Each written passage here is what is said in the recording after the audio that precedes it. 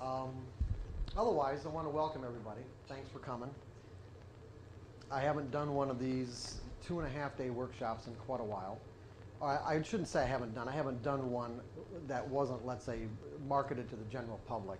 I've done many that are that are for you know trading companies and brokerage firms. One of the reasons why uh, I like the idea of videoing this is because um, I don't really plan on doing this maybe again for a while.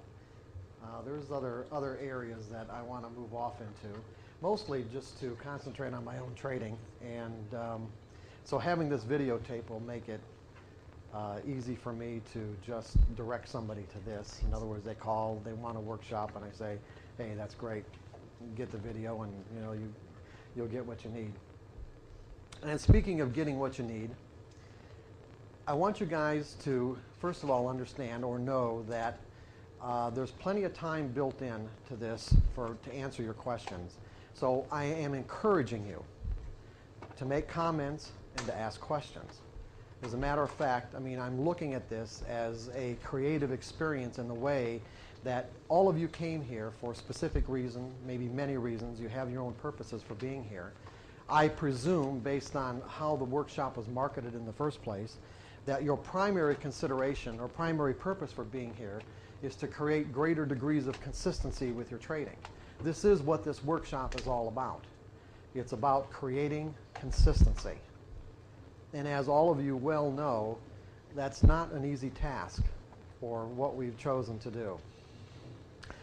I think all of you also probably know, and I don't know what the experience level is of this group. I mean, I know some of the people in this group have been in the business for a long time. There's other people that I've never met before. But I assume that, that all of you have experienced what I'm going to call this kind of reality gap between what you realize as being possible from the market. In other words, what we're looking at is this kind of unlimited potential to, let's say, enrich ourselves. And the difference between what we can perceive and see as unlimited potential to enrich ourselves and what we end up with on our bottom line. And there could be a huge gap there. And so, what I'm going to do in the next two and a half days, and it will go very fast, it really will. But what I'm going to do in the next two and a half days is give you a very detailed and comprehensive blueprint on how to close that gap.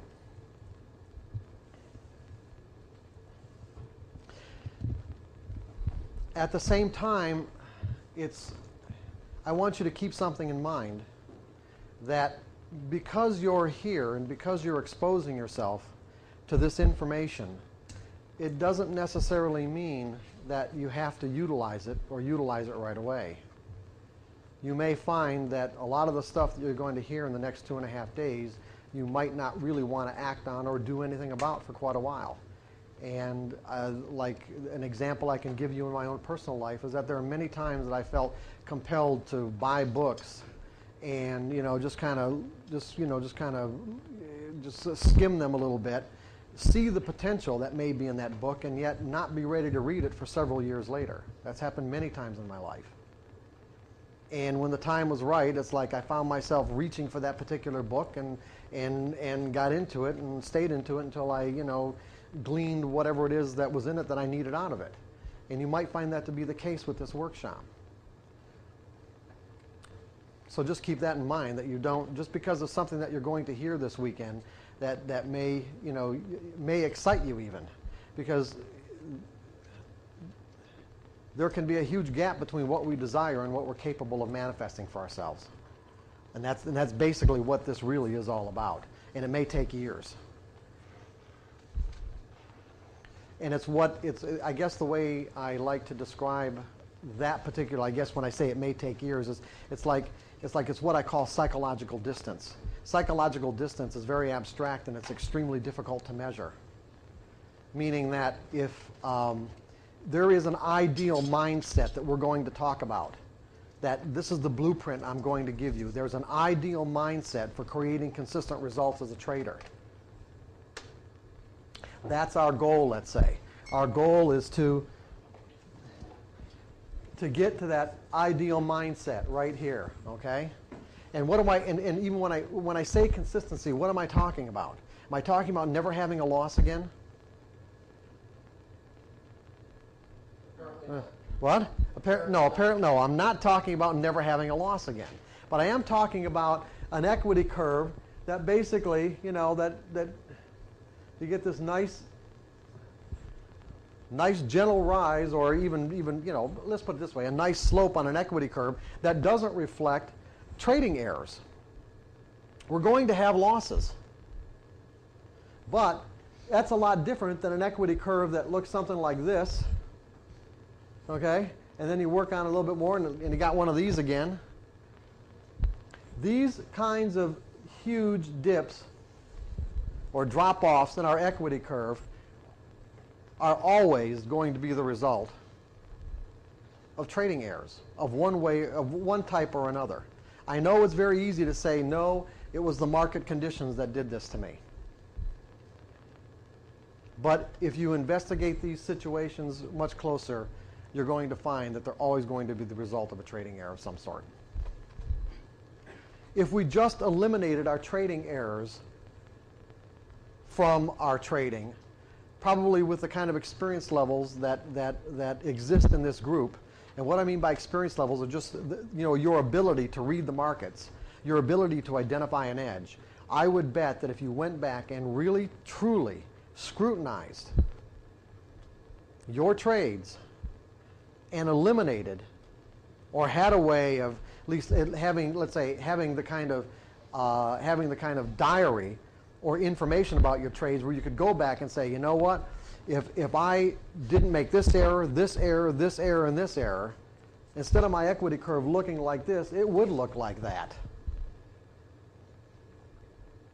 Now there is an ideal mindset to create this.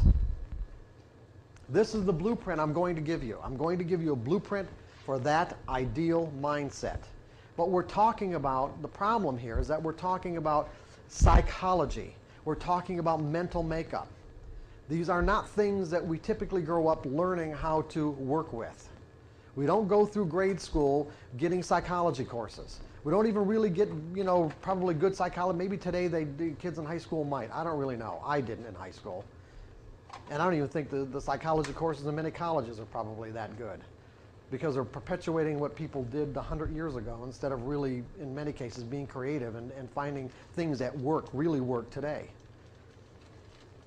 So since we're talking about our mental makeup, we're going to have to learn some skills.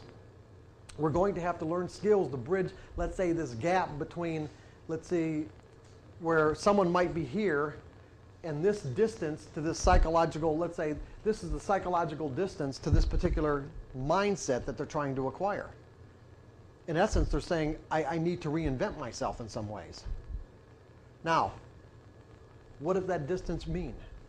Well, it's very abstract. There's really no way to say that it has anything to do with linear inches or centimeters or whatever. It's more, I would say it's more like software code.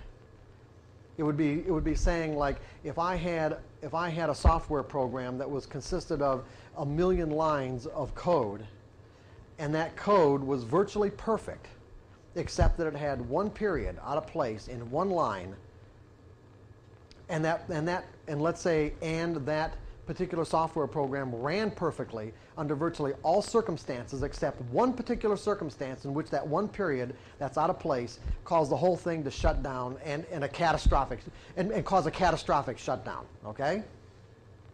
Now you could say if you want to equate this psychological distance you could say that that what's the distance between between let's say where that person's at and the ideal or most perfect mindset, just one period away, right?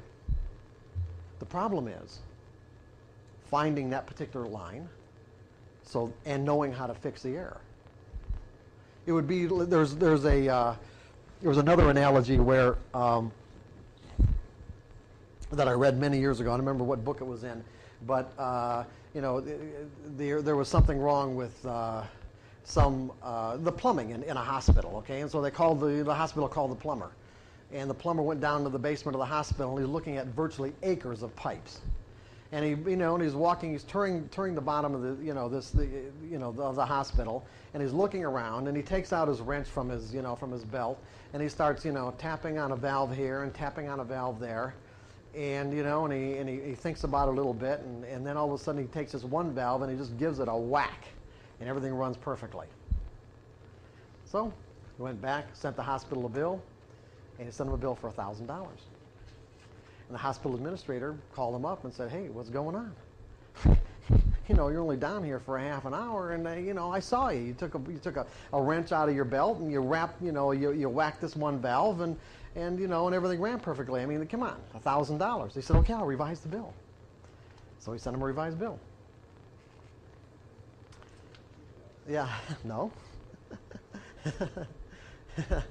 $10 for whacking the valve, $990, $990 for knowing where to whack.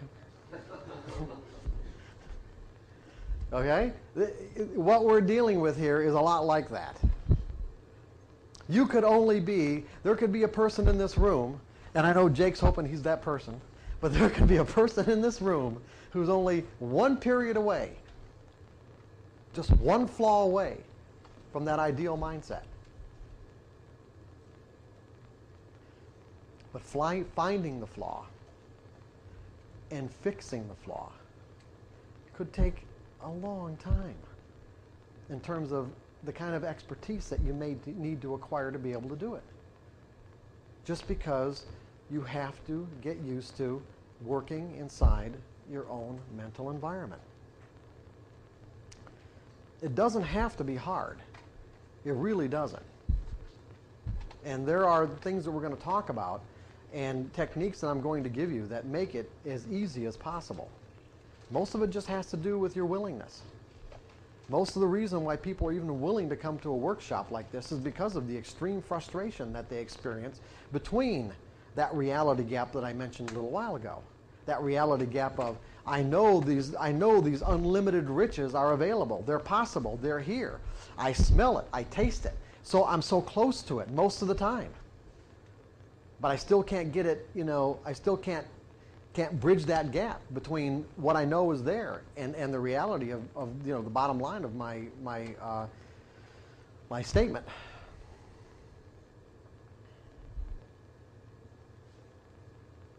So I am assuming that's why you're here. Am I did I assume correctly?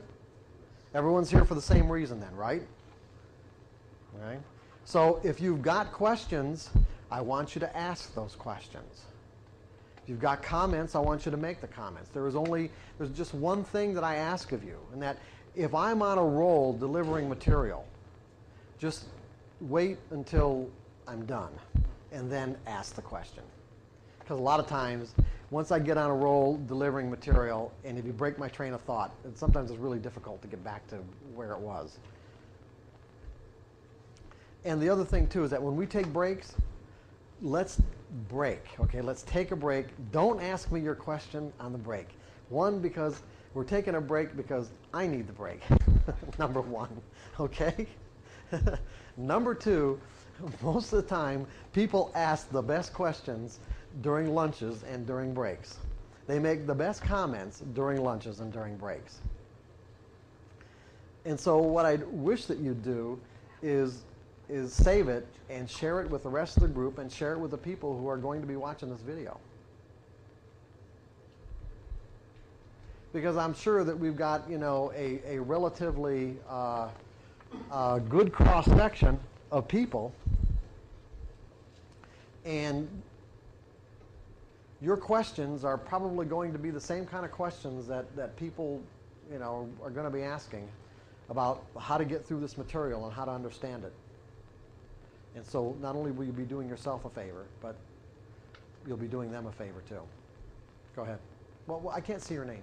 John Daggett. John, you don't have to give me, that's all right. Okay, John, go ahead. Uh, do you find in going through this process that people will get an aha moment of where that period is, that within that trading mentality, getting that blueprint, that that can be tracked back to outside of the trading environment? I'm not sure if I know what you mean by outside of a trading environment. What do you mean? Oh, absolutely, When sure. that aha moment comes, can they go back and go and see those same symptoms in other dynamics? Yes, As a matter of fact, that's what you're going to find anyway. You're going to find that, that when it comes to creating consistency, it has to do, it, it really has to do with, with how you live your life.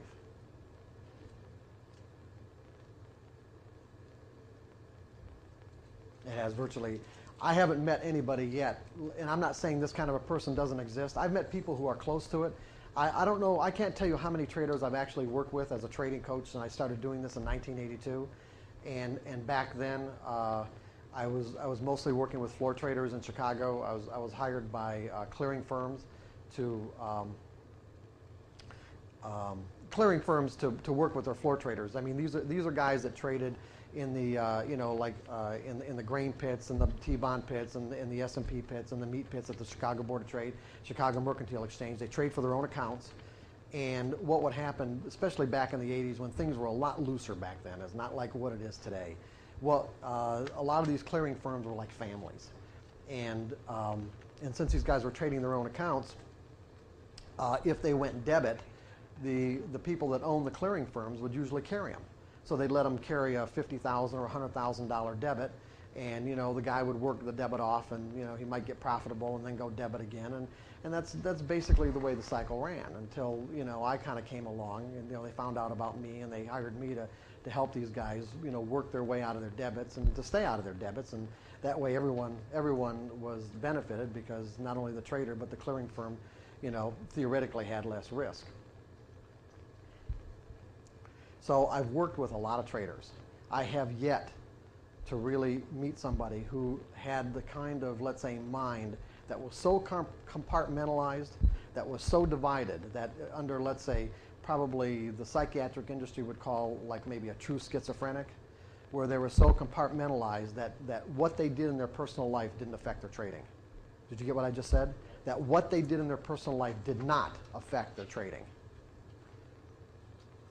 And it always astounded me, as a matter of fact. What really astounded me was, was, was how many traders didn't think that there was a connection. I mean, it was just, just it, it just amazed, it amazed, it amazed me, you know, working with these guys who would literally, you know, walk out the front door, be screaming at their wife and their kids, kick the dog, you know, and you know, go down to the pit and have their worst, have their worst day, you know, in a year or whatever. It just, and, and they didn't make the connection, you know, it was bizarre to me, it was so obvious that, you know, but it wasn't to them. And that's one of the things I help them do is make that kind of connection. So a lot of a lot of what you're going to find that, that it takes to just create consistency is is developing an an increased awareness, an increased awareness of what you're thinking in any given moment, and having a way to gauge your state of mind. Having a way to gauge your state of mind so that you know if you're in the best state of mind to be trading in any given moment or any given day or any given hour. Because if you had a way to gauge that, and let's say you, you weren't addicted to trading in ways that would prevent you from tra- not trading, put it that way, not trading, because in many cases you're going to find that not trading is like putting money in the bank. Literally. Let's say this again. Not trading is like putting money in the bank because there will be times, there will be times that you will be in a state of mind that I could virtually guarantee that no matter what your system, no matter what your methodology says, no matter what your system says, it won't make any difference. You will lose money. You can recognize these kinds of states of mind in advance. And that's one of the things you're going to learn how to do this weekend or at least I'm going to give you the tools to learn how to do it. And like I said, if you're not addicted to trading in ways that would prevent you from not trading, then what you do is just not trade. And you're making money. You're not trading and you're making money. That's, one of the problems also of overtrading. Where you deal with it, where sometimes you're, there's no action, but you're trying to force it. Yeah, exactly. Right. Did everybody hear? Can, can did you guys hear that on the tape? That was one of the problems with overtrading, where, where there's no action, you're trying to force a trade. See, there are, and I'm sorry, I didn't, I can't see your name. You don't have your John. Another John. Okay. Um, yeah, John. Uh,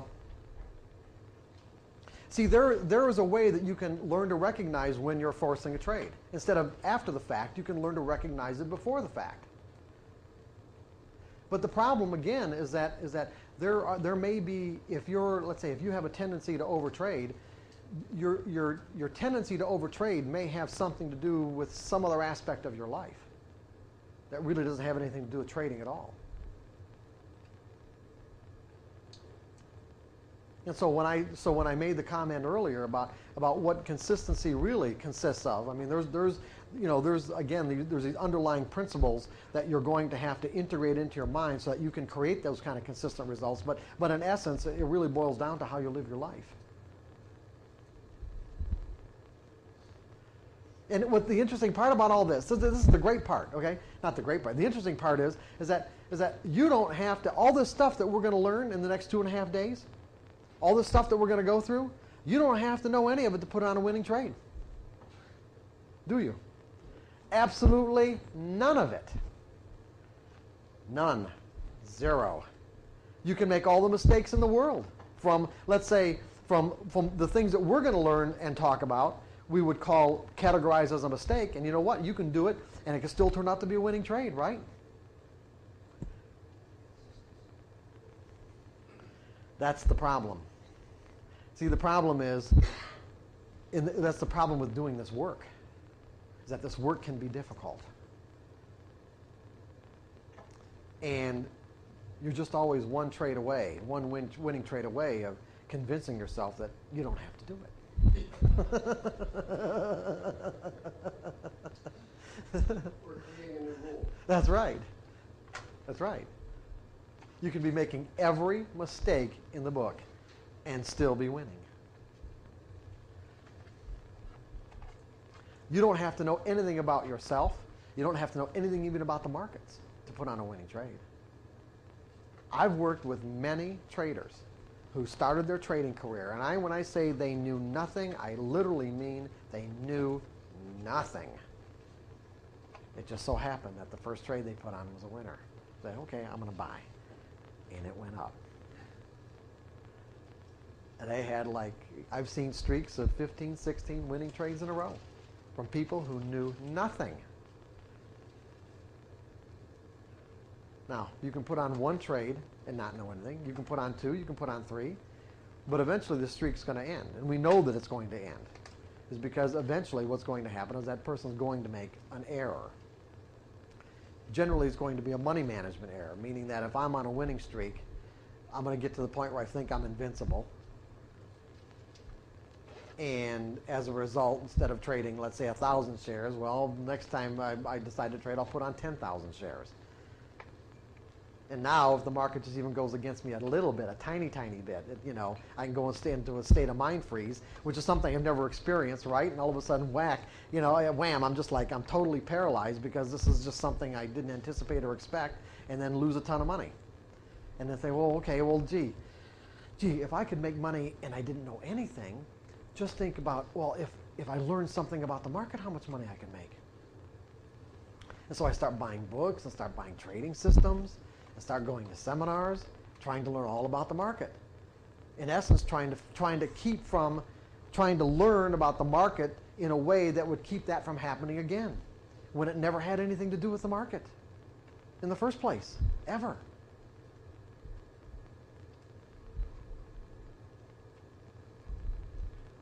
And that's what's really frustrating about all this is that that why that's why you see people who are absolutely wonderful analysts that can literally call market moves with, with uncanny accuracy, but make the absolute worst traders imaginable.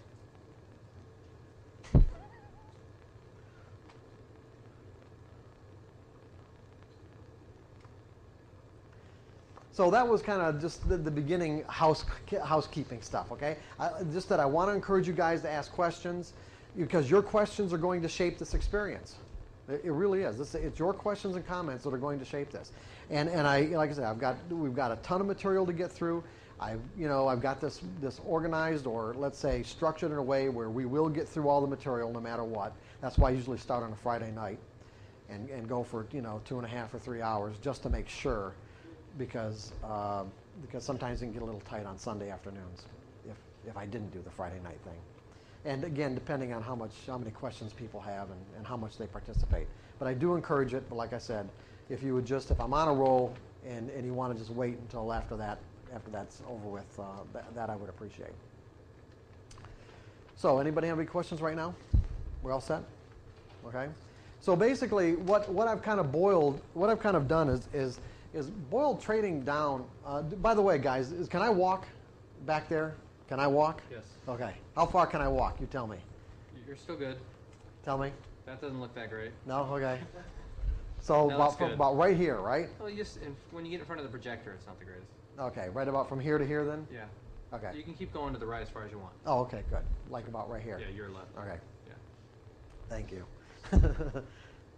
yeah, see, uh, see, the other thing about the other room is that I wouldn't have these bright lights in, in my eyes because they had higher ceilings, but I wanted you guys to have these good chairs. I really did. yeah, it really does. It, it makes a huge difference. So I just, you know, I thought, okay, I'll put up with the lights. They get the chairs because they won't move the chairs. I mean, this, these chairs belong in this room, and that's it. Okay. And they're, all the hotels are like that. I, I, we, we run this run this kind of crap all the time. Anyway, so um, okay, so so pretty much I boiled or, or, or kind of distilled trading down into four general skill sets that you have to acquire to be a consistently successful trader. First of all, you have to know how to identify an edge, don't you? Go ahead, John. Are you, where we're starting here, is there a page in the book where we're starting also? Yeah, that's I'm just I'm in the introduction right now, and and I will follow the presentation will follow. We just put this up there so they could you know they could. We're not here yet, okay? That, so don't worry about that.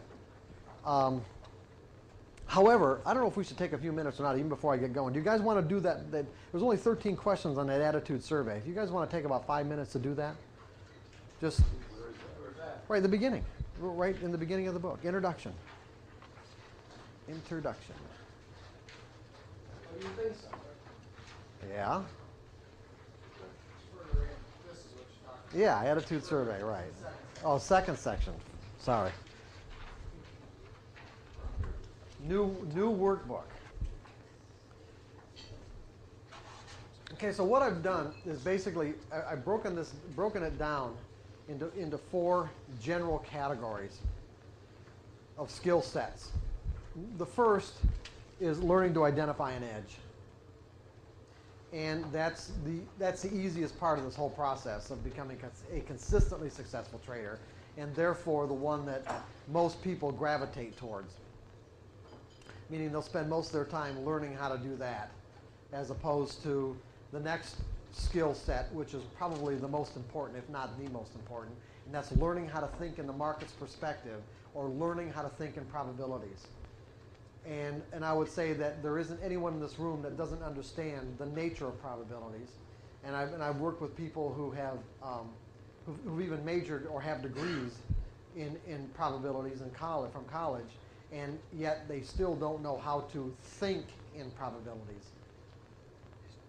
Because when you can think in probabilities, you will stop making, automatically stop making the kind of errors that will detract from your ability to be consistent. In other words, when you've effectively learned how to think in probabilities, it won't even occur to you not to predefine your risk. It won't occur to you not to cut your losses. It won't occur to you to even hesitate when your when your edge roll, whatever you define or whatever criteria you use to define an edge, shows up in the market. It won't even occur to you to jump the gun. Uh, it won't occur to you not to take profits or have a systematic way of, of taking profits. These things just will not happen because when you have effectively integrated into your mindset this ability to think in probabilities, it is completely inconsistent to do these things with this thinking methodology. The two are, are completely inconsistent with, with each other. This mindset won't let you behave that way. And that's basically where we're going to get to in this workshop. But the other, but there are other problems. There are other areas. The other area, the next area. So we've got defining an edge, learning how to think in the market's perspective, and then the third one is um, learning how to identify and neutralize self-sabotaging beliefs. This is big. Here's the problem. The market represents an unlimited, literally unlimited opportunity to enrich ourselves. We all see it. It's there. It really is unlimited. Maybe there are some practical limitations, but for the most part, it's pretty unlimited. But that doesn't mean that the kind of things that we've accumulated, meaning the kind of beliefs that we've accumulated throughout our lives that exist in our mental environment, are in complete harmony with our desire to create consistent results or to, or to tap into, let's say, that unlimited ability to enrich ourselves. In other words, not everything that we've learned wi- will be, would argue for increased or vast riches or prosperity. Not only would it not argue for, it might argue completely against. These are things that we might be conscious of. In many cases, they are beliefs that we are not conscious of at all. But what we're going to learn tomorrow is that just because we're not conscious of something that we've learned at some point in our lives, it doesn't mean that it's not operational. It doesn't mean that it still doesn't have an effect on the way we perceive information and how we behave.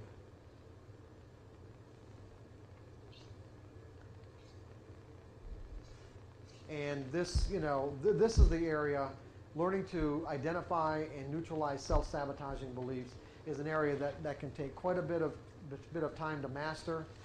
Um, can take quite a bit of expertise, as a matter of fact.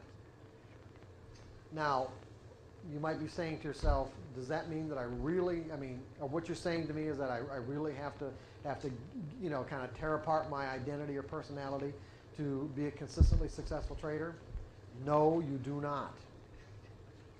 You don't have to go through that process. But if you choose not to go through that process, then you're going to have to do something to compensate for it. You can create consistency without having to go through and identify every belief that, that might argue against increased prosperity or being, you know, accumulating more and more money as a trader, put it that way. But if you don't, and these kind of beliefs do exist, you will have to have to adopt a trading regimen that compensates. And we'll talk more about that later on Sunday. Are you guys kind of with me on this stuff? Okay? And then the next area, the fourth area, is euphoria. Euphoria is big. Euphoria is big. Now, just briefly, euphoria.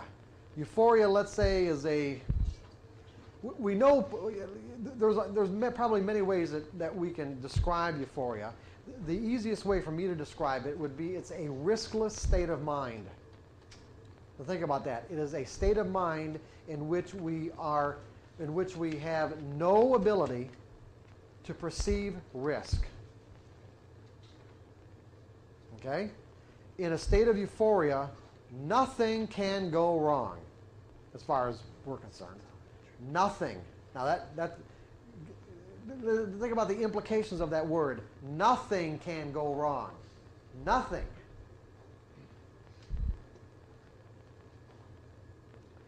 However, we all know the market may not agree with that. what? Yeah.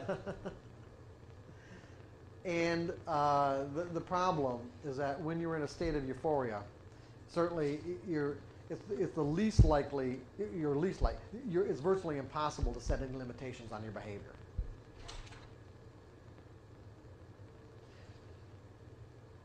Everyone seems, at least from my experience, everyone seems to have a different threshold for entering into that state of euphoria. And there is a threshold there. It's like there's, there's definitely a difference between confidence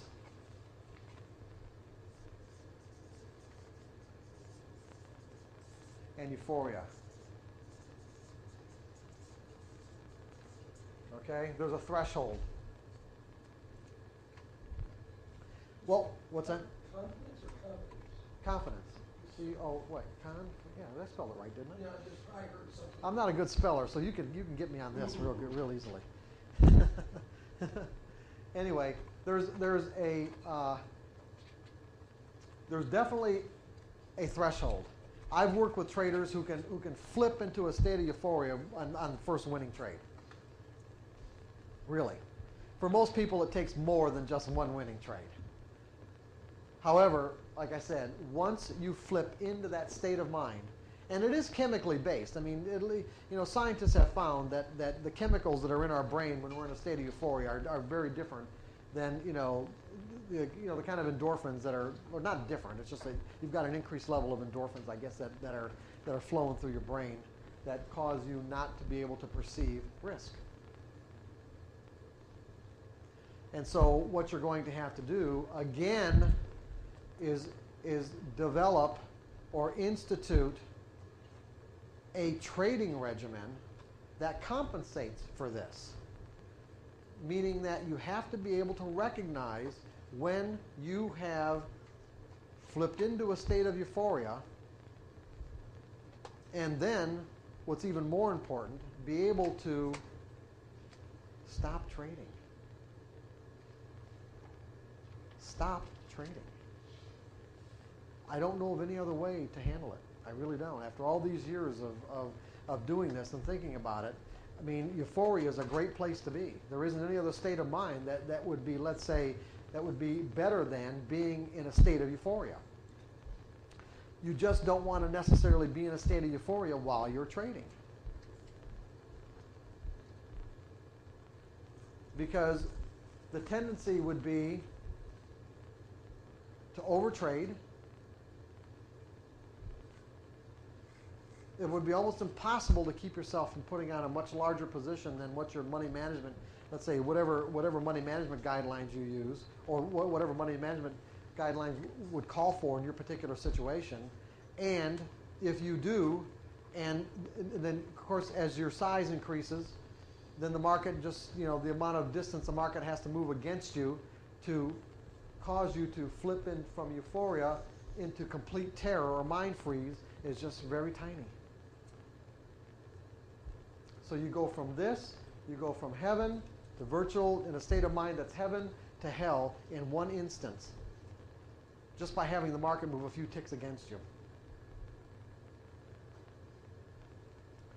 And the problem is that this can create an enormous amount of psychological damage that's really hard to recover from. It's extremely difficult to recover from this. Not that it can't be done, but see the way most people look at this, most people look at this as like, like a supreme betrayal. It goes into a category in their mind where they were betrayed. And some people would even say that they were betrayed by God. Or even think that. It's very possible for people to think that. It can really be damaging.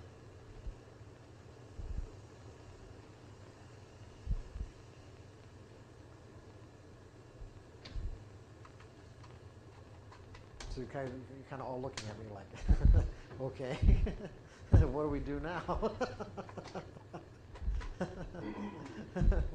so I'm going to give you some. I'm going to give you a framework to be able to recognize this. And you think when, now when you think about this, if your objective, if what you're saying to yourself or me or whatever by being here is that my objective is to create consistent results, that depending on how strong that desire really is, will, will in essence be part of the tools that you will use to be able to recognize when you have actually flipped into that state of euphoria and say to yourself, you know what, I'm going to enjoy myself and the money that I've made getting there some other way other than trading. I'm going to stay in that state of mind, but I'm just going to be doing it with my friends or my family or my kids or whatever.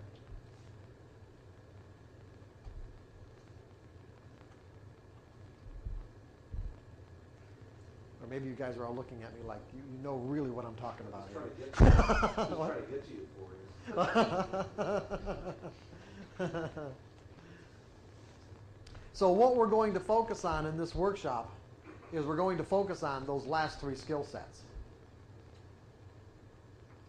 Is there a psychological profile that would suggest that you shouldn't be trading or or would suggest you be a good trader? Okay, the question is, is there a psychological profile that would suggest that you shouldn't be a trader?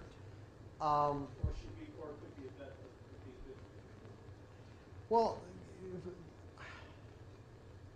when you say psychological profile, I guess you're going to have to be more more specific. Uh, Do you mean personality types? Yes. Yeah, see, the problem with me answering that particular question is that I, I've never looked at personality types as being relevant. I don't, see, to me, personality, when, when, when psychologists categorize people in personality types, to me, it was like what they're doing is just making their job easier. They kind of pigeonhole people and, and sort of pigeonhole people in, into certain categories so, so that they don't really have to think about what it is that they need to do to help this person.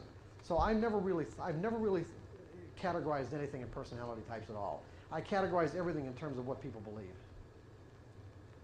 Because, because from the way that I think and, and the way I've developed this material, you know, what we believe determines how we perceive information and how we behave, the decisions we make, how we feel about the results, and, uh, you know, it's, it doesn't really matter what kind of personality type that that, psychologists would say that you have anyway. But is there, I mean, is there, are there people, for example, maybe to answer your question, are there people that I've met that seem to be more predisposed to being successful as opposed to, say, people that I've met that are predisposed to not being successful? Sure. People who are really rigid in their thinking, really black and white, are, you know, they have, you know, just have difficulty in terms of, of flexibility, are, let's say, predisposed to not being able to think in probabilities very well when people who are, let's say, predisposed to make money are those people who don't give a shit about money.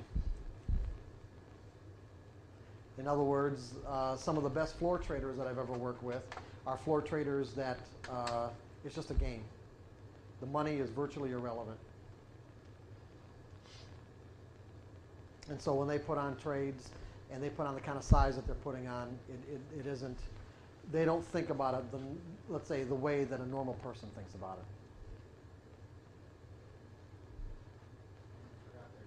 What's that? That's right. I, yeah, I was going to say that. And they love it. Yes, absolutely. Because when you really get right down to it, you really got to love this. You really have to love it. People who are also predisposed to being successful are people who genuinely enjoy this and enjoy it in a way where they're not they're not necessarily addicted to it. There's a difference. Because when we talk about addictions, what we're really saying is that whenever we're operating out of an addiction, we're operating out of a state of choicelessness. All addictions create choicelessness, not choice, but choicelessness. All addictions, we're, when we're operating out of, a, out of an addiction, we're operating out of choicelessness. In other words, the addiction will dictate how we see things and how we behave. And as traders, we have to be supremely flexible in terms of in terms of what we're what we can do or not do. In other words, we always have to be acting in our own best interest at all times. And addictions will definitely cause us not to be not to act in our own best interest at all times because we'll have to satisfy the addiction. What we, what, what we might have to do to be acting in our own best interest could be diametrically opposed to what our addiction says we have to do. That's what I'm saying. And so what's going to win is our addiction.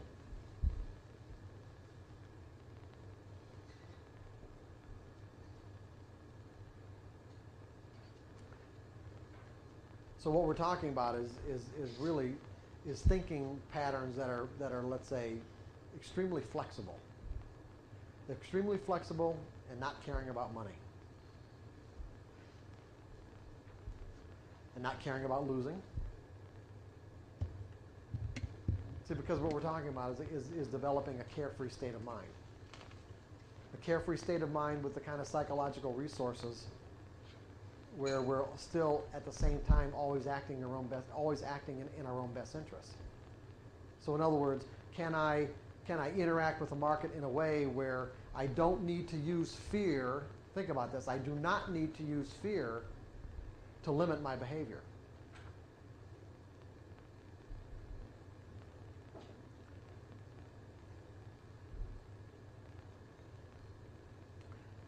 because that's the way it is with most traders. They have to use their fear of the market or their fear of what could happen to limit themselves. And that's exactly what we want to, what we want to eliminate. Is this ideal mindset that we're talking about doesn't have any fear. There's no fear of the market at all because it's really not the market anyway, it's ourselves. The reason why we fear the market is because we can't trust ourselves. Any fear that we have of the market is just simply a reflection of the fact that we can't trust ourselves. We can't trust ourselves to do what we need to do when we need to do it without hesitation, without reservation or internal conflict or argument. Does that make sense to everybody?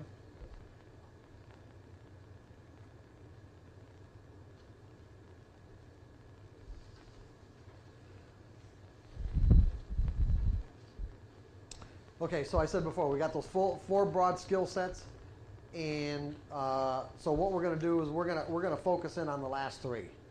Learning how to think in probabilities, learning how to identify and neutralize self-sabotaging beliefs, and setting up a regimen so that you can recognize when you flipped into a state of euphoria. Now, um, and we're going to do this all within the context of the four developmental, three developmental stages of a trader: trading mechanically, trading subjectively, and trading intuitively. So what I'm going to do is I'm going to take all this information that, that, that we're going to go through tonight, uh, all day tomorrow, and then and then part of the afternoon on Sunday, or part of the morning on Sunday, and I'm going to put it all within all within this context. I'm going to put it all together within this context of trading mechanically, subjective, and intuitively. Because, and the reason why I do it this way is because, again, I don't know, I don't have a profile of, of people who attend this workshop, and I've gotten people who are novices all the way to people. The, the biggest trader I had was somebody that had a billion dollars under management, and uh, so you know everyone's at, at, at different levels of development in terms of what they need. And so there may be traders, you know, there may be people in this room that are that are, let's say, you know, uh, at a point where they can trade subjectively and are now, you know, getting really are getting, you know, say a high volume of intuitive impulses about the nature of what the market's going to do. And so what I do is is is give you this, these skill sets for each one of these levels of development, or these skills within each of those levels of, levels of development. Chances are, however, if you haven't completely learned how to think in probabilities, you're going to end up in the mechanical stage of trading, regardless of how many years you've been doing this.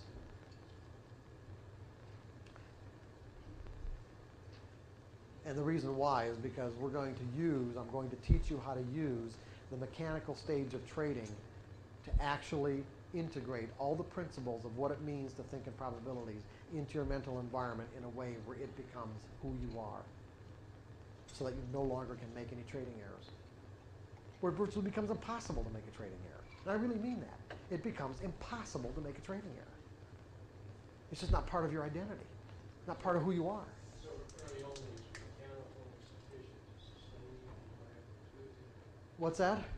it, can mechanical sustain you if you don't have? You mean financially? Well, well, I Oh. in, in being successful, Oh, it, you're implying that mechanical set of rules are such that you can use those successfully while you're trying to accomplish the intuitive.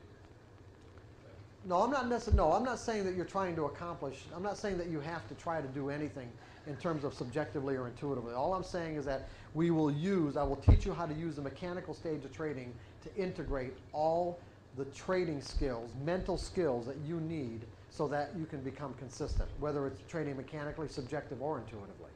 I'm just saying you're going to. We're going to look at trading in a very different way. We're going to look at trading in a way like how am I going to use my trading and what I've learned about how to identify an edge to actually create certain skills inside my mental environment.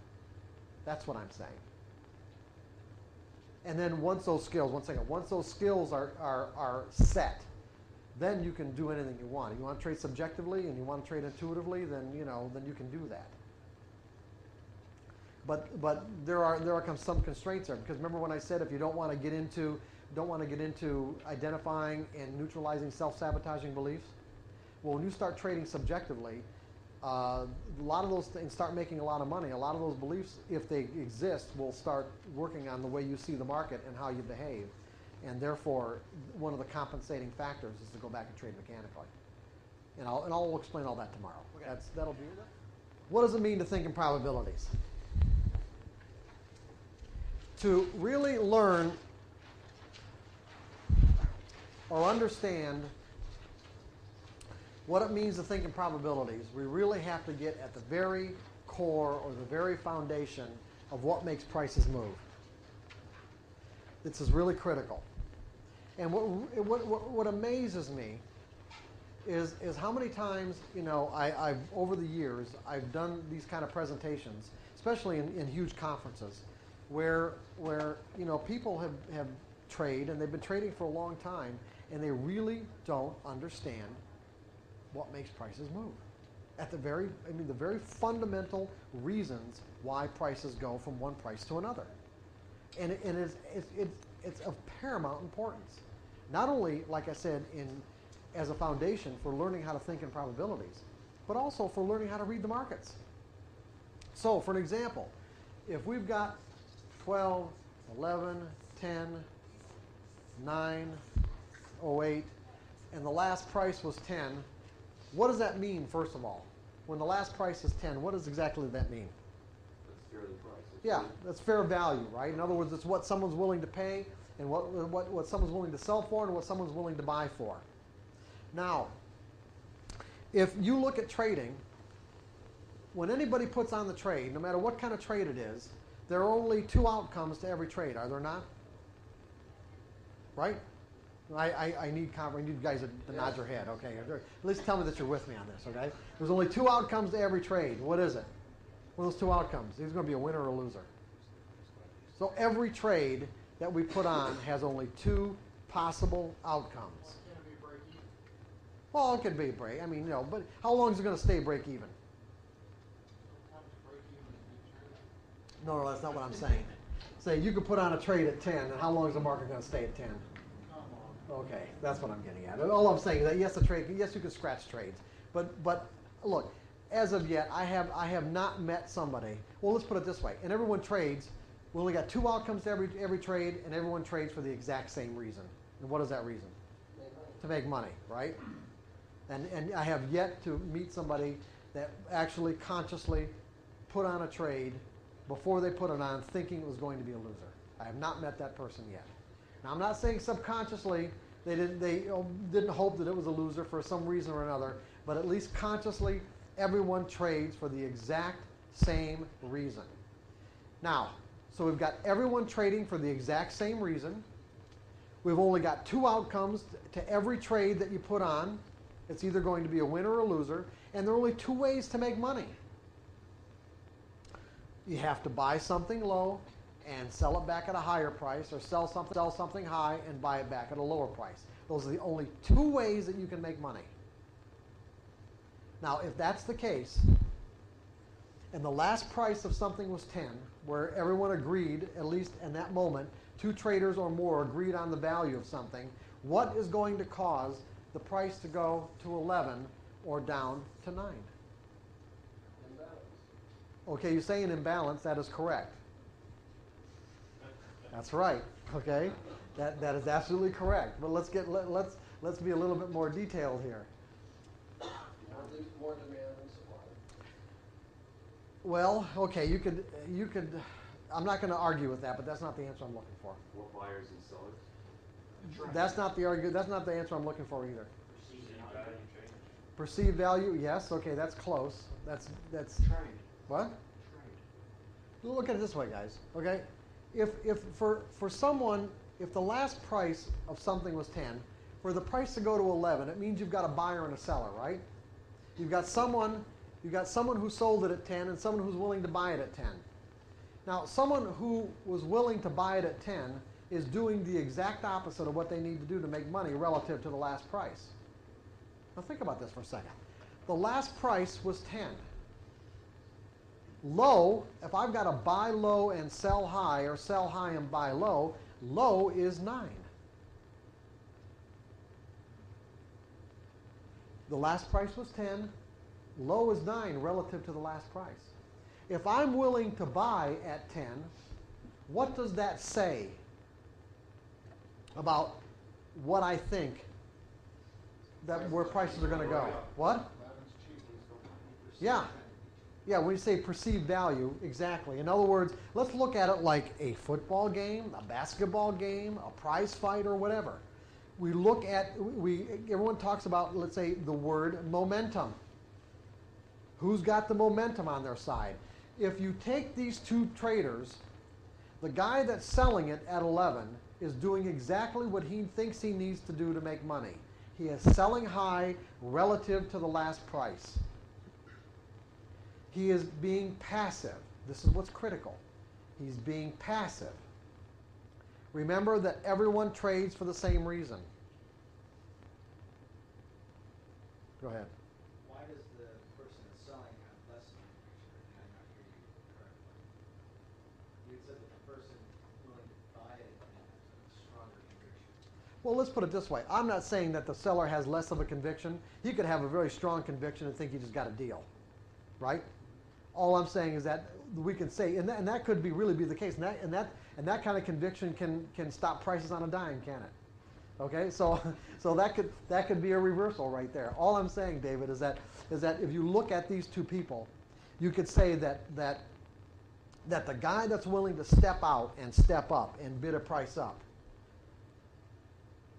would let's say you're right he doesn't have to have a stronger conviction but we're going to for prices to keep on moving up then we'd have to say that the buyers have a stronger conviction than the sellers they have to because they're willing because one not only are they willing to bid the price up but there's but that the conviction itself might not be as strong in this case there might just be more buyers than sellers so it's a combination of two things. It could be either there's a stronger conviction or there's more buyers and there's not enough sellers to absorb the buyer's orders, right? And when and if there's enough, one at the point at which there's enough sellers that come into the market to absorb all the all the buy orders, then what's going to happen to price is going to reverse. So it could be a combination of two factors. It could be just numbers or conviction itself. But to make the point, what I do is I just usually say conviction because really all price movement is a function of what people believe about the future. That we can say for sure. There's only two ways to make money. You have to buy low and sell high, sell high and buy low. And for the price to go from the last price to this price, someone has to be willing to step out and bid it up and pay more than, do the exact opposite. That's the, that's the important part. That's why I say more conviction, because because he has to do the opposite of what he needs to do to make money. If I'm only doing this to make money and I've got to do something that's opposite, opposite relative to the last price, then that then that is an indication, okay, that let's say that's an indication that there must be more conviction, at least in that moment probably. What's that? Okay. Okay?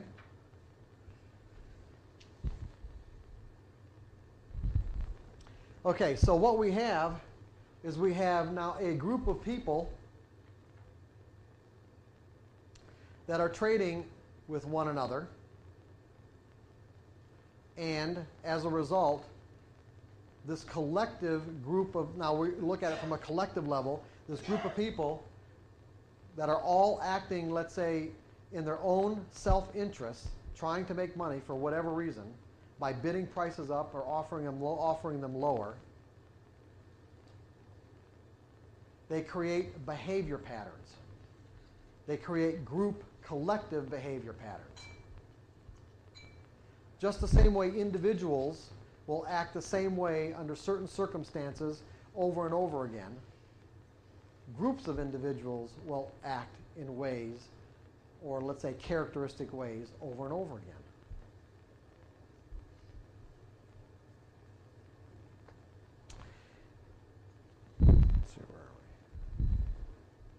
And so, what technical analysis does is basically identify these patterns for us. So we can use any number of tools that we've learned. We can use trend lines. We can use, you know, uh, uh, uh, moving averages, Fibonacci relationships, uh, you know, stochastics. All these technical tools that we've learned about, all they really do is categorize and organize group human behavior in a way where we can identify what we're going to call an edge.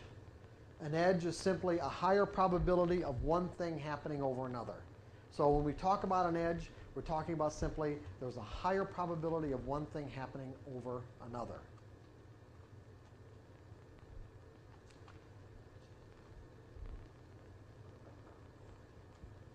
Okay. Now, let's see where we go.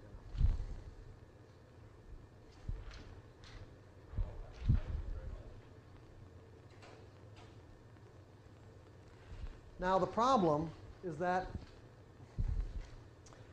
even though we've got this, we've got we, technical analysis creates or identifies these patterns for us. Patterns imply consistency, do they not? So in other words, if I've got, if I can identify a pattern that repeats itself over and over again, it implies to me that I'm going to get a consistent outcome. But do I get a consistent outcome? Well, yeah, I do. But it depends on what level you're talking about. At the macro level, over a large sample size of outcomes, it will be consistent. Just like the flip of a coin. If I flip a coin a thousand times, and I have, let's say, if I have sample sets, if I have do 10 sample sets of 1,000 flips, what are my results going to be? They're going to be consistent, are they not? Is that a pattern? I'm going to get a 50-50 outcome, or close to it, if I have a large enough sample size. That's at the macro level. I can get a consistent outcome. But at the micro level, what about each flip in relationship to each other? Yeah, in other words, independent and random. So for an example, if I can if I know that out of a thousand flips I'm going to get a 50-50 distribution between heads and tails, am I going to know the exact sequence of heads to tails? No. So I could end up with, you know, I can end up with streaks of, of 10 heads in a row, 12 heads in a row. Uh, you know, uh, and if I get 12 heads in a row, what's the, what are the odds that the next flip's going to be heads? It's still 50-50, right? And so at the micro level, there's a random distribution between heads and tails. At the micro level with trading, or using technical analysis, there's also a random distribution between wins and losses. So you could develop a trading system that you could test and find that, you know, over a whatever sample size of trades, you could have 60% winners or, or you know, 60% winners, 10% scratches, and 40%, you know, uh, losing or 30% losing trades, but you wouldn't be able to tell me the actual sequence of winners to losers to scratches, meaning which trades were going to be the winners and which trades were going to be the losers. Which means what? Random outcome. Random outcome. Which means that I'm going to have to adjust my thinking in a way that allows me to compensate for the fact that there's a random outcome when my mind will tell me something different. Because it doesn't feel that way. So, for an example, if I get four winning trades in a row, what are the odds that the next trade is going to be a winner? Yeah, I don't even know really what the when you get right down to it. I mean, it's just like there's almost no way to, to really put odds on it in some cases. I just don't know what the next trade is going to be, no matter what. But is it going to feel that way? I've had three winners in a row, what's that next trade? What, and, and my edge is now present in the market.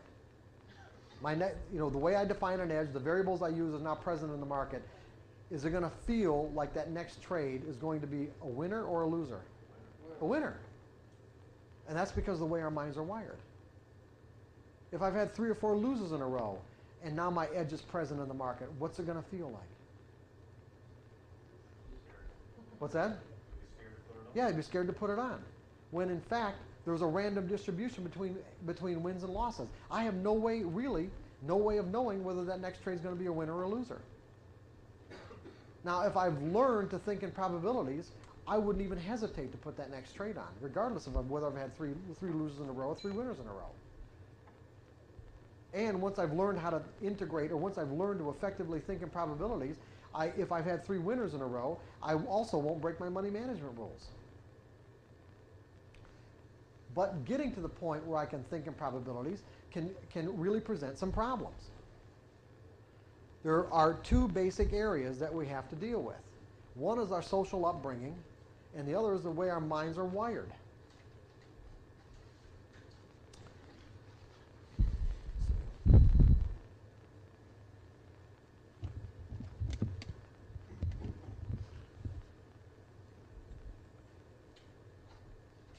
I'll get into in a little bit. Let's see. So basically, what, what I'll get into that get into the, this stuff in just a, just a little bit about the way our minds are wired and our social upbringing. But uh, what so what technical indicators don't do is they don't tell us what's going to happen next on a trade by trade basis. And that and that really is a problem. Because in essence, what we have to learn how to do is we have to learn how to keep our minds focused in the now moment, meaning like what is going on now in this moment relative to my objective to be a consistently successful trader and not allow our minds to, let's say, tap into a memory of a previous moment. And the problem is our minds are automatically wired to think that way. Our minds are wired to do two things that we have to be concerned with. Our minds are wired to associate, and our minds are wired to avoid pain.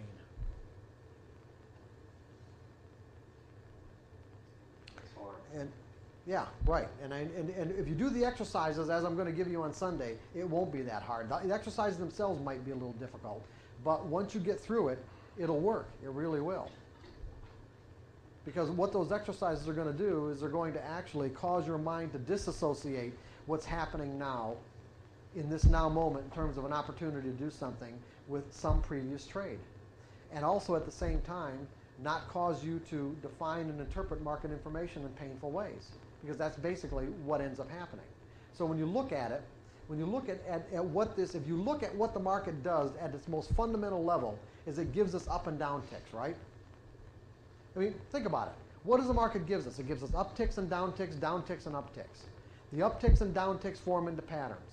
Technical analysis helps us identify the patterns and, and so that we can and help us define them as edges. Edges meaning there's a higher probability of one thing happening over another, meaning ultimately meaning that if we know how to know how to um, how to execute our edges properly, we can enrich ourselves as traders. That's simple, right? Because when you get right down to it, putting money in your account is a function of execution. It's not a function of analysis. Think about that. It's a function of execution. You cannot get a dime in your account from just analysis unless you're a newsletter writer or, you know, or offering analysis as a service. As a trader, the only way you get it in your account is by executing properly.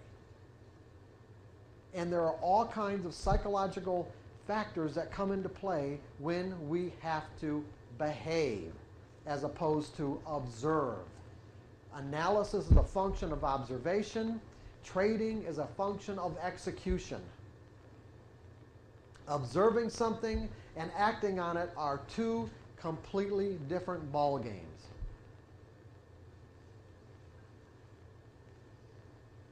So what we have is we have up and down ticks, right? The up and down ticks, like I said, form into patterns. Now, do the up and down ticks in and of themselves uh, have any charge associated with them? Yes? You think there's a charge? I mean, mean by like negative or positive charge? You do? Why? I think that at certain times, depending on which way the market's going, you associate different feelings based on what, which way the market's ticking, whether it be up or down. I think people, Well. some people can have a tendency, if they're in a in a losing position, to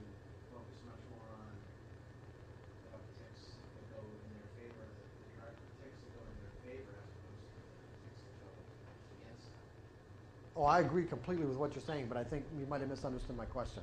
From the market's perspective, is there a charge to these up and down ticks? No, they're just they're just neutral, right? So that what you said is basically exactly what I wanted to get to. It's say it's not the market that causes us to, to be euphoric or feel fear.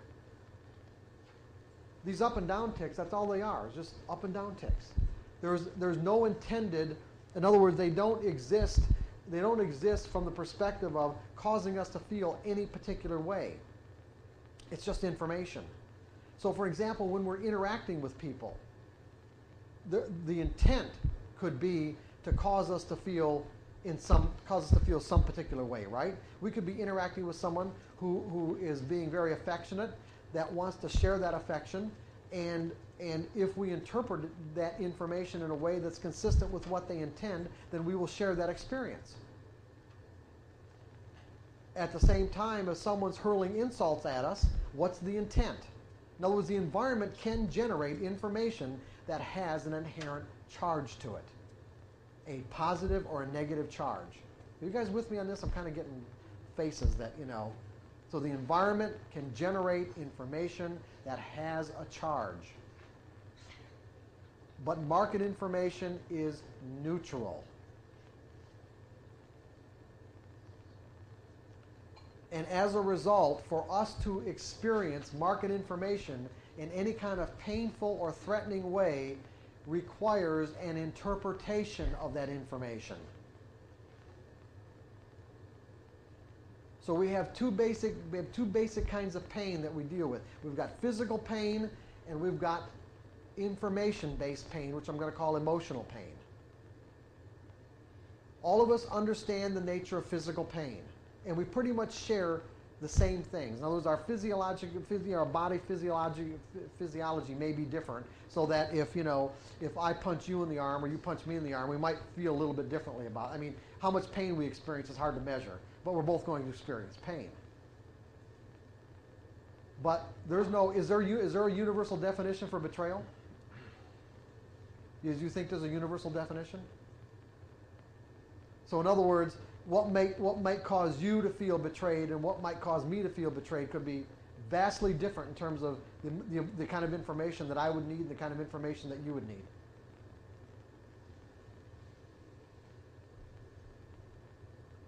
So the market generates information from a neutral perspective.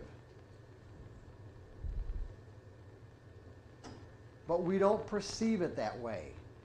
That's what we want to get to. We want to get to the point where we are at, where we are actually perceiving market information from a neutral or objective perspective so that it doesn't have the potential to cause us to feel threatened in any way. So that we just see the patterns for what they are. Simply an edge indicating it's time to do something. And do something in a certain manner. It But- almost- Go ahead. It almost seems when you say, say that, to me, I think the underlying factor there is less is probably more. Like the more indicators or things you would have on, the more you would try to make something appear, and then if you just had a simple price chart, you might not. Exactly. And, and why and why would people why would people gravitate towards having more and more more and more indicators? Because they're trying to avoid losses. They're trying to use, you know, every possible filter to help them filter out that the possibility of a losing trade. Because see, basically the typical trader does not really accept the risk of trading. Only the very best traders truly accept the risk. Now think about what I just said. Accept the risk. The, the, the key word is, is accept. What does it mean to accept something? Now when you think about what it means to accept something, it means to be completely reconciled, to be at peace, where there's no internal argument. Most traders like to think of themselves as risk takers because they're involved in an endeavor that's inherently risky. And so, therefore, they think of themselves as someone who takes risks. But the reality is that most traders are doing everything possible to avoid the risk of trading. And how do we know that to be a fact?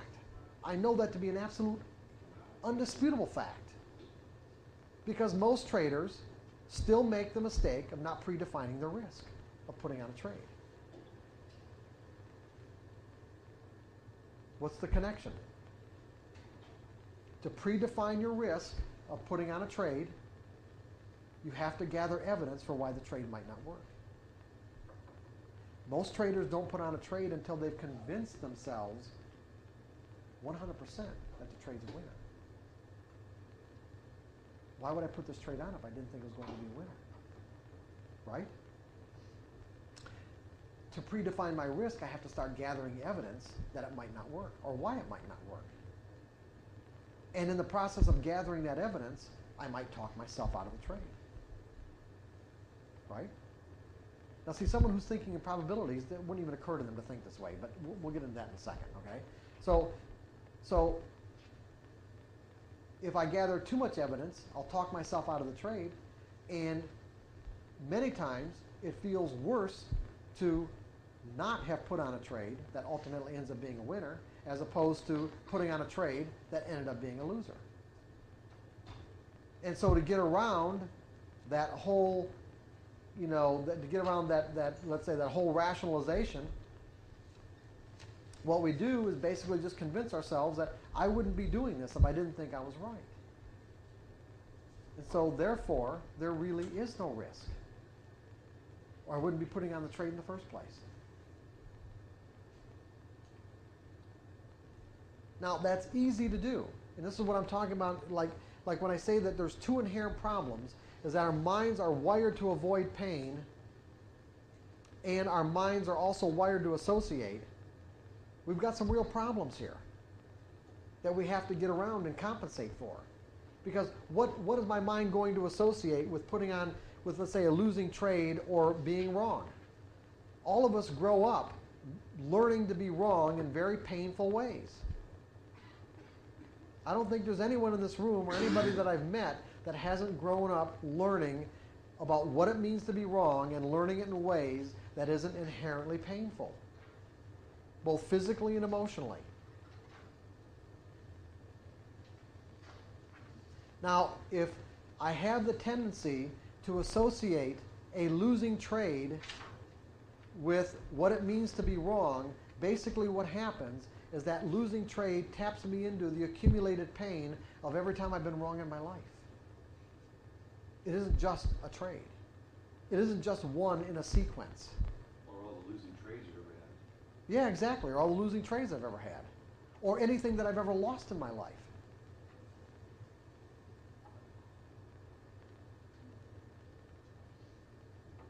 And that could be vast. I mean, in terms of the implications. Losing loved ones, losing pets,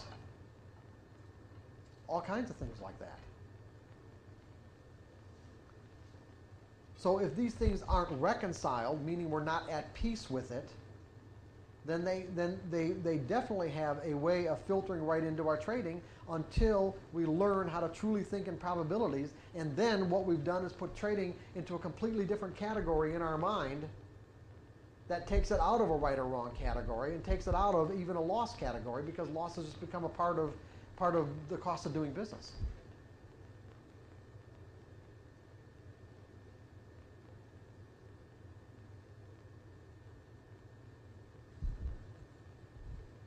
Where are we in this? Okay.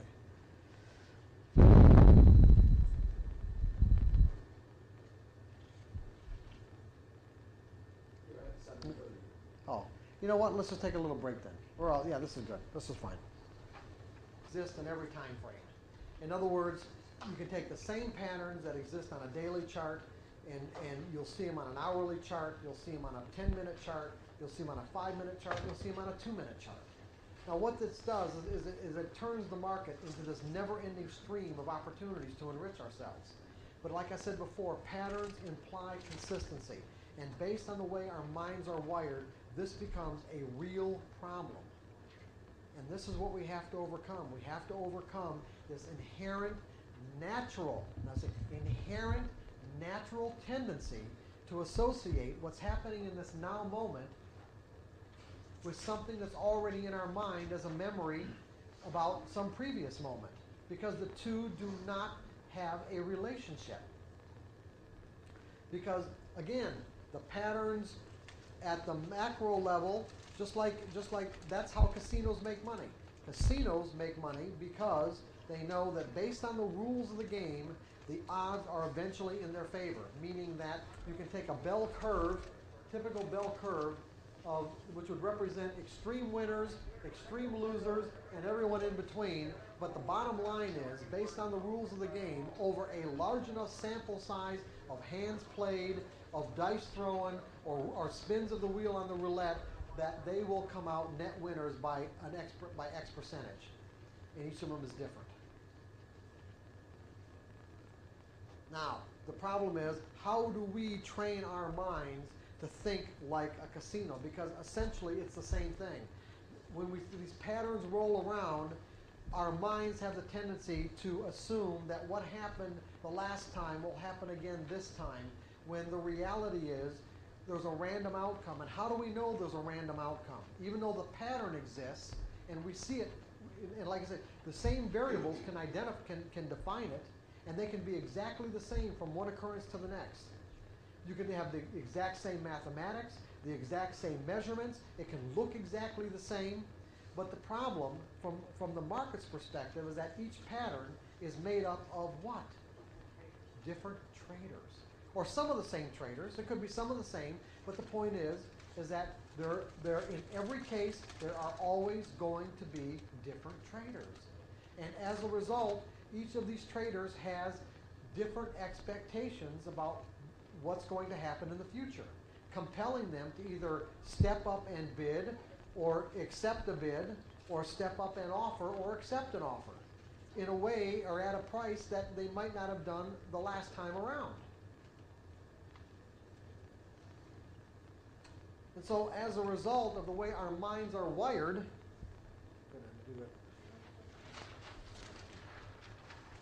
So we can take these up and down ticks, okay, that form into patterns. Get a nice symmetrical trading range going here, okay? This is support, this is resistance. Now,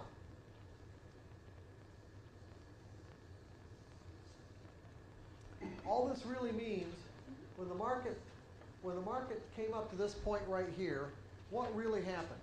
Just, just at a very simple fundamental level, what happened? Yeah, there, wa- it doesn't have to be exactly more people in terms of sellers, but at least there was more selling volume, enough volume to absorb all the buy orders with enough left over to cause this to happen, right? In this particular time frame, whatever that is. This could be any time frame chart, by the way. It wouldn't make any difference, right? Okay? And so we've got, so, so what happened? The exact same thing happened here, only the opposite. Enough buy orders to absorb all the selling, with enough left over for the market to do this. Now, when the market came down to this point again, we have what's called an edge, right? Right, we got an edge. Uh, If you, if you, you trade support and resistance, that's an edge. An edge is a higher probability of one thing happening over another. Do we know what's going to happen in this case? Do we know that the market's going to stop here and go up? And why do we know that? Why do we know that we don't know? Okay, but why do we know that we don't know? Ba- based in based in the context that we're, we're talking about right here. Okay, but uh, why still? Why do we know that we don't know? Yeah, we don't know if the same guys are here. That were the same the same people that were that bought that bought here. Are they in the market? They could be out to lunch, Or or what right? What? Or what mood they're in, right? Exactly. We don't know. And in essence, it really only takes one trader somewhere in the world to negate the positive outcome of your edge, whatever it is. Now think about that. It only takes one trader somewhere in the world to negate the positive outcome of your edge. Just one. So in essence, when we say, well, we're going to find the risk of this trade, well, what is the what is the risk? Okay, what we don't even you know we don't have a scale here in terms of dollar value, but we can say that how much distance, how much room am I going to get to let this price move against my position if I'm a buyer right here to tell me that whoever was buying here are either in or they're either going to come in or not come into the market. That's basically all I'm really saying. And that could be what we call an educated guess. E D G E, edu, edge, E D G dash U dash cated, educated guess. That's all it is, a guess. However, let's say, for an example, we're operating out of the typical mindset of the typical trader. And the typical mindset of the typical trader, he's operating out of four basic fears the fear of being wrong, the fear of losing money, the fear of missing out, and the fear of leaving money on the table. Now, what's going to happen in this case? First of all, the market's coming down to what, what he defines as an edge. Is he going to put this trade on? Even. Is he even going to get it on? There could be all kinds of factors that would come into play that he may not even get this trade on. But let's say he works through whatever whatever fears or hesitations, or he convinces it doesn't work through. I'm going to take that back and say, let's just say that he convinces himself that this trade is going to work, because basically that's the only way he's going to get it out in the first place. And if he's convinced that this trade is going to work, it's unlikely that he will predefine his risk. Basically, just go through the same the same kind of thought pattern that we just went through to say, hey, look, it only takes one trader somewhere in the world to negate the positive outcome of my edge. Therefore, how much room am I going to give the market, you know, against my position if I take this trade right here to tell me that people are either going to come in and buy it and support this price or they're not? He doesn't do that. So he gets into this trade, and the market does something like this.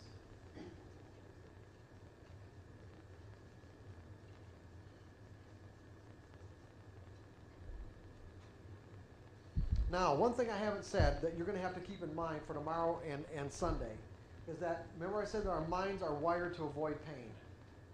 It's, this is a natural way that, that our minds function.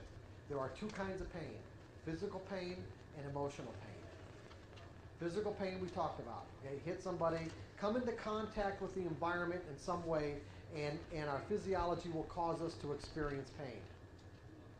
Emotional pain is different. It's information based pain. Information can cause us to tap into something that's inside of our mind that is made up of, let's say, negatively charged energy and put us into a negatively charged state of mind or fear. And what is fear? Fear is just telling us that there's something out there that we need to be, we need to avoid. Okay? Our mind has pain, our mind has automatic pain avoidance mechanisms. So, for an example, if I set my hand on this table, it turned out to be a hot burner, I don't have to think about moving my hand. It happens automatically, subconsciously. There's no argument, there's no internal conflict. My hand comes off. The same kind of mechanisms exist for information. In other words, our minds can cause us to experience information in ways that are very different than what was intended from the environment's perspective, based on what we might be afraid of. It can actually distort and alter that information in ways that are consistent with keeping us out of pain. So, for example, everyone in this room has learned enough about the nature of the market to say that you can recognize a trend, can you not? Is that a distinction that you've learned about the nature of the way markets can move? That the markets can trend? And we're, we're going to define the trend as simply a series of higher highs and higher lows or lower lows and whole lower highs in whatever time frame we want, right? Okay? And one thing we've also noticed about a trend is that once a trend starts, it usually it can keep on going, right? In other words, we can assume that, you know, once momentum gathers on one side of the market or the other, in other words, one side gets the advantage, one side has a stronger conviction about their belief in the future than the people that are taking the other side of the trade, that, that trend will continue until the, people's conviction changes. It's that simple. Okay? And a trend is an easy way to make money, right? Catch a trend, and that's an easy way to enrich ourselves, right? Okay. So, now, if I'm operating out of a fear of being wrong, and my mind is wired to avoid pain, now think about this.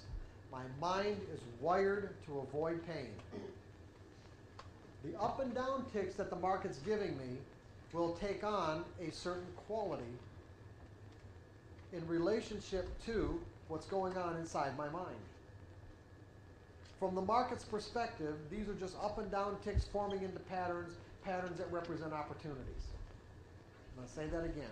From the market's perspective, these are just up and down ticks forming into patterns, patterns that represent opportunities to enrich ourselves.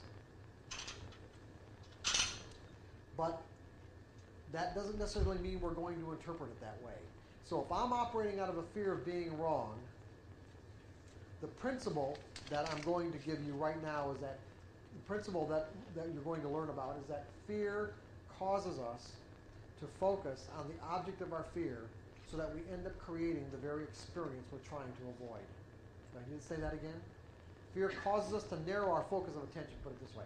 Fear causes us to narrow our focus of attention onto the object of our fear so that we end up creating the very experience we're trying to avoid.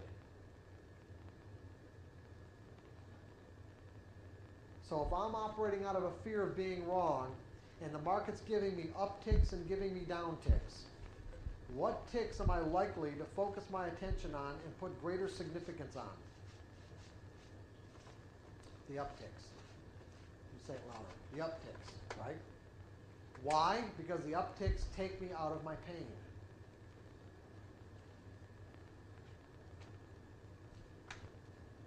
So, for an example, if I'm getting one uptick in relationship to the downtick, one uptick for every four or five downticks, the market is in a downtrend. Is in a downtrend.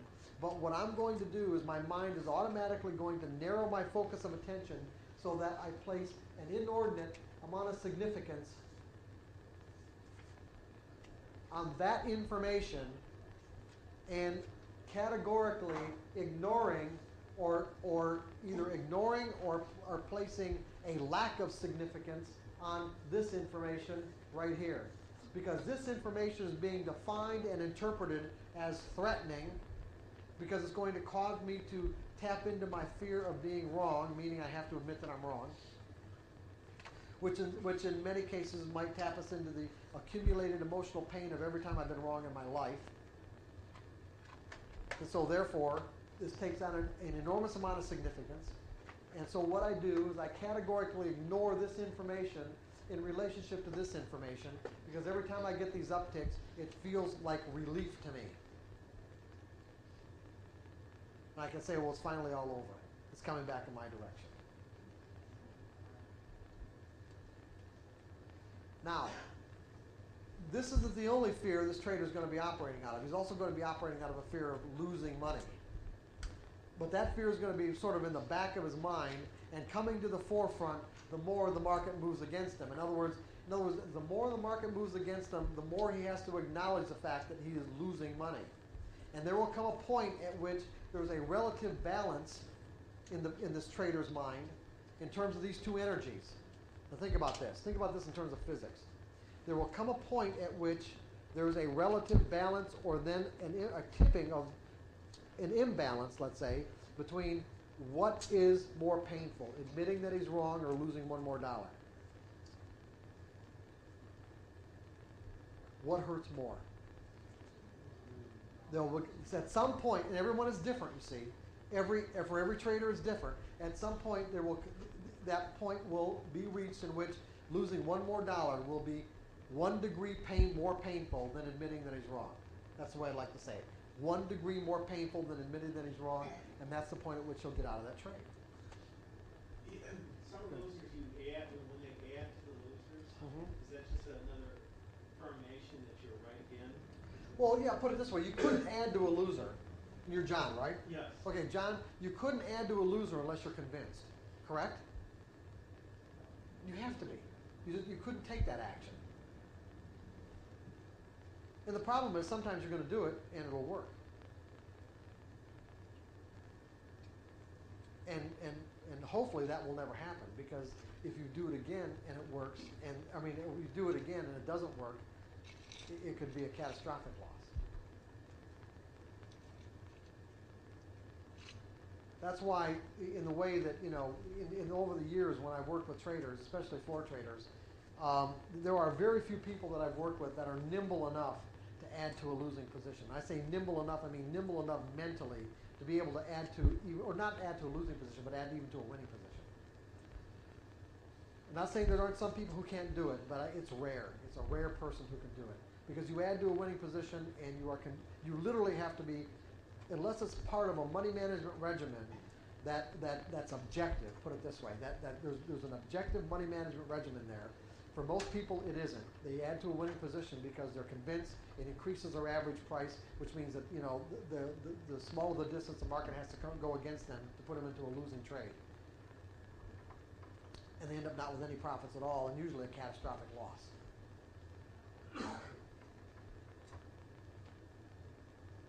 Whereas what we're gonna do on Sunday is we're gonna, we're gonna, you know, you're gonna see how important it is to actually scale out of your winners. Instead of adding to your winners, you're taking away from your winners. Anyway, let's get back to this. So, now, what happens when this guy finally blows out of this trade? Obviously, the market always does this. I mean, that's, I mean, that, that's what, that, that happens every. But really, what else is he gonna do?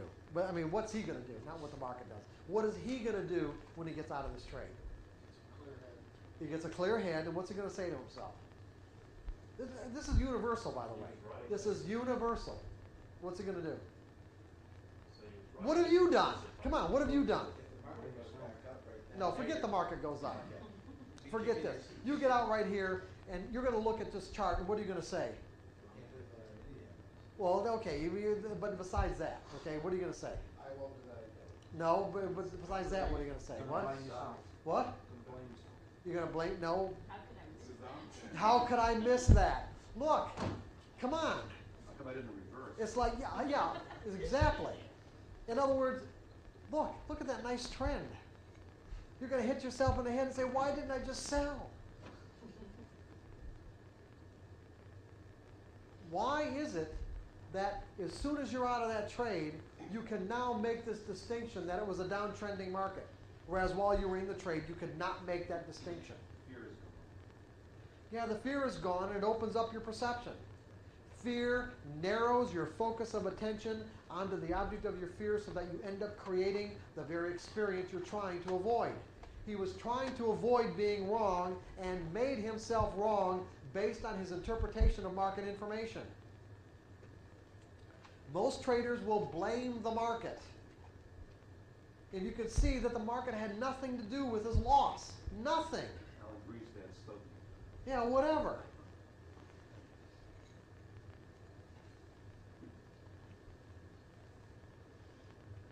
And so, what we have to do, of course, is learn how to trade without fear.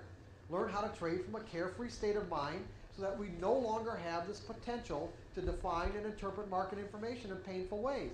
The information itself is not threatening, it's the interpretation that makes it threatening. And there is there are internal mechanisms that control how we interpret information. That's what we have to get at if we want to create consistent results. We have to get at that mechanism that that that causes us to interpret information in certain ways and change that mechanism. That's basically what this whole workshop is about. Just as a, just as an aside, before I go any further with this, is that is there anyone in this room who has not at some time felt betrayed by the market? Repeat that again? Is there anyone in the room who at some time or another has not felt betrayed by the market? So uh, what I'm saying is that everyone in the room at some time in their trading career, in some way or another, has felt that the market betrayed them. Daily. Daily, okay, good. It- you have not or have? Oh, and the specialist. Okay. Also, you've looked at specialists. Okay, now think about this.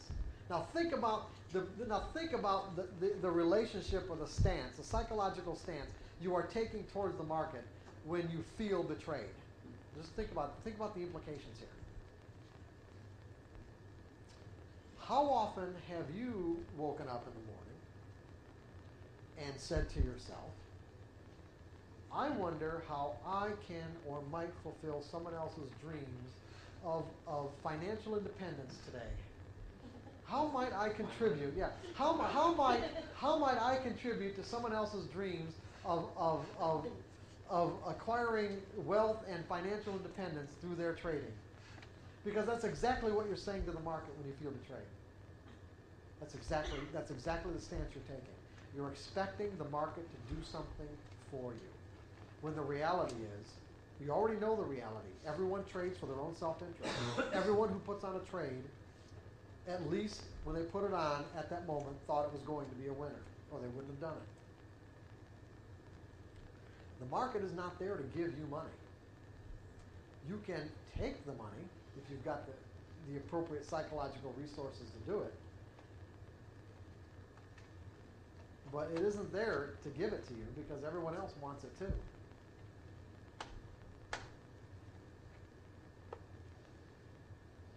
And we can give it to ourselves based on how clearly we can perceive its the possibilities from its perspective.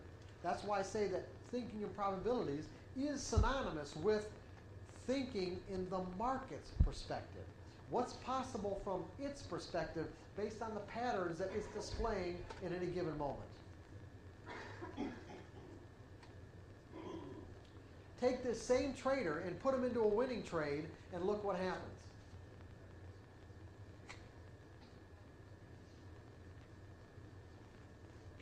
Now, in this case, the market's giving him exactly what he wants. Okay? He's not in a losing trade. Now he's in a winning trade. But what do you think? Typical trader, what do you think?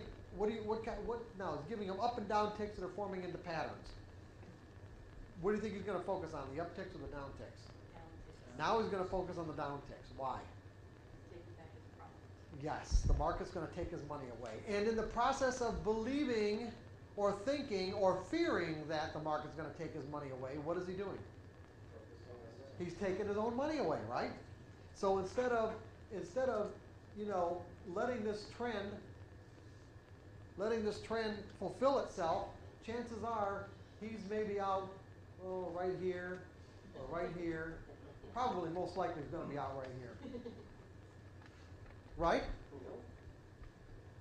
Because who hasn't been in a trade where in a winning trade where they didn't take any profits, the market came back to their entry point or below, and you know they ended up with, with no money or a loss. So therefore, fear causes us to narrow our focus of attention onto the object of our fear, so that we end up creating the very experiences we are trying to avoid. The point is, if we are going to create consistent results from our trading, we cannot have this potential. We cannot have this potential to define and interpret what is, what is essentially neutral information in painful ways. We just can't do it.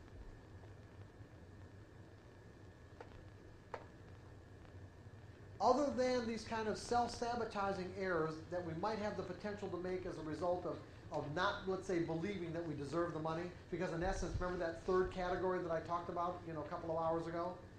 You know, we've got defining an edge, thinking in probabilities, self-sabotaging beliefs. Self-sabotaging beliefs fall into the category of, in essence, saying, saying it isn't right to make money this way, or I don't believe I deserve the money. And there are a lot of people who grow up with beliefs saying that it isn't, it isn't appropriate or right or, or you know, let's say uh, uh, Christian or spiritual or whatever to make money as a trader. Some of the more difficult traders I've worked with are, are people who were brought up in, in as Southern Baptists. Because because a lot of the people that I've worked with that came from that kind of a background, you know, it gets it gets pounded in their brain from a pretty early age that, that gambling is evil. And it's very difficult not to look at trading as gambling not define it that way. Or if you grow up from a background that you know that you uh, you were taught that you have to render services, you know, uh, to be you know to be paid appropriately, you have to render some sort of worthwhile service. Now, certainly as traders, you're providing liquidity for other traders. That's a service of some sort. But a lot of times, that's a real, that that's a real difficult one to uh, put into the put in you know and reconcile their, their belief that they're providing a worthwhile service. bringing up specialists who have, you know, children. Yeah, right. Community college. exactly, right. But what I was, what, the point that I was making was this: is that I kind of got sidetracked. I'm sorry. The point that I was making is that, is that virtually every error that you have the potential to make as a trader, every error that will detract from your ability to create the kind of equity curve that we were talking about in the very beginning when we started, is all going to be a function of your inability think in probabilities. Objectively think in probabilities. What, and well, first of all, let's look at what those errors are.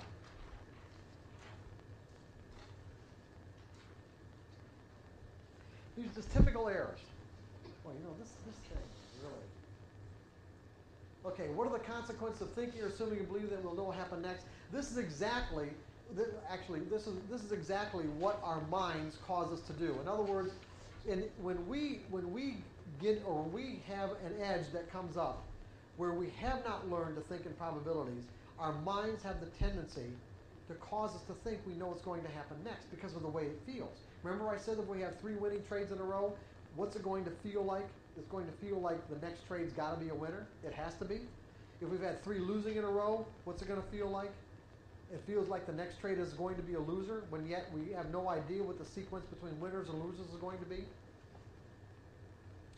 This, our pain avoidance mechanisms and this, this inherent tendency to associate causes us to believe that we know what's going to happen next.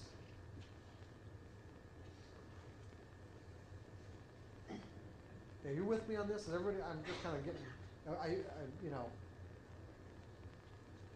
when in fact our mind has to be open to the fact that what anything can happen.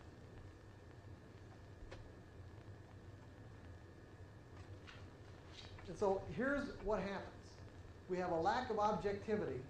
In other words, the inability to perceive the market's potential from its perspective, like what happens here, where what we did is we were completely blinded to the fact that the market was trending against us.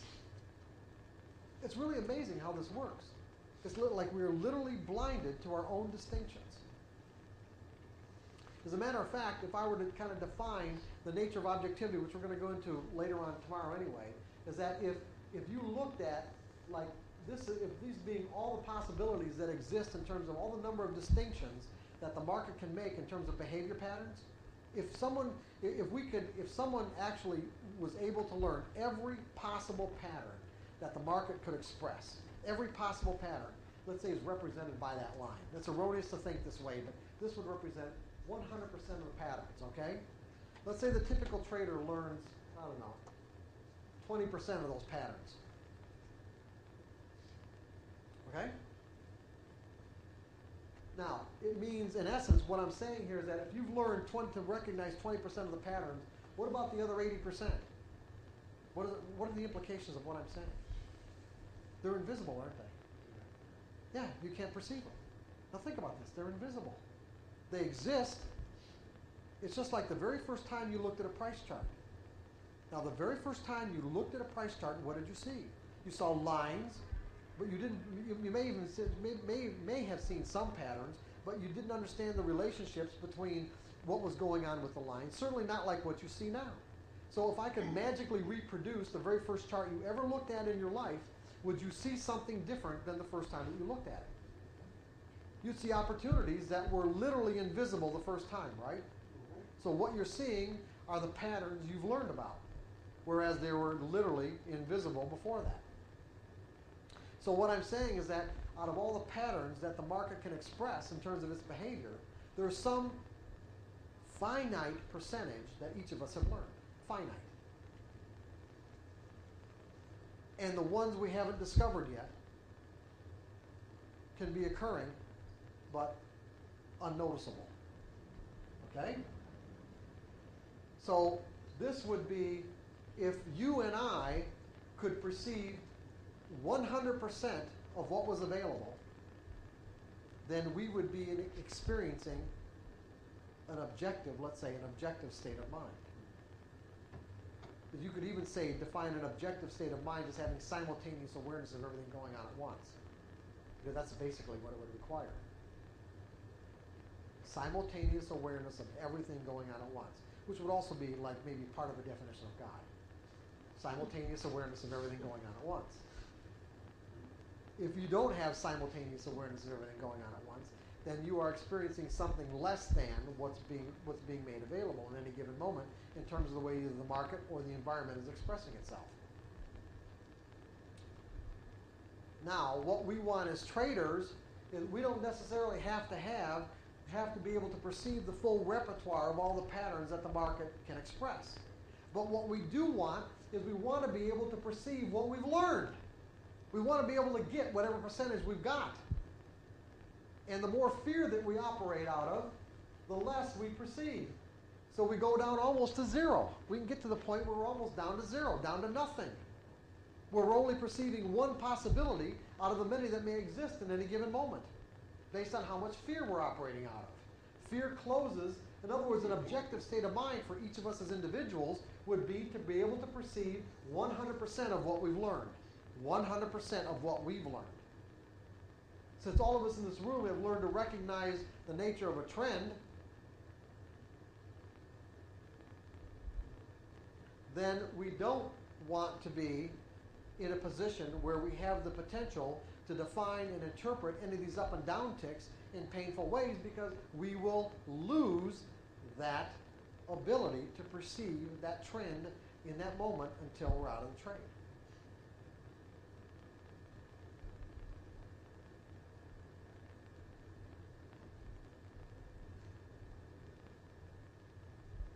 So here are the typical errors that we can make. Won't predefine the risk in advance of getting into a trade. And it's amazing. I mean, it's just like, you know, I, it, it's amazing, uh, you know, that, that everyone in this room has, knows from every book you've ever read, from any great trader you've ever heard talk or you've talked to, that how essential it is to know what your risk is, right? And yet, we'll continually make these errors over and over again. All that's really telling you is that you haven't learned how to think in probabilities yet. You haven't really learned to think in the market's perspective. Why? Because from the market's perspective, what does it take? It only takes what? One trader somewhere in the world to negate the positive outcome of your trade, right? That's all, just one. Now, once you really believe that, now think about this. Once you really believe that, will it be possible for you to ever get into a trade without predefining your risk? It's very difficult, very, very difficult to act in a way that violates what you believe. It takes an enormous amount of energy. Think about this. How often can you act in a way that contradicts what you believe to be true?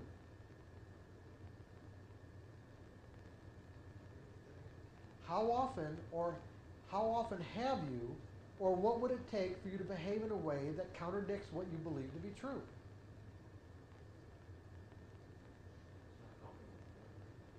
It, it's, it's extremely difficult, isn't it? It takes an enormous amount of energy depending on how strong the belief is, put it that way. Do people go around violating their beliefs?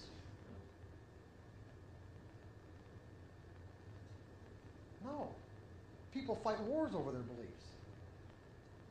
We fight for our beliefs. We get into arguments and conflicts based on what we believe. If you believe that it really only took one trader, just one trader somewhere in the world, to negate the positive outcome of your edge, would you ever get into a trade without predefining your risk?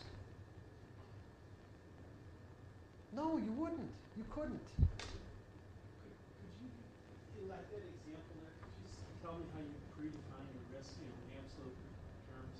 Is- There is no absolute. I said it was an educated guess. Where? Okay, what, what would you define your risk as? It could go all the way down or? educated, okay? In other words, how much, how, when you look at these kind of patterns, and depending on the time frame, if this were a daily chart, as opposed to a two-minute chart, would you have to, you'd have to risk a little bit more, wouldn't you? The distance you'd have to give the market in this case on a daily chart would probably have to be more than what you would on a two-minute chart. But what you do is, all you do is you look at this chart and, and, and it's just something that, that, you know, you get a, you get after years of experience or, or years of looking at charts, and not even years, but at least enough where you say, you know, what would you, David, where would you put your, where would you put your risk? You know, your, uh, how much you risk on a trade like that, in a pattern that looked like that? Eighth quarter point. An eighth or quarter of a point because what kind of charts do you trade? One minute charts. He trades one minute charts. Now, if you were trading a daily chart, where would you, how much would you risk? A couple of points. Yeah, a couple of bucks, right? It's called money management. Yeah, that's, yeah, it's just, really, it's just, it's just, you know, you've gotta give, on a, on a long-term chart, you've gotta give the market more room than on a, than on a short-term chart. In other words, on a short-term chart, this, this trade should work right away. And if it doesn't work right away, it's probably not gonna work at all. It doesn't matter, because even if it doesn't, you cut your loss and get right back in again. That's kind of hard to sometimes. Well, that, that's something, That's yeah, that's a whole other skill set you've gotta learn. But are you with me on this? Okay, but it really is an educated guess. Now, you can mathematically determine this based on past, previous experience. In other words, you can run all kinds of back testing on this kind of a pattern and say that based on, you know, based on what you have here, if you can duplicate this pattern over and over again, you know, how often did the market come to this point and not quite stop you out and then go back up again? Maybe go a little bit beyond and not go back up and you know, after you've been stopped out, and how often did it stop you out and just keep on going? I mean, these are things, you know, just based on, on, on people who get into really sophisticated, uh, uh, system testing that, you know, I don't, I don't particularly do that. I just eyeball it and say, how much room am I going to give it? How much, what's the dollar value of that distance? And if, and if I can accept the dollar value, then I take the trade. So did I, John, did I answer your question? Okay. Give us an educated guess as to what you said.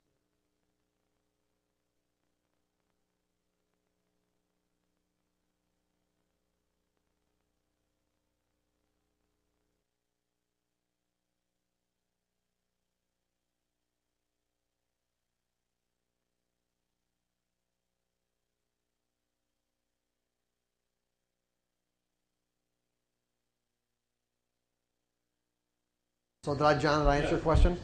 Okay. Give us an educated guess as to what you'd said is your tolerance for those uh, down ticks in the uptrend. Huh? Well, The uh, the other direction, when you got an uptrend going, how much tolerance would you? we're going to do this on Sunday. Oh. Well, I'm going to, I'm going to give you a way to handle this on Sunday so that you can stay in this trade. If that's what you're asking me. Yes. Okay. Okay, uh, another error. Define the risk but won't take the loss. It turns into a bigger one. You know, you know, you, you okay. A, a perfect example. You know, there's there's a there's a money manager that many years ago that uh, that came to this uh, came to a workshop just like this one, and uh, he went back home. And in fact, I, I, I it's an example I even put in Trading in the Zone, and he um, he was uh, he, he was waiting for a belly trade for quite a while, as a matter of fact. And he had all his analysis done, and he was waiting for the market to get up to a certain point. He was going to sell, and and so so as someone who actually had a degree in probabilities, he said, okay, you know, I think in probabilities, and therefore, as a as a good trader, I'm going to put my stop in the market. So he did what he needed to do, right? But does that mean just because he went through the motions of putting his stop in the market that he truly accepted the risk of the trade? See, if someone can put a stop in the market but still not be completely reconciled to losing the money. Then what did I say? What did it mean to accept something? To be completely, completely reconciled, to be at peace. In other words, there aren't any competing and conflicting mental forces inside of his mental environment. So he put his stop in. The market started, you know, moving against him, you know, past his entry point, and uh, you know, he, he, he just he just that he convinced himself at that point that he was going to get stopped out. He never would have gotten stopped out. He blew out of the trade. The market completely reversed, and it turned out to be a huge winner. He never got back in. And he called me up and said, "Hey, what's going on? I did what I was supposed to do. I put my stop in the market." You said he adjusted it. But yeah, but he, he took it out. I mean, he, yeah, he took it out because he never really accepted the risk. Right. It was almost as if he was shocked when it didn't. Right, exactly right. He was exactly he was shocked because it didn't re- immediately reverse after he got in. That's what it really amounted to.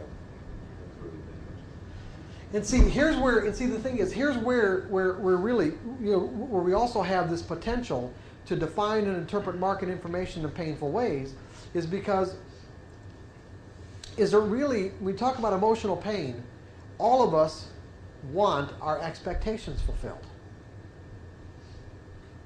And see, when you think about what an expectation is, an expectation is simply a belief projected into some future moment in the environment. Now, think about what I just said. We can't expect something that we don't believe or that we don't know about, put it that way. So, what I'm saying is that an expectation is, is something that I either, either expect to see, hear, taste, smell, or touch in some future moment. And if the market shows up exactly the way I expect it to, now this is universal, by the way. This isn't just Mark, this is universal. If the market, if the, if the market or the environment shows up exactly the way I expect it to, how do I feel? I could, depending on what the situation was. Yeah, satisfied at least, at the very least satisfied, right? A sense of well-being, correct? Is this not universal? And to whatever degree the environment does not show up the way I expect it to, how does that feel? Yeah, pain. Emotional, it has the potential to cause me to experience emotional pain.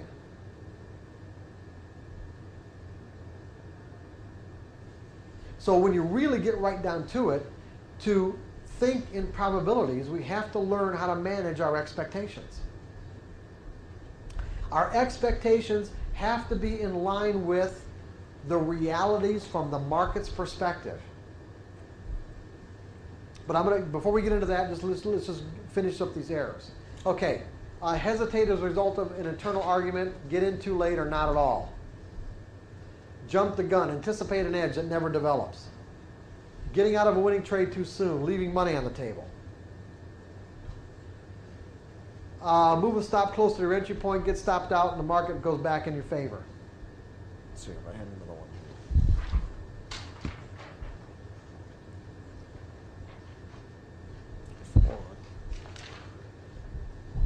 Four. Okay. Anyway, these are all the, um, not all the errors that people can make, but all the typical errors that people make as a result of not thinking in probabilities. So, what exactly does it mean to think in probabilities?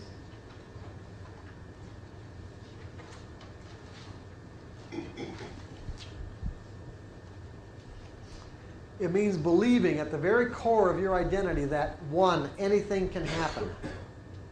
Two, every moment is unique. Three, there's a random distribution between wins and losses on any given set of variables that define an edge. And four, you don't need to know what's going to happen next to create consistent results. That's it. Now think about those statements.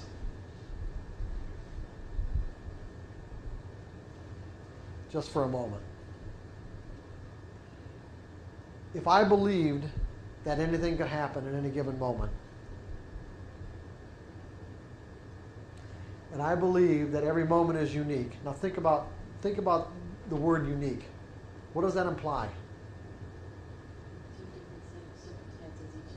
Right. Eh, now think about it. every moment is unique. That means not like any other moment. Unique means not like any other moment. If I believe that that this moment is not like any other moment, then what does my mind have the capability to associate that moment with? Why put the trade on? Nothing. You can accept any outcome. I can accept any outcome then. We say, why put the trade on? Because you've got an edge. No, I was bearing not having an edge if that, if those two. Oh no, yeah, you no, you've got an edge. You've got an edge. Okay. You've defined your edge, but but okay, this moment there's a pattern, and this moment is like let's say we'll put it this way, just so you're not confused about this, that you've got an edge, and you've got you're basically trying to develop or a two-tiered belief system. One, we're at the macro level, you know that patterns exist, but at the micro level, the patterns have a random distribution in terms of outcomes. So that I've got a pattern, and that as a result, that pattern has a potential to, to cause me to, let's say, by behaving in the appropriate ways, to enrich myself. But that the outcome to that pattern is unique in relationship to anything that happened in the past. So, but I was just talking about the concept of uniqueness itself. In other words, if I once I get that trade on, if I believe that that that each moment that it's on, that each moment is really unique in terms of what the market is telling me in that moment, then I'm going to keep my mind open to what it's telling me from its perspective. What I want to do, the whole objective, is to disassociate what's happening now with any other outcome that you had. To disassociate.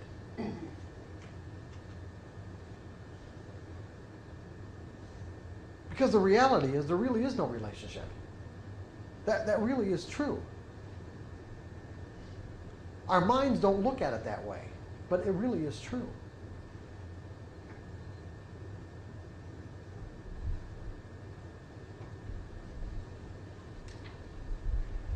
Same thing, there's a random distribution between wins and losses on any given set of variables that define an edge. Now, if you think back to those errors, those kind of errors that we, that, that we have the, the, the capability of making, or I don't need to know what's going to happen next to create consistent results or make money, if I have those five beliefs installed in my mental environment in a way where they're functional, and we're gonna we're gonna get into what that means to be functional tomorrow, then I have basically eliminated my potential to define and interpret market information in a threatening way. If I've eliminated my potential to define and interpret market information in a threatening way, then my expectations will be neutral. And I will be in an objective state of mind, leaving myself open to whatever it is that I've perceived about the nature of market movement, meaning that I'll be able to perceive all the patterns that I've learned about.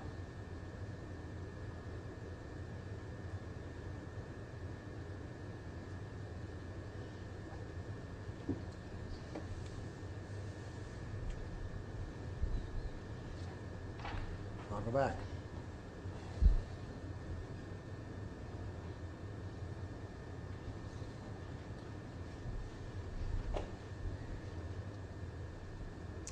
Won't define the risk in advance of getting into a trade. If anything can happen and every moment is unique, am I going to get, if I believe that, am I going to not predefine my risk? I define the risk but won't take the loss because it, and it turns into a bigger one. The only way that I could, I could, I could not take my stop out of the market, let's say, or not execute a losing trade based on where, where my, let's say, my predefined risk point would be because I have convinced myself that I know what's going to happen next. Is there any other way I could do that? I, I pull my stop or not execute a losing trade only because, one reason, every error that you're going to make, all these errors right here, every single one of them, we're going to go down the list, and any other ones that you could think of, are all going to be the result of thinking you know what's going to happen next.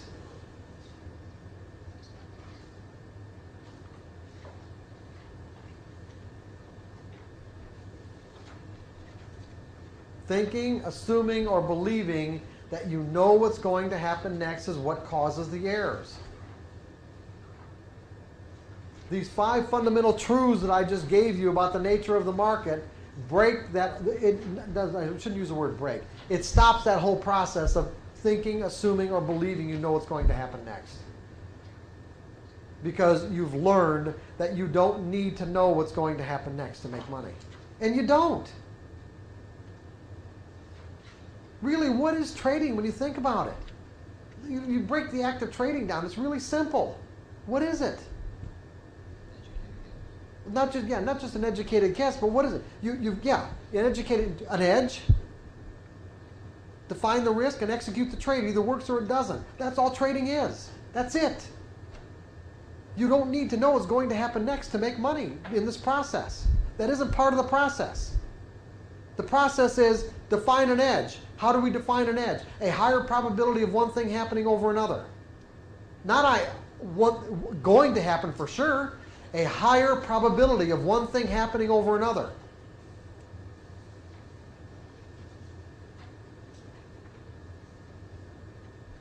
Define the risk, an educated guess. or it can be precise, whatever. Use a mechanical system, it doesn't matter. All I'm saying is that this is the process. Define an edge, get an edge, define the risk, execute the trade. That's trading. That's trading. There's nothing in that process that has anything to do with knowing what's going to happen next. When you get right down to it, it isn't any different than pulling the handle of a slot machine, only you've got the edge in your favor.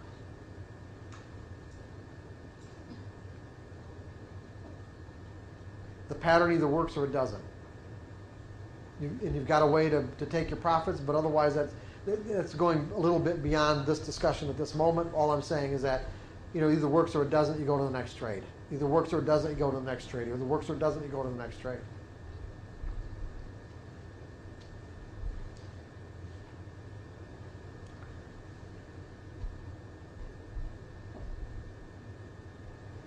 If you're the kind of person who likes to use their intellect to determine what's going to happen next, you're going to have a problem being a trader.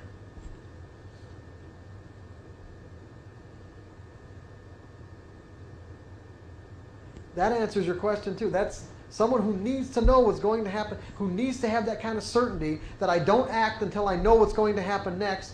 They're, they have problems being traders. You have to be really comfortable with uncertainty, that it doesn't matter.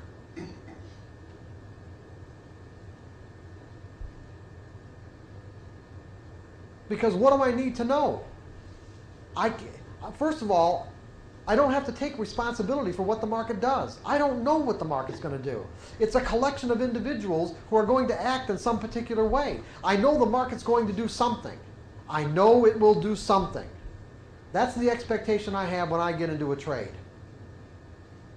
I think it's going to do something.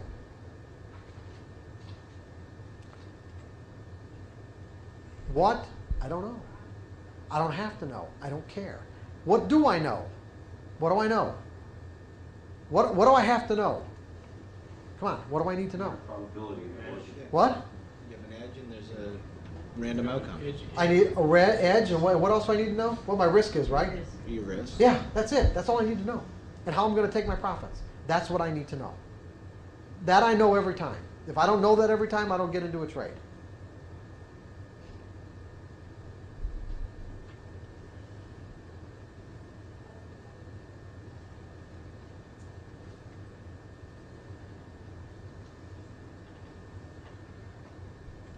As long as you get into trading with this idea that you've got to know what's going to happen next, you think you're going to know, you're always going to be susceptible to these errors. You're always going to be susceptible. I'm not saying you won't make money, because you know what? You can make money whether you make these errors or not. Remember, does, you don't have to know anything about the market. You don't have to know anything about yourself. You don't have to know anything about what we're talking about to make money. And you can make all these errors and still make money. Yes or no? Yes, you can. Will you make consistent money? No, you won't. That's a fact.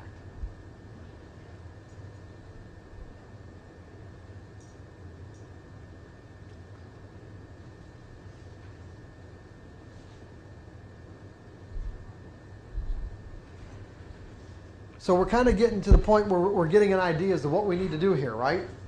Are we getting an idea of what we need to do? What do we need to do? Stop trading. Stop.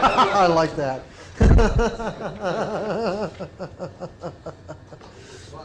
Get a job. what, do- what do we need to do?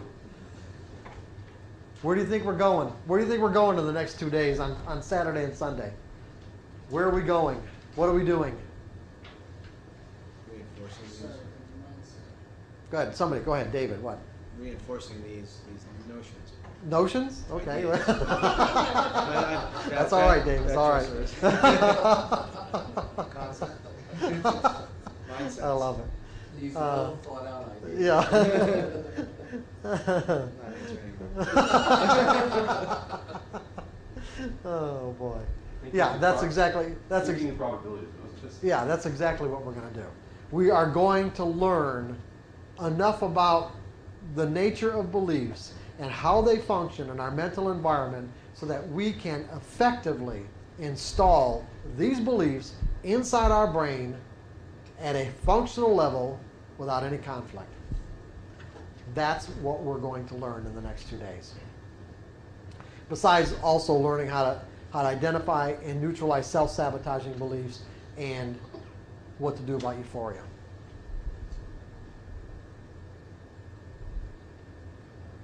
This is what this workshop is all about, right here. When you've got those in your brain at a functional level, you will stop the errors. They cannot, they cannot happen.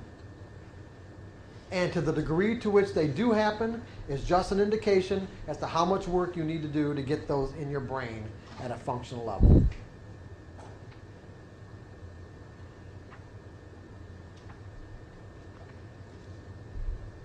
And if you really want to consi- if you really want, if your desire is strong enough to create consistent results, you'll do the work. If it's not strong enough, you won't. It's, it's kind of that simple. And you don't feel you don't have to feel obligated to do the work, like I said in the very beginning.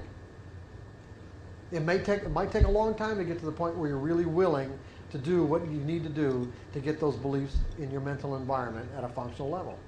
Because you may have Uh, other agendas about other agendas about why you trade that are in conflict with these particular beliefs. There may be a lot of other reasons why you put on trades that have nothing to do with what it means to be consistent. Can anybody think of reasons why people trade that have nothing to do with being consistent? What might be some of those agendas that I'm talking about? Every feeling in the world. Every feeling in the world? Okay, well, yeah, but anything specific. Any- Revenge. what? Revenge, getting back to a trade you lost. Well, that, that's an agenda, sure. Revenge. That, that's not that's not going to promote consistency, I don't think. Uh, that's pretty that's pretty inconsistent with, with what it means to be consistent. Anything else? Addictive behavior. What? Addictive behavior. Okay, addicted. You know, could be addicted to random rewards, which I'm going to talk about in a minute. That would be an agenda that would be inconsistent with what it means to be consistent. Anything else? Entertainment.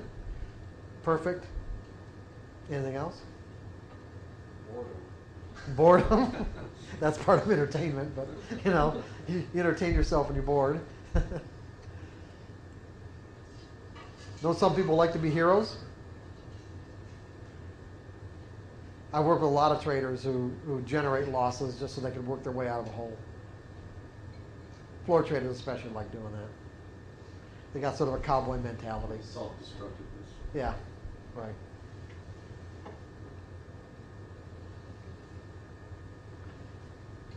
Be attention too. Some people they uh, Right. they have big losses. People gravitate to them, saying, "Oh, sorry about that." one." Right. And, and you, you probably did you get that on the tape? You, oh, okay, good.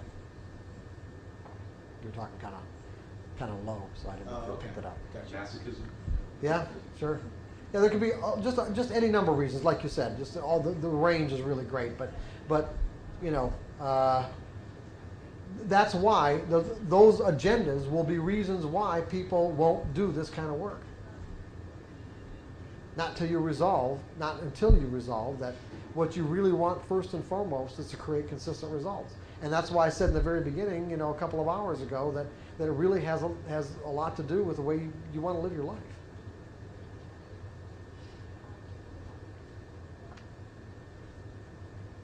But I will say that, that if you do the exercise I'm going to give you to install those beliefs, and if you do it diligently, and if you do it until, until you can do it without any internal conflict or, or argument, you will have succeeded in installing those beliefs.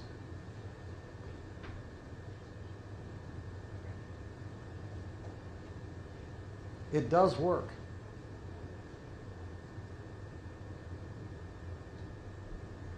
What? I'm ready. Good. But like I was going to say, it's a matter of wanting to do it. Now, the other thing I wanted to talk about in terms of how much time we got, by the way. Where are we? in Quarter to nine. Quarter to nine. This, this won't take a few minutes. Um, is is this whole idea of, of, of being addicted to, to random rewards? Um, th- it's really a powerful addiction, by the way. There are number of there are a number of studies that have been done, especially on primates, where if you if you start primates out, you know, with, with teaching them to do a task, and you reward the task or you give them a reward for the task on a consistent schedule. So they do the task, they get the reward, they do the task, they get the reward. If you stop giving them the reward, what do you think happens? Stop doing the task. They stop doing the task. But reward them on a completely random schedule. Okay? Completely random. And from their perspective now, they don't know that you've decided they're never going to get rewarded again. Okay? But that's what you've done. You've decided you're never going to reward them again. It's really mean. And what scientists have found is that it depends on the personality of the monkey. Because some people are more, more, let's say, susceptible to addictive behavior than others. I think there's probably some, you know, probably some sort of chemical makeup that has a lot to do with it. But there are some monkeys who will, who will do the task indefinitely. They never get rewarded again, and, and they keep on doing it. And that's why there's some people that can get addicted to, you know, pulling the handle of a slot machine or not pushing a button. But and it, and you know it has a lot to do with just that kind of euphoric high that we get when we get this unexpected surprise. And trading can, no matter what, no matter how we handle our trades, whether we handle them very professionally or whether we handle them very haphazardly, we can always get that unexpected surprise. and that can be really addicting.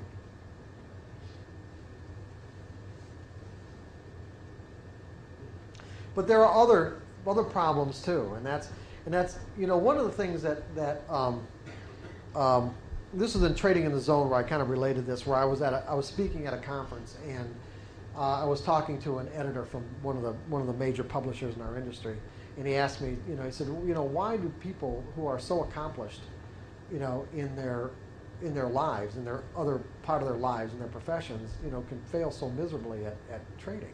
You know what is it about about trading? Where so many people are we all doing the wrong things? And um, and yet we're so you know and yet people get into it and, and we're really attracted to it and uh, the way I answered them was that was that I said that you know people really are attracted to trading because what it really offers us is this unlimited freedom of creative expression. It's like it's completely it's an endeavor that is sort of outside all the normal social structure that we all grow up with.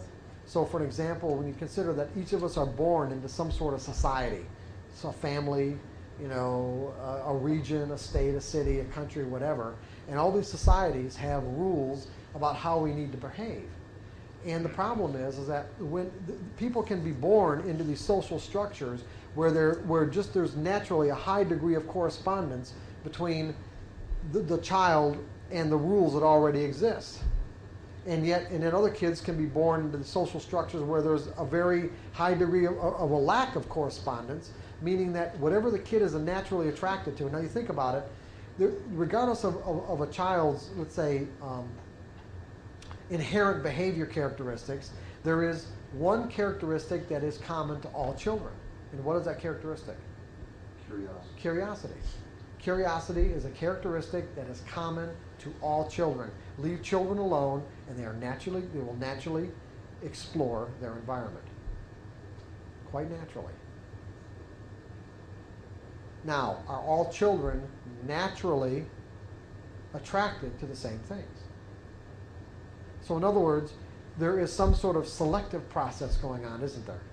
In other words out of all the things that are available in the environment for a child to be attracted to children will naturally select. And this goes all the way back to like you know when the when the kid's an infant.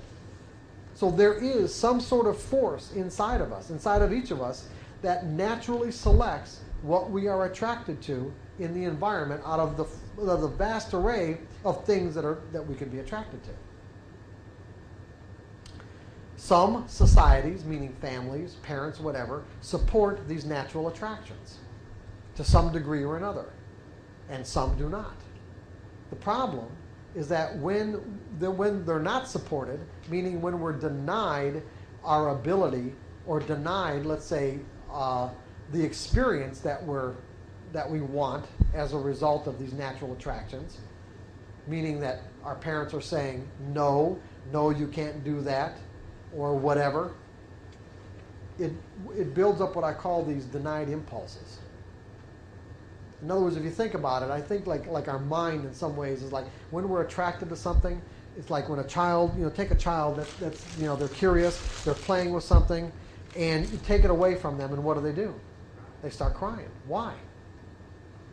They're not done experiencing, okay? It's like, it's like the desire for a certain type of experience creates like a vacuum in our mind. And that vacuum has to be filled with, with the experience that, we're, that we desire.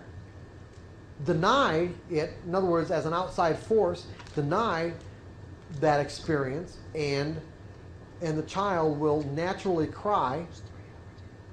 And crying is a natural mechanism to to, let's say, uh, put the child's mind back into balance. What scientists have also found is that tears are composed of negatively charged ions, and crying, I think, is a simply a natural mechanism to put our minds back into balance. Because what happens is that is that that the the lack of experience, I mean, the child being the lack of the child being done with that experience, didn't fill up the vacuum, and the crying reconciles the imbalance so that the child can be in a state of relative balance and go on with their lives. However, many children are not even allowed to cry, right? Especially males. And so, therefore, as a result, we end up growing up with a buildup of these of these denied impulses. So that when we as adults, when we get to the point where we discover trading, we find our sort of panacea of freedom, where we basically make all the rules. The only rule is that you have enough money to open up an account. Other than that, you decide when to get in, you decide how long to stay in, you decide how when to get in, I mean, to get in with how much, and when to get out. Right? In each, in each moment, the market does offer us as traders this opportunity to get into, to add to, detract from, or exit a position every moment. And we make all the rules. The problem is, we have this natural, we grow up with a natural aversion to making rules because we've been trying to get away from them all of our lives. And that's one of the reasons why it's so difficult to even do the kind of exercise that I'm going to, going to suggest on Sunday, is because it does require making and adhering to certain rules. And you probably will find there'll be a natural resistance to even do doing the exercise regardless of the benefits that you perceive that you'll derive from it. And that's all right. And that's what I said before. It might take a long time to get to the point where you're ready to do this.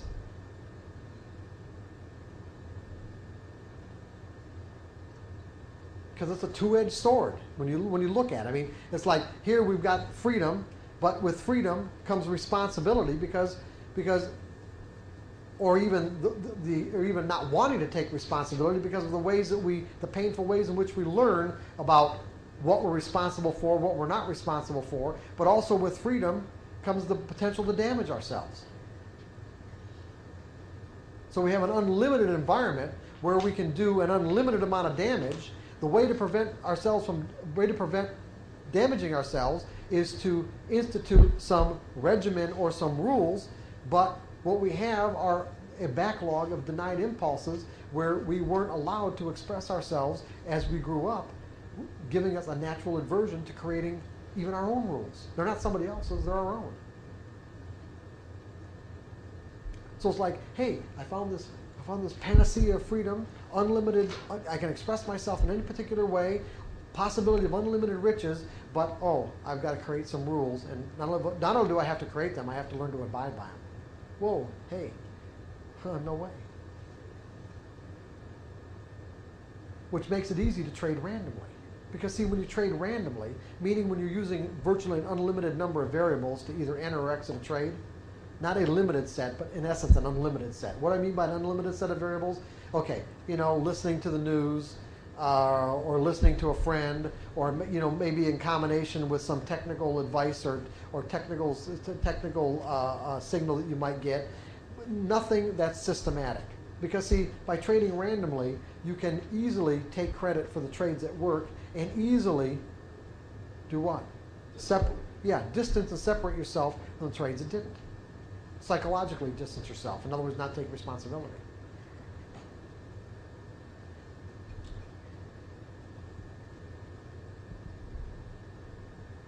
Trading is the, you know, hardest easy money that you'll ever make.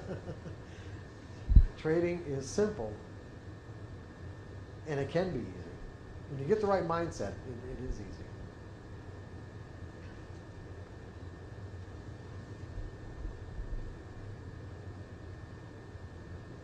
So it's almost nine o'clock. We're, as far as I'm concerned, we're done unless you guys have any questions.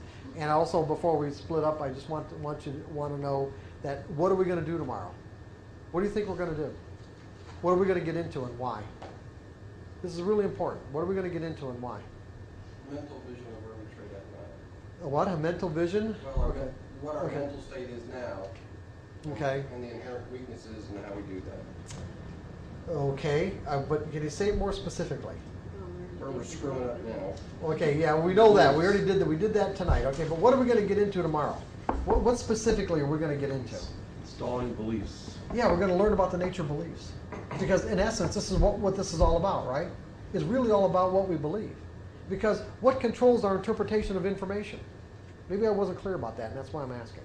And I'm glad I did. What controls our interpretation of information? Something has to. Or what we believe, exactly. That's without really saying that. That's in essence what I've been saying all along. When I said if, if I believe that anything can happen, then then then that will control my interpretation of information in a way that will cause me to act in a way that's consistent with what I believe. Something has to control the way we interpret information. We don't all interpret it the same way. There has to be some mechanism.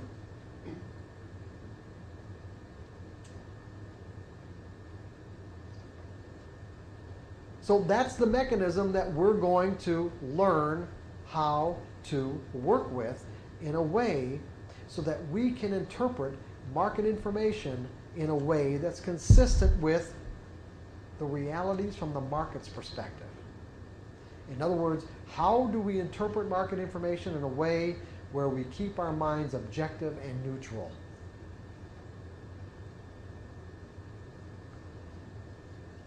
Market gives me an edge, define the risk, I take the trade.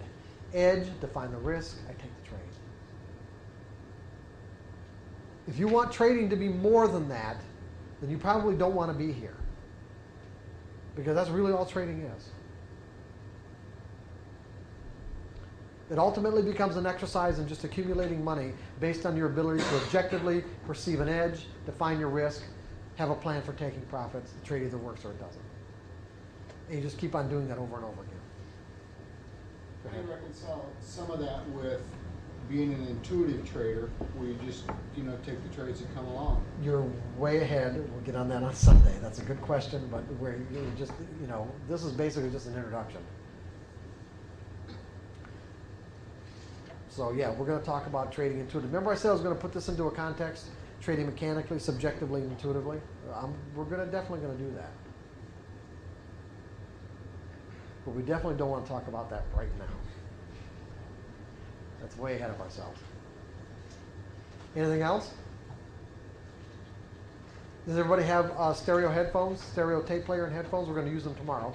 If not, you can buy a cheap one at a drugstore somewhere. Yes? So we're bringing in a Walkman tomorrow? Yeah, bringing in a Walkman tomorrow, right. Is everybody, yes, everybody got that? Okay, well, tomorrow morning. Seven thirty? Seven thirty, well, seven thirty, there'll be like some, like a continental breakfast. What time does it start? Eight? We'll start around eight. When do we uh, need the uh, tape players for? I don't know yet. Well, I, that's, I don't know. Okay. It'll be sometime, probably tomorrow afternoon sometime. Is anyone coming in here tonight?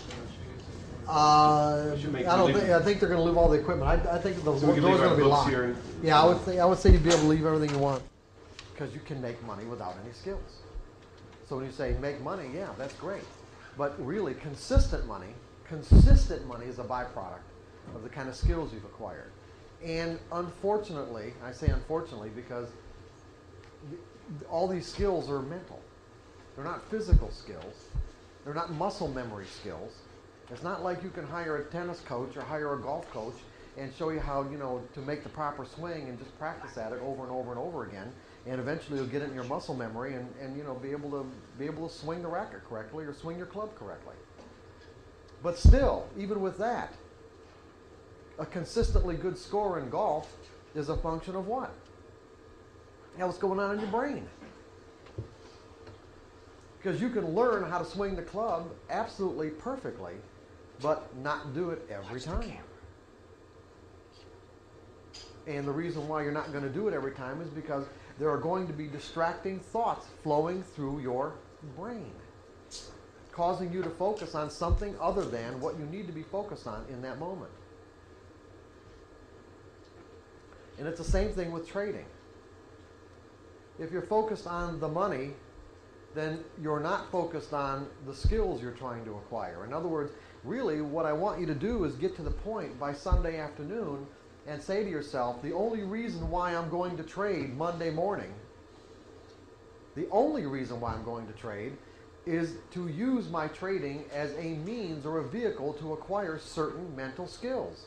The skills that you know that will promote consistent results or that will, re- that will result in a consistently rising equity curve or a rise, an equity curve that, that rises on a nice consistent basis.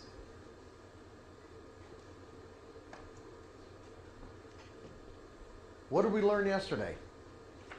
What sticks out in your mind? Beliefs. Okay, but anything anything more specific? You don't need to know what's gonna happen next. You don't need to know what's going to happen next. Good. However, what that that's but that's a problem, isn't it? Why why is that a problem? What is it about the way our minds are wired that that cause that particular thought or notion, as Dave would say, to be a problem? Hey, Associations. Associations, exactly. We need to know what's gonna happen next. Yeah, Want not, only do we want to know what's going to happen next, our minds, by the, by the way that they're wired, our minds are wired in a way. They're hardwired like the motherboard of a computer. It doesn't mean we can't change it. It just means that, that at the moment, until you do change it, until you do something specific to cause your mind to think differently, it will automatically and without any conscious thought on our part, meaning we don't have to think about this happening, it will happen automatically. If the now moment, which we've learned is unique, and why do we know it's unique? When, when these patterns, in other words, what we want to do is technical analysis helps us identify patterns in group human behavior. The patterns repeat themselves over and over and over again. The outcomes to the patterns, however, do not. And the reason why we know that the outcomes to the patterns don't repeat themselves, at least in relationship to the last trade or the trade before, is because there are always different people involved in the out, in other words, in the outcome of the pattern. So the pattern can look exactly the same, it can feel exactly the same, it can measure exactly the same, and because of those similarities, our minds will automatically associate what's happening in this now moment with something that's in our brain as a memory and cause us to think as a result of that that we know what is going to happen next based on our memories not on what's happening in the market in that moment or what the market's potential to move is in that moment or what the market might be telling us in that moment. This is an automatic process. We don't have to think about this happening. It's automatic. Basically what you have to do is render this process, this automatic mental process, kind of dysfunctional, make, make it not function any longer. You can do that. The best traders at some point have. In one way or another. They may not have done it, you know, systematically or methodically, the, the way that we're doing this now in this workshop. Usually it takes some catastrophic, emotionally catastrophic experiences for someone's mind to be wired differently, meaning that eh, one of the consistent themes that runs through every great trader's life is that they've always, every single one of them usually has lost one or more fortunes before they got to the point where they became consistent.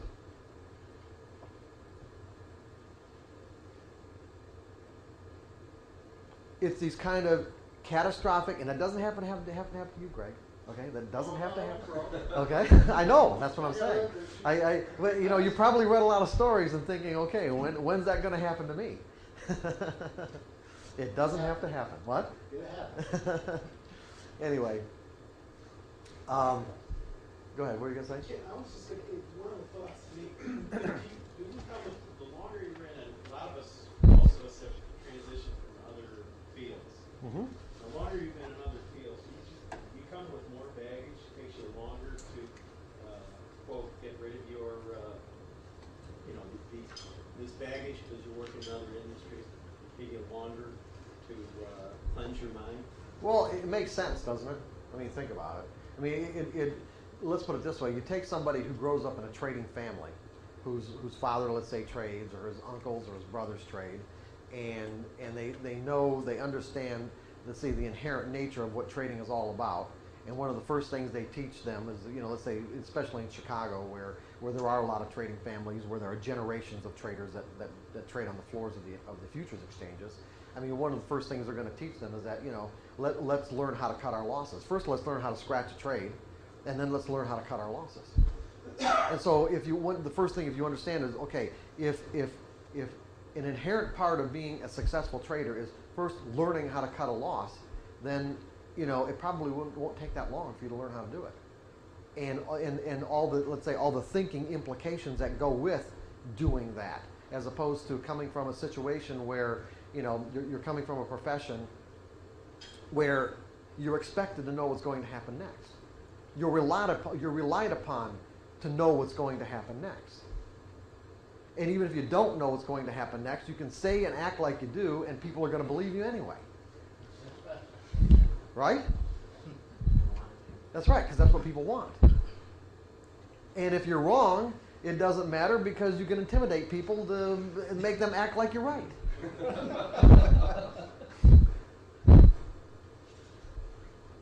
And, and that's one of the reasons why, well, it's also another reason why it is so difficult to adapt to the trading environment. Because many of the skills that we learned to get what we want, in other words, to fulfill our expectations, remember we talked last night about expectations? An expectation is what we believe projected into some moment, some future moment in the environment. And when the environment shows up the way we expect, we all feel good. So, one of the ways that we've assured ourselves of having our expectations fulfilled is through our superior social skills. And what do I mean by superior social skills? Being able, getting ourselves into a position where we can control other people. Whether they agree with us or not, whether their beliefs are in harmony with what we want or not, if we can, you know, if we can rise above, let's say, them in a way that cause us to have uh, control over their behavior, then we can assure ourselves of getting what we want. Most of the people that gravitate towards trading that don't start out that way when they're, you know, let's say, you know, in their early 20s or something or out of college, are professionals that come from those kinds of superior social skills and find it extremely diff- difficult to adapt to the trading environment because of it. Because the market just is going to do what it's going to do. And there isn't a damn thing you're going to do about it until you can trade at a level that, you know, you can basically cause prices to move in your direction. And even then, it's going to be difficult to make it happen for very long. And so the only thing you have, you're going to find you have control over is the way you think. That's the only thing you're going to have control over. You can control the way you think. You can control how you perceive information. You can control, I'm going to say it again. You can control how you perceive information. But it's a completely different process. Now you're working inside yourself instead of working out there.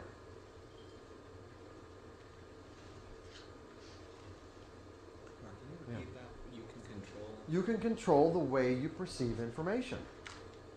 And that's really what this workshop is all about. That's why we're going to talk about the nature of beliefs, because there is a mechanism by which we interpret environmental information. There has to be. If you look about the, you look at the nature of the environment and, and the way that the ways that it can express itself, the environment can express itself in a virtually infinite combination of ways. And yet we don't perceive all those ways in any given moment. And not only do we not perceive all the different ways that the environment can express itself, we can, we can be standing virtually in, in the same position and looking at the same event and interpret it in completely different ways. Now, wh- why is that possible? How is that possible? How can two people interpret the same event in different ways? Completely different ways. And we've all been in these situations. It's the source of many of our most violent arguments. Different beliefs. That's right, different beliefs. In other words, we're, we're perceiving the situation from different beliefs, different perspective. In other words, different beliefs are operating on our perception of information in a way where the, the information is interpreted in, interpreted in a way that's consistent with the beliefs we're operating out of in that moment. So when I say we can control how we perceive information, we control we control that process by changing the beliefs we're operating out of. We operate out of different beliefs and we're going to perceive the information differently. Because the problem is this association mechanism that I've been referring to causes us to think that we know what's going to happen next. In other words, if the moment is similar, I've got a pattern. Not only is it similar, it's virtually identical to the last one that, that, that showed up five minutes ago, or five days ago, or two hours ago. two hours ago, it was a winning trade. Now, if I let this association mechanism, you know, influence the way influence the way that I think, or how I see things, I'm automatically going to think that I know what's going to happen next. Automatically, without any conscious thought about it. And as a result of thinking that I know what's going to happen next, I will behave in a way that's consistent with what I think. And that behavior might, in fact, be a trading error. What, remember the errors we, we put up yesterday? That, that is a list of all the things we can do, but those are the major things that we do that cause us to what? Detract from our ability to create consistent results. So I may hesitate. I might not, I not, might not predefine my, predefine my risk. I might not end up taking profits. There's, there's any number of things I could end up doing because I think I know what's going to happen next. When the reality is, what's the reality? I, don't know. I, I, for me to know what's going to happen next, really, now think about this. For me to know what's going to happen next, I would literally have to be able to read the minds of everyone who's participating and everyone who has the potential to participate. So that I would know how, how when they cast their vote by putting on a trade, you might say, you know, how that's going to influence direction overall.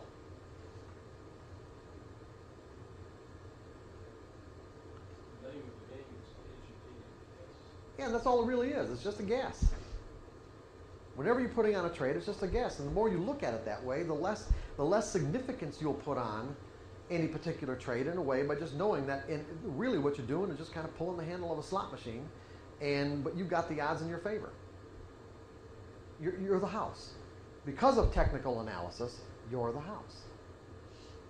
But only if you can execute properly every single time. That is the key. Execution without errors. Every error, other than self sabotaging beliefs, every error you're going to make as a trader will be the result of thinking that you know what's going to happen next. Every single error. And the problem is, sometimes you will. Sometimes you will think you know what's going to happen next, and it will come true. And sometimes it'll be two times in a row, and sometimes it'll be three times in a row. But I guarantee you, guaranteed, There's that trade out there with your number on it that's going to cause a catastrophic loss if you continue to think that you know what's going to happen next.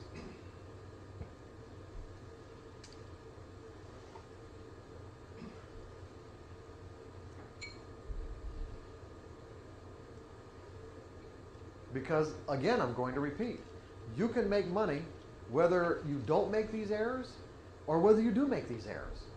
You can make these errors and still find yourself in a winning trade. But if you want to create consistent results and not inflict psychological damage on yourself, then you're going to have to take your mind through a process that, that let's say, renders this association mechanism dysfunctional or non-functional, not dysfunctional, but non-functional. You're going to have to keep your mind focused in the now moment, meaning what's the market telling me now about its potential to move in any particular direction based on the pattern that it's displaying in this moment.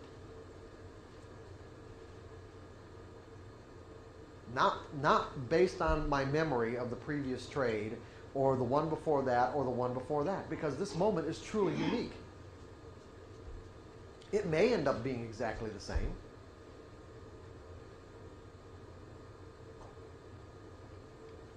But if you allow yourself to think that, you are putting yourself in a position where you have the potential to make errors.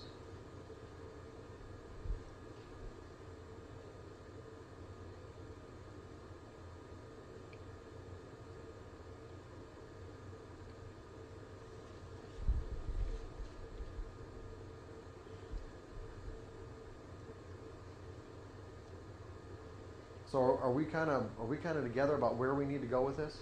Where so where do we need to go? What do we need to learn right now?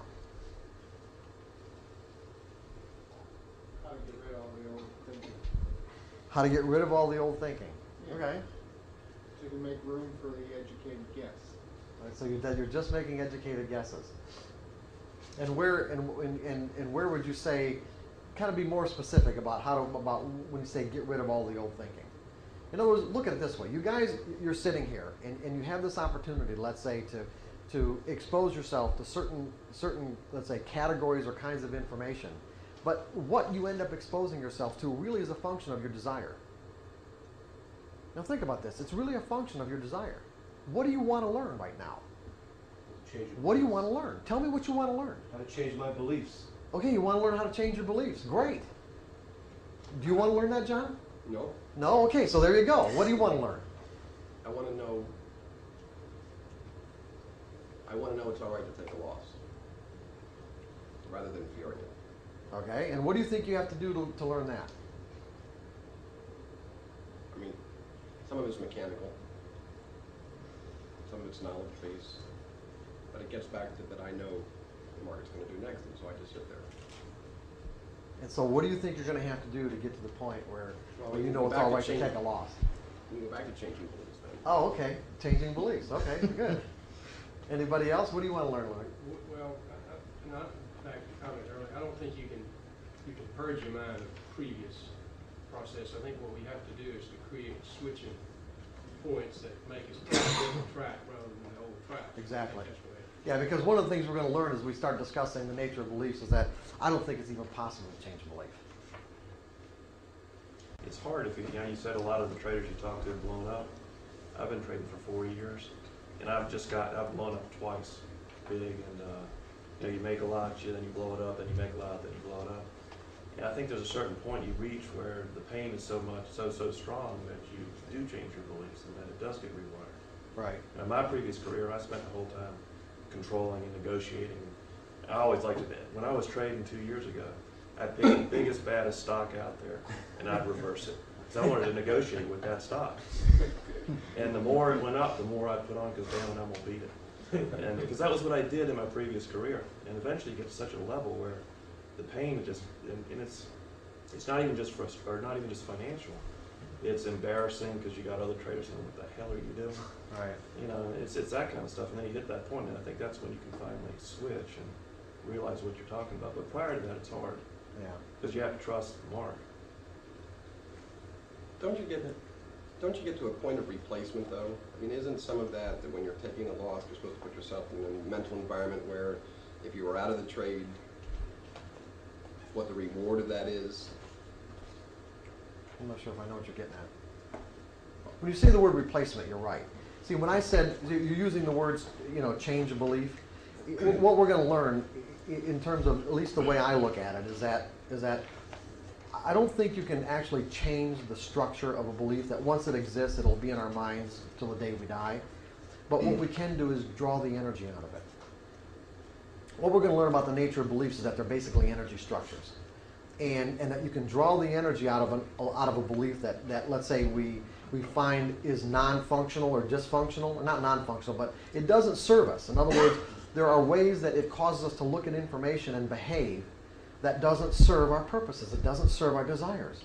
And so what we can do is we can draw the energy out and, and replace it with another belief that we put energy into. But see, well, anyway, I'm, I'm going to get to that stuff later. But yeah, that's what you're doing is so when you talk about replacement, so you can go ahead and now finish what you were saying. I think that old track's always there, but you just indelibly superimpose the new track, and the more you do it, the more apt you are to make a mistake. But you're always gonna be Well, possibly yeah, the no, no, track. but see, no, Louis, no. Here's the thing: the the old track is always there. Okay. However, what we're, you're going to learn how to do today and tomorrow is take the energy out of the old track so that it doesn't have any potential, so that so that there literally is no more potential for you to behave in that way, or for you to see or perceive in a way that's consistent with that belief. That's how you know you've really done the work is when your thoughts are never drawn back to, or you ne- you don't feel compelled to behave in that old way. What's that? Santa Claus belief. Yeah, exactly. Right. I mean, the, and see, yeah, in, in the disciplined trader, is it the disciplined trader trading in the zone? I'm not sure which. Trading in the zone. Okay. well, I don't know. Anyway, look at it this way. That's a, that's a perfect example. I mean, I'm sort of getting ahead of myself a little bit, but it's a perfect example. If you can draw the energy out of one belief, if it's possible to do it with just one, it's possible to do it with any. And a perfect example is I grew up believing in Santa Claus. Now, do I believe in Santa Claus now? What? Yeah, we want to trade, right. I wish.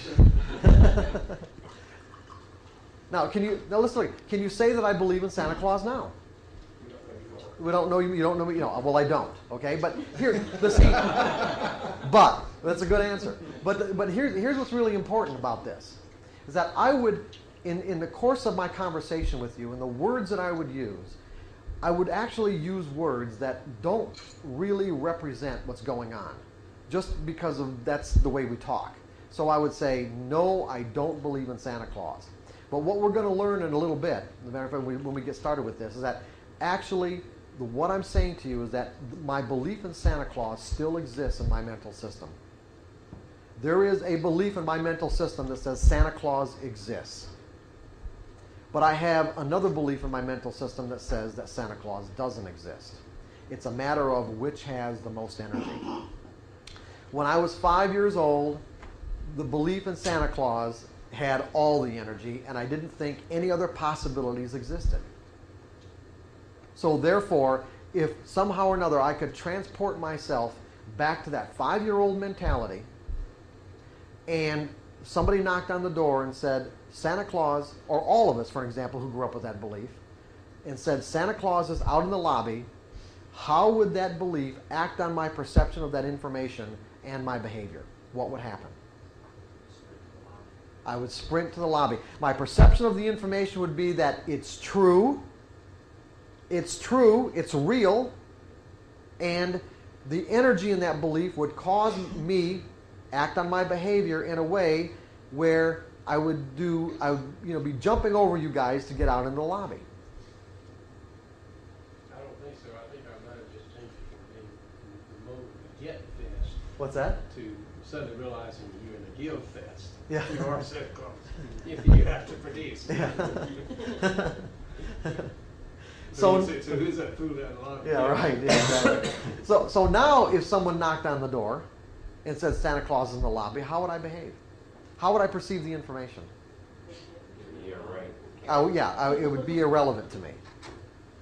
And and as a result of it being irrelevant, how, you know, of me perceiving, interpreting that information as, in, as irrelevant, how would it act on my behavior? I would just keep on standing here. I wouldn't change it.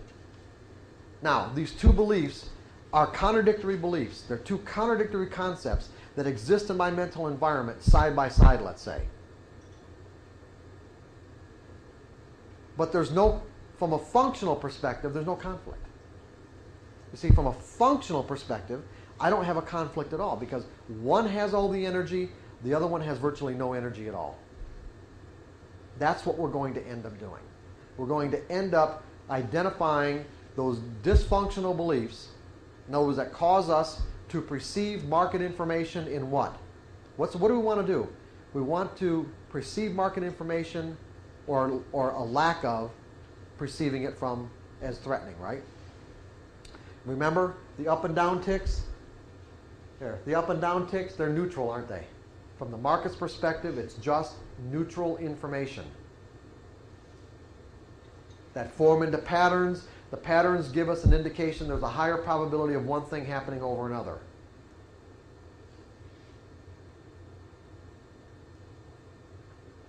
What causes us to perceive these up and down ticks in something other than a neutral frame of mind? Fears. Our fears are one, but basically our interpretations, right? That, then that, that tap us into our fears. Our interpretations that tap us into our fears.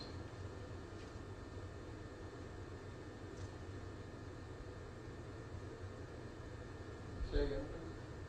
What causes us to perceive these up and down ticks as anything other than neutral? Our interpretations that tap us into our fears.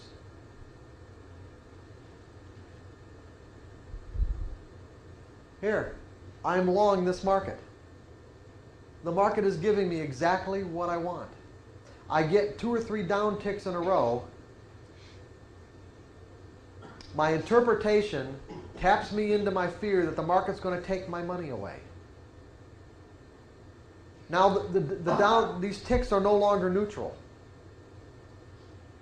So far, these ticks haven't given me any indication at all that, let's say, whatever trend this is forming has been violated.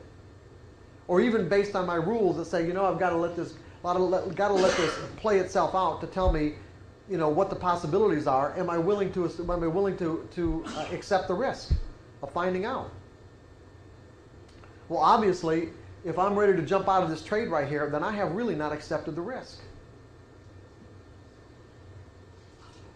But the point that I'm making is that now the down ticks take on something other than a neutral, let's say, valence. Now they're either overly negative or negative, or maybe even overly positive. How many of us have been in winning trades that think that, you know, we just, it just it's never going to end? How does that happen?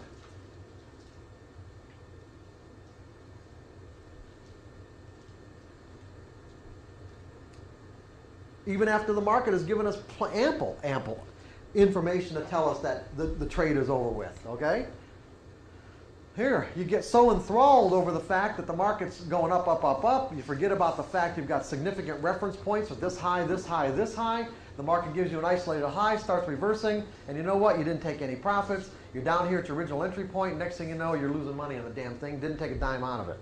And why? Because the neutral, in other words, from the market's perspective, these neutral up and down ticks took on an overly positive significance in your mind.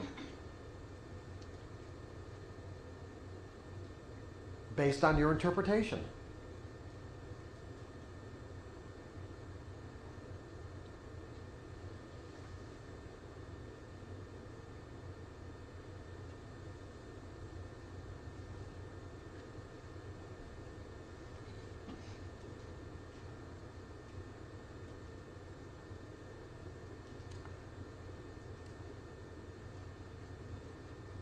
So if we want to create consistent results, we're going to have to, let's say, be able to trade from a carefree, meaning lack of fear, a noticeable absence of fear, carefree objective state of mind. And what do I mean by objective? Remember we talked about that yesterday too. We're going to go over it again, but just what do I mean by objective? Do you remember the example I gave you yesterday? Anybody tell me? Having access to everything you've learned? Because when you're operating out of a state of fear, what happens? Do you remember the principle? What's it? Okay, go ahead, Jeff. What? You, you limit the uh, information that you can. Um, Yeah, fear does what? It narrows your focus of attention, right? To what you fear the most. Right. Narrows your focus of attention. Now, the interesting part about in, in our normal in our normal daily lives, will if we're afraid of something, our our focus of attention will narrow to the point where we're focused exactly on what we're afraid of. But in the market, since the market, it's a little, it's a little, it's kind of a little bit different in the markets because the markets give us both upticks and downticks. And if I'm afraid of one of those, if I'm afraid of the downticks for whatever because I'm, you know, because I'm long, then in this case, what fear does is cause me to place an inordinate amount of significance on the upticks. So in, in essence, what I'm doing is avoiding the significance of the downticks. My mind will do that for me automatically. I don't have to think about this. This is an unconscious mechanism. It isn't any different than the example I gave you yesterday. This is a hot burner. I accidentally put my hand on it. My hand comes off. I don't have to, there's no internal arguments. I don't have to think about this. I don't have to make a decision about it. It happens automatically because of the way our minds are wired.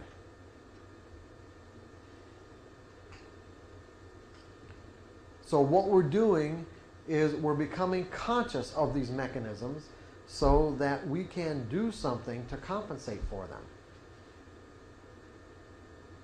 If it is our desire to create consistent results or fulfill the potential that we know exists in the market. In other words, to become a, let's say, greater version of who we are, because that's in essence what we're doing. By accumulating more money based on our trading, aren't we becoming greater and greater versions of ourselves? Aren't we becoming more and more of who we once were?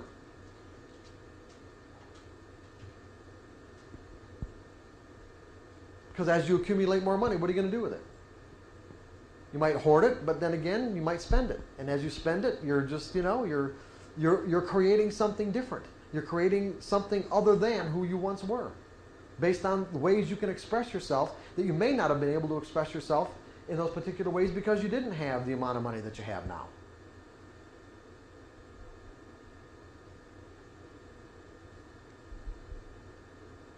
Is there something about this protection, you know, and maybe it's just me, but are up a quarter? Chances are not, Yeah, John. In that example there, you're up a quarter. What's that? You- What? There seems to be, in my mind, you protect the money you, you made, it seems to be like something precious Mhm. versus, you know, you're down and, I'll, I'll take a nickel or a dime, you know, loss and get out of the trade, but something about it, already, I've got a quarter already on this trade.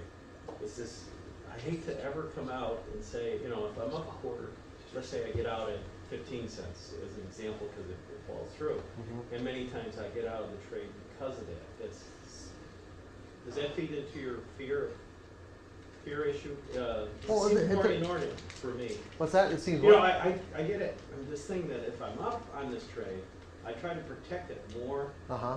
and, you know, I miss out on the bigger trades as a result of it, it seems like. Yeah, that's really hard. It's, it's really hard to learn how to take profits. Out of all the skills that, that you're going to learn, I mean, one of the most difficult is really learning how to take profits. But I'm going to give you a way to do that. I'm going to give you a mechanism on Sunday that'll, that'll do it for you automatically. So you don't have to worry about it. You don't have to really think about it in the way that you're thinking about it now. And it's simple and it's easy. It's, it's, it's, it's an easy, it's just basically learning how to scale out. But, you know, as much sense as it makes, you, it, it, it always amazes me how resistant people are to doing it. Is just divide your position up into fractions and start scaling out as the market gives you money. I give myself money as the market makes it available.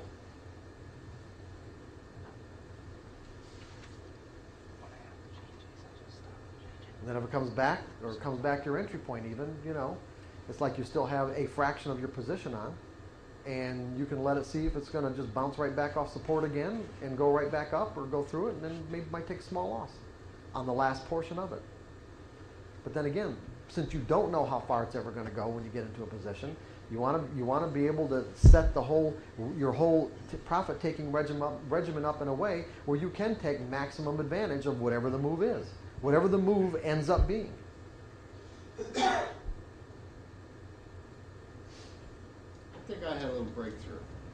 Um, I got out here that I had wrote out, you know, on the plane yesterday, what I wanted out of this. One is I wanted to be more patient, and two is I wanted to uh, basically let go of the fear, so that when I'm buying it on the bid as it comes in in your example, um, that when I buy it, I don't just immediately bail out when it goes down another tick. And I think what I got was, um, what you said was, I didn't accept the risk of the trade in the beginning. Right. So it's basically if you just accept the risk of the trade, I can be more patient and I can allow it to jiggle against me or hold it and go from there with it. Right. And so that was my breakthrough. And what does it mean to accept the risk? What exactly does that mean, Greg? I guess it means uh, to just adhere to my stop loss, and that's okay. The, the, the part that the part that I was looking for was that's okay. What does it mean to accept a risk? What does it mean to accept anything?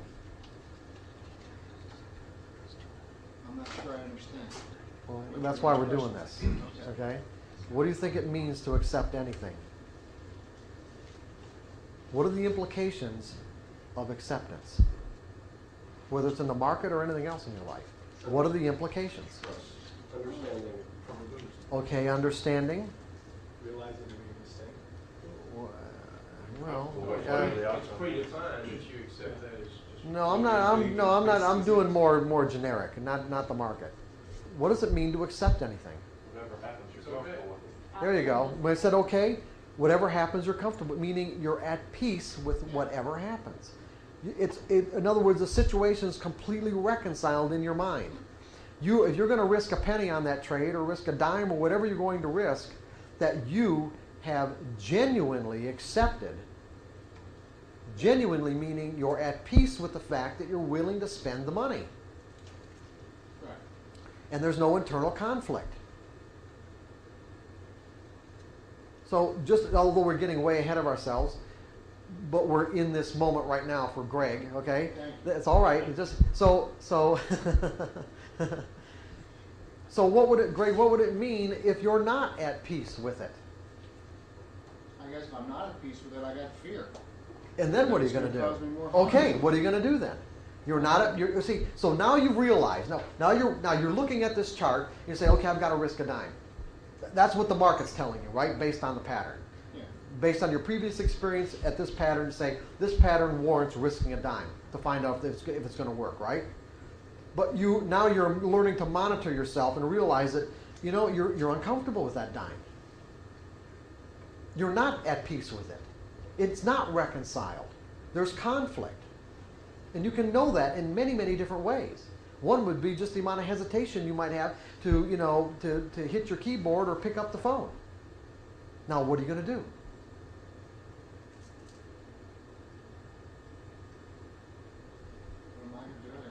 Find some way to deal with the fear. I gotta do a little more breathing. Uh, I guess I gotta acknowledge that the fear is there and then, and then reevaluate, do I want the risk? Do I want the Okay, time? good. Now, and, and what and what, what might the solution be? Then my solution is say, yeah, okay, I can live with that and go on. What if you really? What, what if you just? What if you're just kidding yourself? What if you're lying to yourself?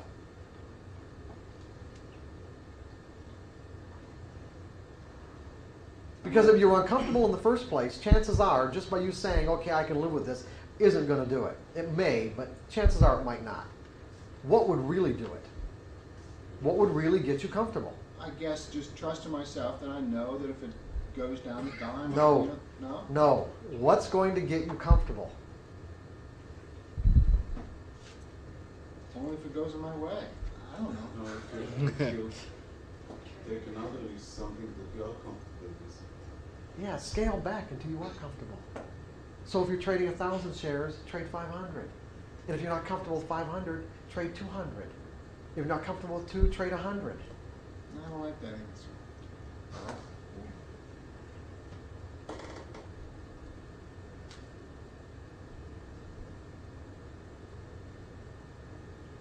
Or don't put the trade. Yeah, or don't put the trade on. Okay, nothing else to put the trade on. The best thing would be, in that case, is just don't put the trade on.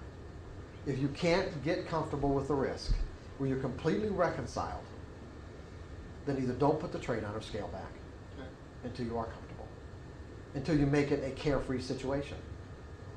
You know, at a thousand shares, risking a dime, you know, I mean, that's only a hundred bucks. I mean, that's not, I mean, I, realistically, we're not, we're not, these numbers are probably not what you do. But at a thousand shares, risking a dime, it's, uh, you're uncomfortable.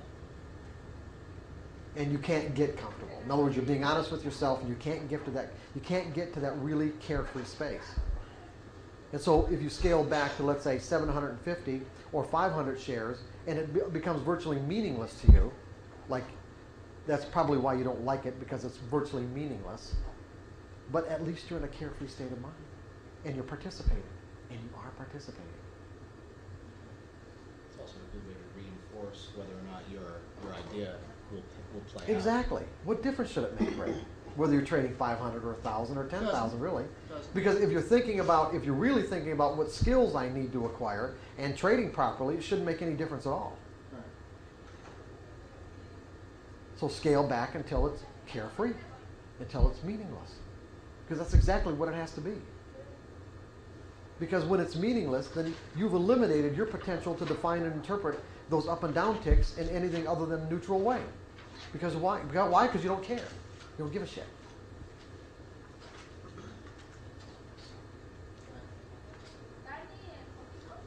Yeah, good. So that does make sense to you? No? You don't like it? Oh. I, I guess, you know, um, I want to argue with you. I guess because I've been, you know, scaling back, I've been in trades where you got a hundred shares and you're scared, and been in trades where you got five thousand shares and you're scared. And I can I can see situation. I can completely agree with you. You're, you got 100 shares and you're scared because because you don't trust the pattern, even though you're only trading 100 shares. You're in a 5,000 shares because you're scared because 5,000 shares you're risking too much in relationship to the amount of equity that you have. In any case, you're still you know you're you're well. Let's put it this way: you still have the potential to make trading errors because you're afraid. Now, I'm not saying the, none of these trades are going to work out. Any one of them could work. well, I, I think maybe what it is is because I've been burned for ten points in a minute and a half. and You can't get out of hundred shares. So, And you know, And, and, and would that be in a market that is in a, in a stock that's pretty liquid or illiquid? Yeah, liquid. Oh, yeah, that's right, trading illiquid stocks. Yeah, but you Okay. said it was liquid. It's an IPO. Glad that you didn't have a thousand shares. Well, See. I understand what you just say a minute ago, imply that you should be in a carefree state, if you're not, you don't get out. That's right, exactly. So, there's no in between. That's right. Originally- originally- Or, or scare, or let's put it this way, if there is an in-between, you're, you're, you're aware of it. And, and you're constantly monitoring yourself. But we're getting, we're getting way ahead of ourselves right here, we really are. Yeah, one So, question. You- what? You can start off being in a carefree state of mind, right? Yeah, Let's say you've actually got to that point where you Okay. can trade, you can Right. handle the risk, it's predefined, you accept it. Then something happens like, as, uh, John, Right. Greg. Greg says, and all of a sudden, you know, the market really moves against you, and you can't get out. How do you stay carefree under those circumstances? I mean, you're really like taking a beating. You, you may not, You you, you may not be, wrong. I'm not saying you, first of all, Drake, you, you- you can't, when you say, how do I stay carefree? It's not a matter of, of how do I do it in the moment, because it'd be extremely difficult, in most cases, probably impossible. What you do is you set up, you, you set up the circumstances in your mind in advance, so when these situations occur, they don't affect you in the way that they used to. In other words, it's the kind of training that you go through. So, for an example, this isn't any different than, than pilots or people in the military or people that, that, that are that their, their profession is inherently dangerous, where they have to do rescue missions or something like that. What they do is they train over and over and over again so that what would be catastrophic to a, a normal person is just everyday circumstances to them. He's handling. Yeah, so you're not so you don't so you can handle it from a relatively, if not completely carefree state of mind, confident, carefree state of mind. It's a matter of how much how much you know training and work you want to go through to get yourself to the point where a circumstance like that wouldn't affect you. It's possible, Jake. It really is. It's just a matter of how much effort you want to put into it. If you believe your edge is, if you believe you have an edge too, then the vacuum, sometime in the future, is gonna go the other way. That's right. You'll all get vacuums in your out favor too. Right, exactly. You will. You'll get vacuums in your favor. That's right. But, but I think the downside of what you're saying is you control the amount of capital you risk in that particular trade. Because my partner's in a trade and he's been sitting four weeks and it's still closed. So Wait, wait. Say this again. Your partner what? He, he was in a trade where the stock ceased trading. Well, the probability, uh, the probability is if they had some sort of violation of the policy or whatever, and, and he'd probably lose all of it. So you've got Right. to enter any trade with the idea that that Right. can happen. That's right. Exactly. Yeah, Like the can't exercise. That, control it. that's right. But the, the exercise that we're going to set up tomorrow, the, you know, like the trading in 20 trade sample sizes, you know, we've got to set this up in a way where where the amount of money that you would need to risk to do this exercise is equivalent to losing on all 20 trades. If you took 20 losses in a row. You've got to be able to accept the risk and set it up in a way where you can accept the financial, the financial value, dollar value of losing 20 trades in a row. The likelihood of that happening is very remote, but it could happen.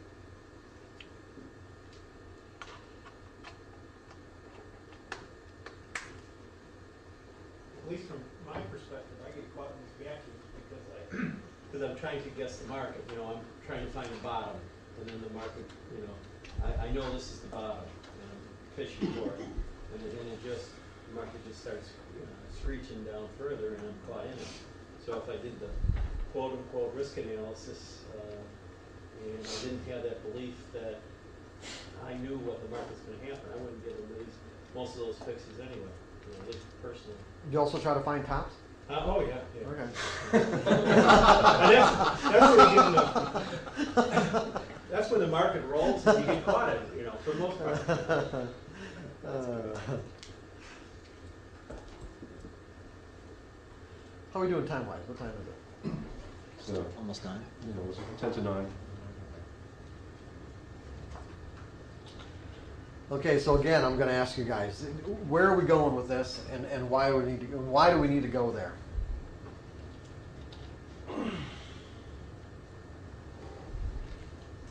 It goes back to uh, changing your perception of your beliefs or, I guess, rewiring your beliefs. And the reason we need to go there is you're not going to achieve what you truly want to until you address that. Okay. So we can learn to think in probabilities. Right. So we learn to think of probability. Right. Because that is the nature of the way the market moves, right? See, when we're dealing with people, interacting with, with our family and our friends, you know, based on what they believe and what we've learned about the nature of, of the way they express themselves, we can pretty much count on what they're going to do and under what circumstances they're going to do it. And, and when they and when they deviate in their behavior, we can chastise them for it, can't can't we? Right? And we can and you know like sort of like a rubber band and snap them right back if if if that's what we you know if that's what we think is appropriate and and uh, we're inclined to, to think that way.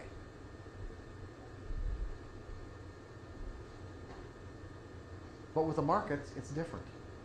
The markets really do, I mean, really, everything exists from a probabilistic perspective when you get right down to it, but, but the markets for sure. The markets are, are the most immediate environment where, where there is no doubt that everything is really probable. And all we're really learning to do is, is get our thinking to conform with or be in harmony with the way the markets exist. That, that's really all we're doing here. We're just we're taking these conscious steps to train our minds to be in harmony with the way the market exists from its perspective. So that when we're in harmony with it, we can flow with it. And we can better able to take, you know, to take, take advantage of the opportunities that the market is constantly making available in every time frame. That's all we're doing here. We're adapting the way we think to conform with the market environment.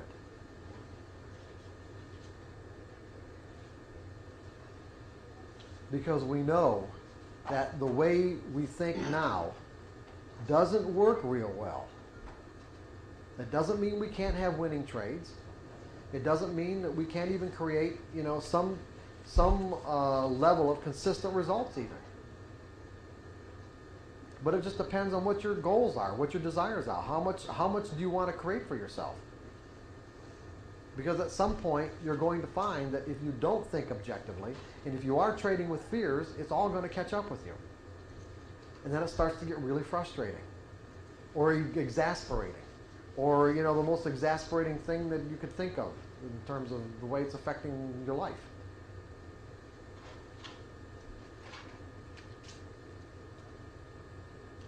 Because until you understand the nature of beliefs and how they and how they operate on our perception of information and behavior, all of it seems mysterious. It's like, oh, I don't get it. I don't get why I can't take advantage of something that, that is readily available right now in this moment and the next moment and the next and the next. It's all right there. I can see it. The opportunities exist. The patterns flow by all the time. Why can't I give this to myself on a consistent basis? It seems kind of mysterious, right? Well, it ain't going to be mysterious after Sunday afternoon.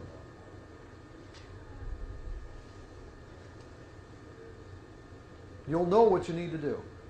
I guarantee you that. You will know what you need to do.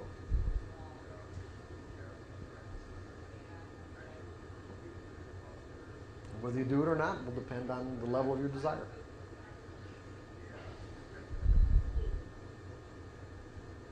Just like anything else. When you make up your mind to do something, what happens? That's right. When you really, genuinely make up your mind. Now, what does that mean when I say make up your mind? Uh, not necessarily. Just, uh, when you make up your mind, basically, the implications are you make up your mind with so much energy, with so much conviction, that you have literally wiped away all the other conflicts. Now, think about what I just said. When we make up our minds about something, that's, that's what that implies. When we make up our minds about something, we're doing it with so much energy and so much conviction that we literally, I'm going to use the word erase, but that's really not what happens.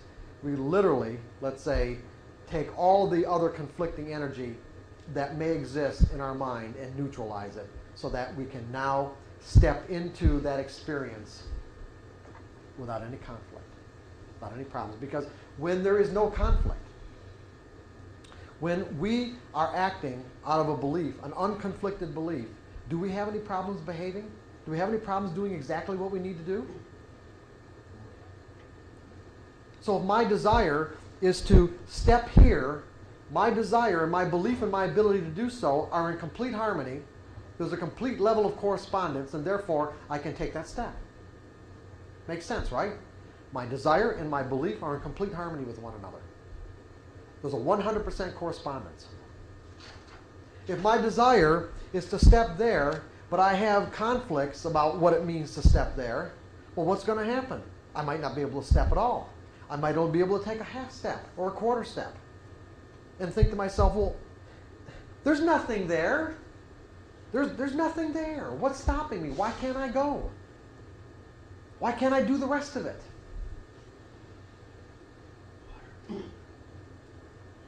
Because mental energy is tangible. See, there might not be anything in physically impeding my progress. There might not be anything in the environment that says I can't do that. And that's why trading is so frustrating because there's nothing in the environment stopping us. There isn't anybody saying no, no, no, no, no, like when we were kids or in a corporate environment where you have ideas. and there's somebody above you saying, no, no, no, that won't work, or that, that's ridiculous, that doesn't make any sense, I don't like it. See, there's none of that. And now we have direct access to the markets electronically. We don't even have to pick up phones anymore. We don't even have to listen to our broker anymore. Say, oh, you really want to do that? Are you sure? It's point and click, point and click. Instantaneous feedback, instantaneous fills. Couldn't be better than that. It couldn't be easier.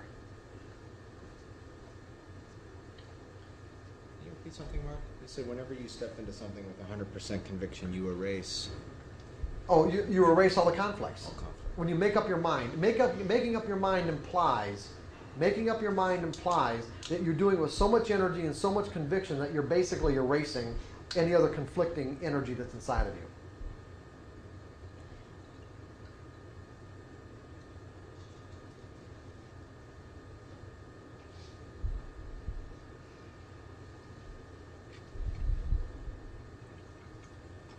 See, so there's, so there's nothing in the environment stopping us. That's what makes it so mysterious. Because if you don't understand how beliefs function, then it will be like just doesn't doesn't make any sense.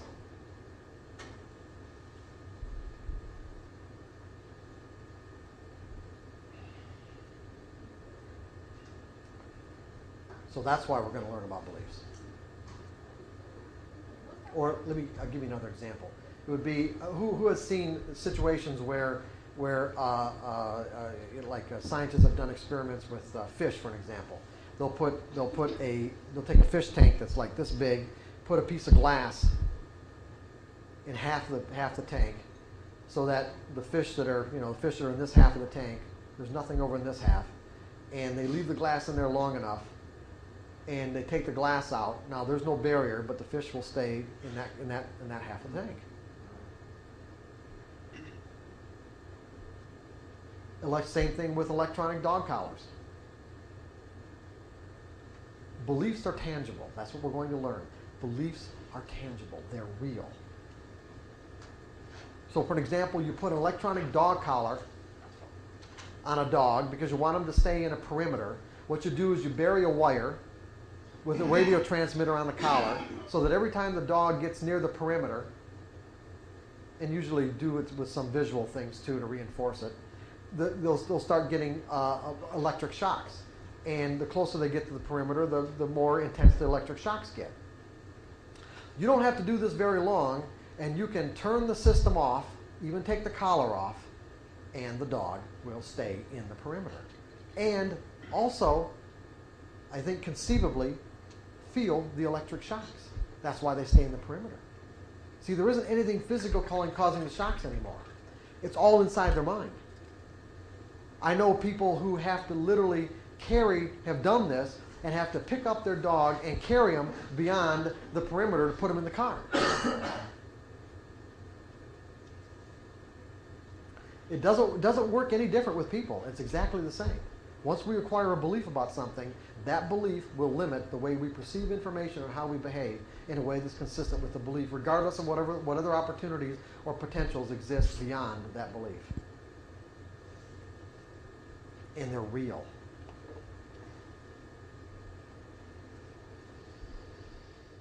So let's take a break. And we'll. Okay, so we're ready, right? Go ahead, Greg. I have a question. Ah, Greg has a question. Okay, good.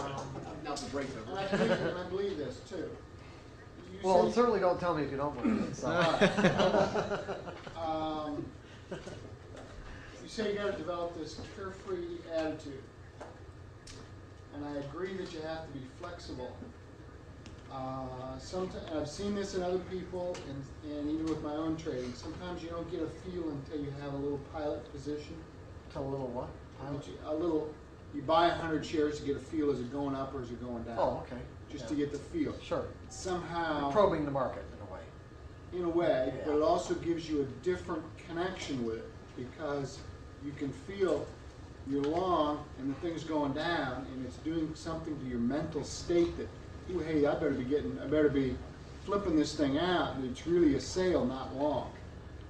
Um, so how do you?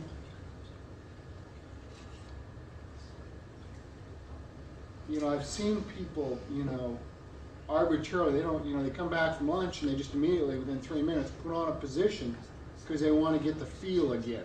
Sure. How does that reconcile with the carefree attitude? Well, I don't care if it's going up or down. I mean, I don't know. First of all, I don't really see a contradiction. Okay. But, but it's also a better question for tomorrow, all right. okay? Because we're, that's the kind of question that, that, that's the kind of question that relates directly to what we're gonna talk about tomorrow anyway. Okay. So if you, if you wanna save it till then, All right. okay? We'll just- wait till, till John's done. Because right now, we're gonna talk about the nature of beliefs and get into that stuff. Since we know exactly why we're doing this, right? Everyone, everyone, we're all together on this. We know exactly why we're gonna talk about beliefs. So I sure hate to talk about it when, when everyone doesn't know exactly why we're doing this.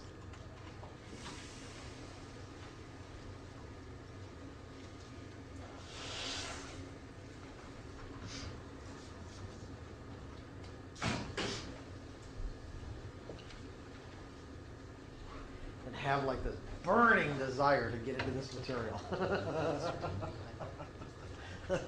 I feel this burning desire from everyone here. Let's do this now. I have yet to encounter an audience that, that had that burning desire to do what we're about to do. Anyway, let's do it. Um, okay, we're going to talk about the nature of beliefs. Interestingly enough,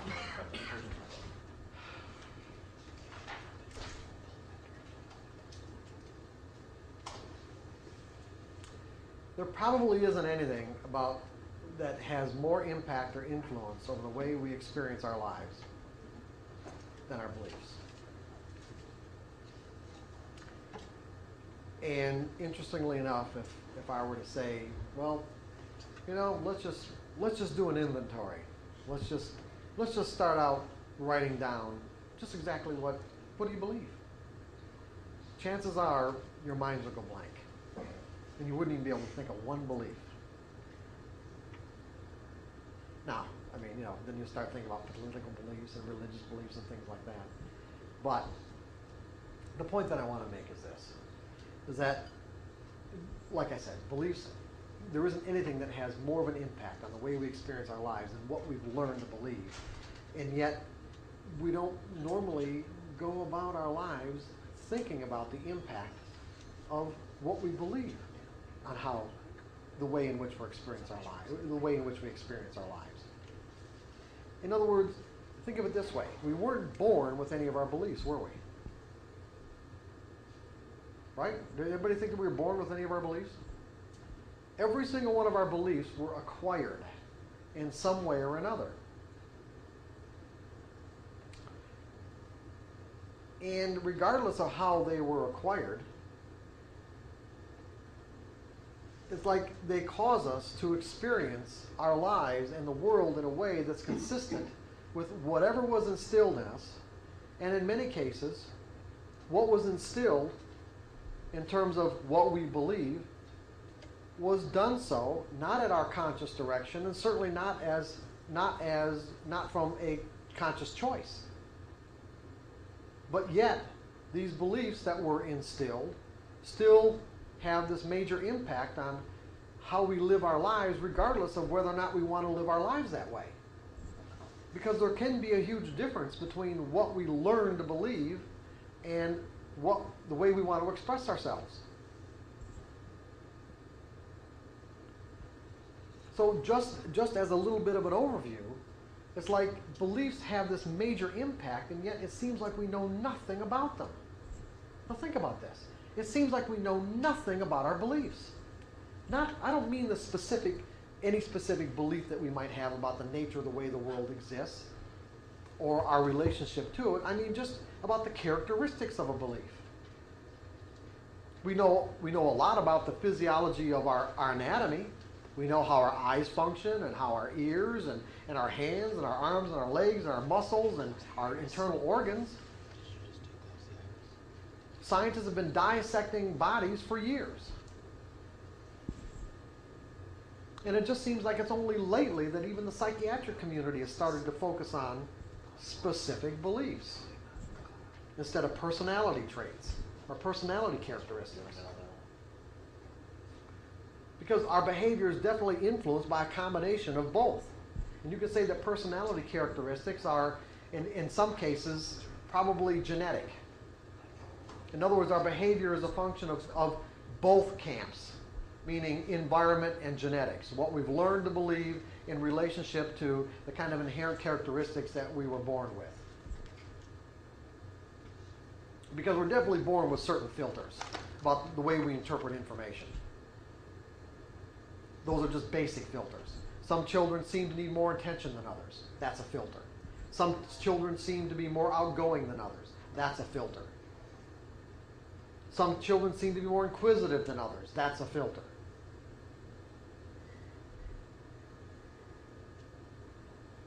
So there are some kids, for an example, that you could give every ounce of attention that you could imagine giving, and the kid it wouldn't be enough.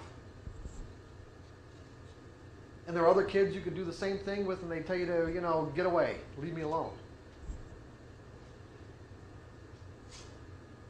It's one of the big problems with parenting, is making those kinds of adjustments to the unique characteristics that each kid is born with. And what always kind of amazed me is, is too, is that is how when when it's kind of the first reaction of, of parents uh, when they find out that their, their children are individuals, that, that they really are individuals, and that, and that the next kid, if they have more than two, is different than the first. But that shouldn't really surprise us, right? Because how are our minds designed to think? Our minds are designed to associate. So what's going to happen is that when the second child comes out and into the world, our mind will automatically associate the second with the first, making the two identical because of the similarities, and then only to be shocked to find out that, oh, this is a different kid. In some cases, can be completely different. Does that all make sense now? Why parents would be shocked? Because, because of this automatic association mechanism. And everyone also, too, keep in mind, because something I didn't say before is that, is that there, everyone's mind has a different, let's say, toleration levels, let's say, for what's similar or dissimilar. Meaning that, that we can take something that's going on right now in this moment that has similar characteristics or properties than something that's in our mind. How similar it has to be to make it identical in our mind is all different based on the individual. In other words, it seems to be different tolerances for that kind of similarity or dissimilarity when the two get connected in, in one and the same. But, but I'm going to go into more detail on that in a second anyway. So, what I was saying before is that beliefs have certain properties and characteristics. It doesn't really matter what the belief is, they have certain properties and characteristics. And if we're going to learn to work with our beliefs so that we can control our perception of how we perceive market information, remember we, what this what we want to do? We want to control our perception of information so that we no longer have the potential to perceive the up and down ticks as threatening then we've got to understand how they work. So we're going to get into like a mini psychology course here for the next couple of hours so that you have this kind of basic understanding of how beliefs function so that you can so that you know how to work with them.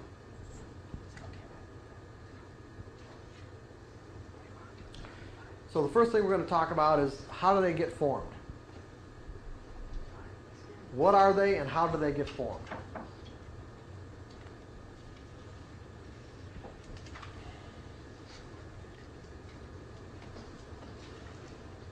Anybody got any ideas? Experience. Your experiences. Okay. Now, when we talk about experiences, what are we really talking about? Let's look at the most fundamental level, because that's what we have to do. Just life in general, day-to-day activity. Day-to-day activity, but look at it like like when you're talking about an experience, like what is an experience? What is it? Perception and feedback. Well, okay, perception and feedback, but but aren't we connected to the external environment? In other words, you know, like anything inside my skin, let's say, or let's say I'm going to say inside my mental environment, is can be or is different than, I want to make a distinction between the two our mental environment and the outside world. We're connected to the outside world through our five senses. I'm connected to this external environment through my eyes, my ears, my nose, sense of touch and taste. What happens, and the external environment acts as a force. So we could say, let's categorize everything outside, regardless of what it is, as a force, expressing itself. Everything outside is expressing itself. Everything in the external environment. It's like a, a hot stove, you know, perceive it. Okay, but the, but see, you could say, is the hot stove? Ex- how is the hot stove expressing itself? Perception? No, no. Think it from the stove, stove's no stove's pers- perspective. How is the hot stove expressing itself? Neutral. No, it's not neutral. No, But it doesn't care. it may not care, but it's not neutral. Not neutral from our perspective, anyway. How is the hot stove expressing itself? Giving off heat. As heat. Heat. It's energy. It's heat. It's expressing itself as energy. That's what I want to, want to get at. There's this cause and effect relationship between ourselves and the environment. In other words, in other words, what you've got is a situation where all of the external forces that of nature, nature has an infinite, basically probably an infinite combination of ways of expressing itself. You've got humans, everything, everybody outside of ourselves, and all the different people and all the different cultures and all the different ways that people believe about the way the world exists, they will express themselves in a way that's consistent with their beliefs. So that you take nature, plants, animals, waves, air, volcanic volcanoes, whatever, plants, animals, insects, people, and then everything man-made. Now think about this, and everything man-made, which also expresses itself, these are all external forces that can express themselves in virtually an infinite combination of ways.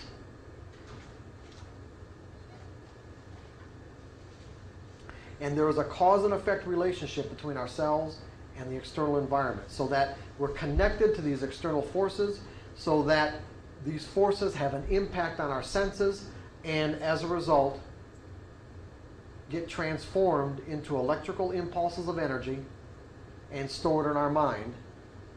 And let's say in the beginning, at least as a as as let's say in, the case of an infant, as um, not a, not just as a memory. What's the word I'm looking for? As a um, undifferentiated memory, you might say. So if we if we kind of kind of put ourselves in the mind of an infant, an infant wouldn't have any way to categorize all these different experiences because the way we learn to categorize experiences is through through a structure we call a language, which is like this abstract symbol system. Reference points or something. Yeah, language would be like a reference point. But let's say, let's say what happens with an infant is that he has all these undifferentiated memories that just probably floating around in his brain without any way of categorizing what they actually mean. But what happens is that, like I said, the environment acts as a force on our senses and creates, and, and, and, our, we, and scientists know that these, these experiences get transformed into electrical impulses of energy, but then what happens to them after that? They become what we call memories. Now, are these memories, do they have any particular structure? Well, we don't really know because we can't get in the mind of an infant. But we do know that eventually they form into some sort of structure. They form into structures based on how we teach children to organize these experiences.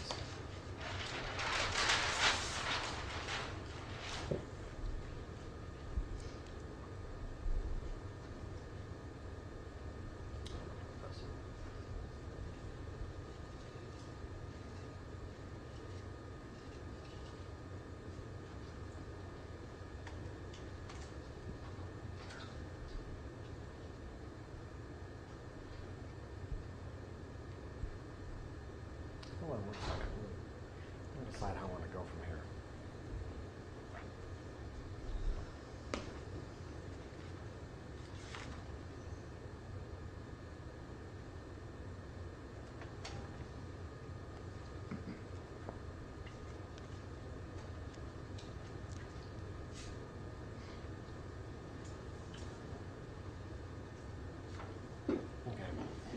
So what we have is when you look at a language, for an example, a language is is nothing more than, like I said before, an abstract symbol system.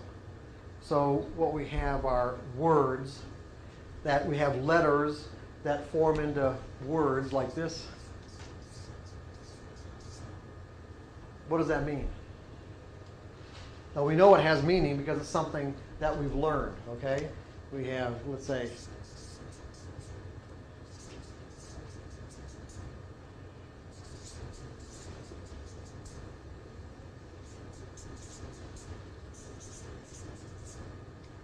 Now, by themselves, these letters that form into this word and these words that we can put together into concepts, by themselves, they are virtually meaningless. They're just scratches on a piece of paper. If this were a foreign language that none of us knew how to interpret, what would it mean to us? Absolutely nothing. If they were Egyptian hieroglyphics, what would it mean to us? Absolutely nothing. But these are words that, that have a meaning in each one of our minds. How do those meanings occur? Through your experience Experiences, reference points. or interaction with What's that? Go ahead. Being taught. Okay, yeah, exactly. In other words, someone making an association between certain environmental phenomenon, certain ways that the environment can express itself and act as a force on our senses, and associating it with this, these abstract letters cold, hot, night, daylight, word. And these, these now these now when the energy now this is what's really important here. When we associate the energy of the experience with the word, it takes on a tangible reality or a tangible meaning.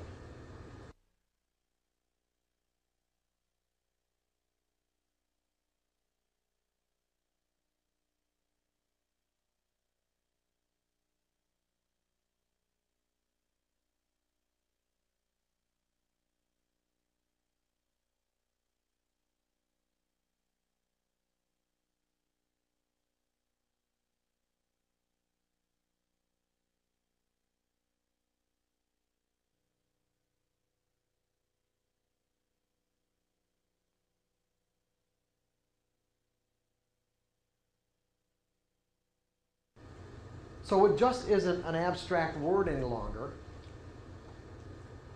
It now has the potential to act as a force on our senses from the inside out. Most everyone just naturally assumes that the environment expresses itself as a force on our senses and that the energy flow is one way. The environment acts as a force, we perceive that force through our senses, and as a result, affected by it. I touch an ice cube, it is cold. I touch something hot, it is hot. I see darkness and no sunlight, and it is night. But what allows me to recognize all this as cold, hot night is the fact that the cause and effect relationship reverses. Meaning that once, once something is, let's say, installed in our mind and associated with these particular words or concepts, then the words or concepts take on the quality of the experience itself. Are you guys with me on this, sort of? So, an abstract concept like word, just a word,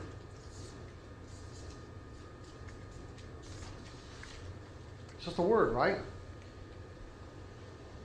So, you know, just, just, a word. But it's not just a word, is it?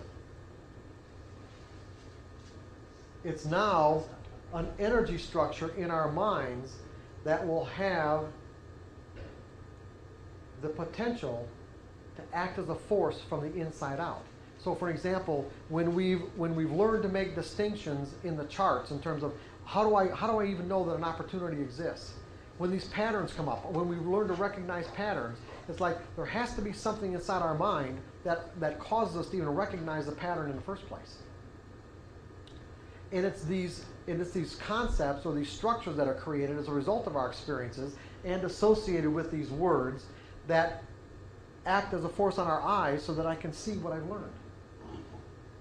Act as a force on my ears so that I can hear what I've learned. In other words, we learn to make distinctions in this in all these collection of forces that exist that the, in the ways in in the various ways the environment can express itself.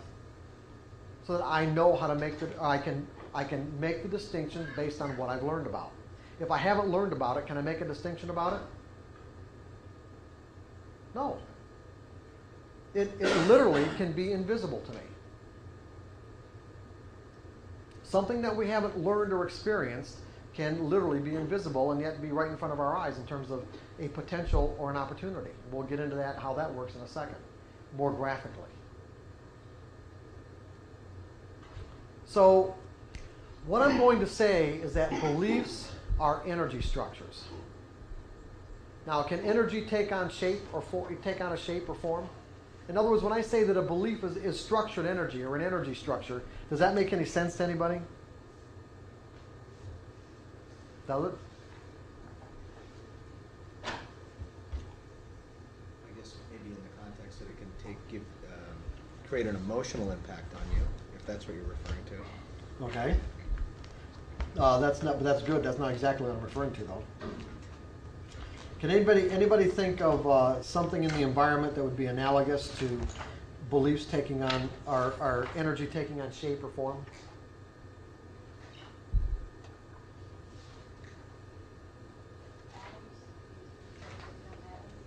What's that? Atoms. Oh, well, okay, Adam, but, but what are you gonna, what do you mean, Sean? the, the energy is there and it's, but it's not actually a form that you can actually see, but you know the energy is there. Okay.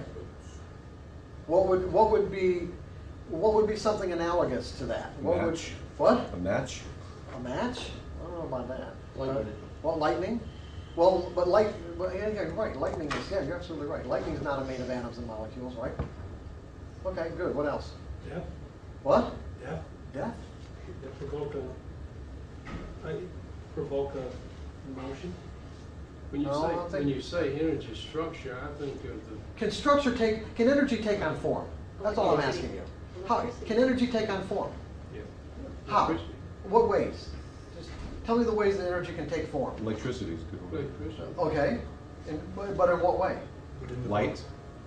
Within the body, it can change the chemical structure as well. What's that? Within the body, it can change its chemical structure. That's true, but that's not what I'm getting at. I'm getting at something else. Are my words structured energy? In terms of sound waves? I'm not making these, eh, you know, I'm not doing that, right? It's struck, I mean, even that's structured, but, but, but the point is that, that, that what you're hearing is energy, correct? And is it not structured in a particular way? What about all, the information that's carried on microwaves? All our, all our phone conversations that transmitted through the atmosphere on microwaves, is that structured energy? Radio waves, structured energy? Can light take form? Can light take form and structure and have dimension? Television. Television? Or what about, what about, uh, what, what's that? A flashlight. Flashlight? The. What about laser, uh, uh, uh, um, laser shows? What about holographs? You know, we're taking, you can project a holographic image. You got a three-dimensional image. What if this were a three-dimensional image projected into this space? You've got dimension, right? You've got you've got uh, height. You've got circumference. You've got width. I can measure it. But is it made of atoms and molecules? No, not this. I mean, if I'm saying this is a holographic image. So the distinction that I'm making, this is really important, is that it was not made of, of atoms and molecules and it's not taking up any space. this is really critical. You have to get this concept that beliefs are structured energy, but they don't take up space.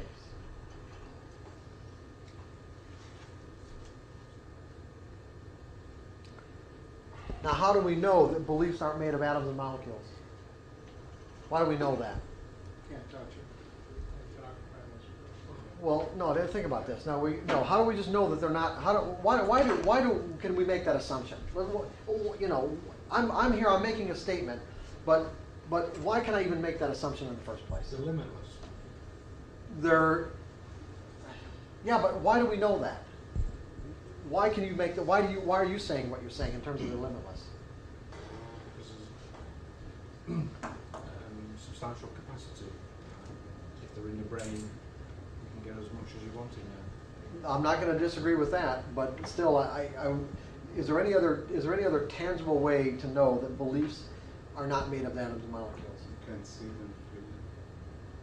Yeah, you're okay. In other words, in other words, we know that that that brains, let's say people's mental environments or brains have been dis- dissected down to the really the, the, the atomic level, and we know at least as far, as far as I'm concerned, I haven't read anything or heard anything where somebody has experienced somebody else's beliefs firsthand, meaning in their natural form as they exist inside our mental environment. Even people's memories can't be experienced firsthand. We know that scientists have learned that if you stimulate certain parts of people's brain, that they will experience certain memories that, that let's say that exist in that particular region of the brain. That's where they're stored. But the scientist doesn't experience the memory firsthand. The scientist only experiences the memory based on how the person related the memory to the scientist. And as of yet, no one has has you know experienced what someone's memories are or what someone's beliefs are as a first-hand experience that's something that's made of atoms and molecules. Brain matter is made of atoms and molecules. The synapses that cause us to think in the ways that we do and how information gets transferred from one part of the brain to the other uh, is made of atoms and molecules. But the actual information that's transformed back and, or transported back and forth into the different areas of our mind don't seem to be made of atoms and molecules.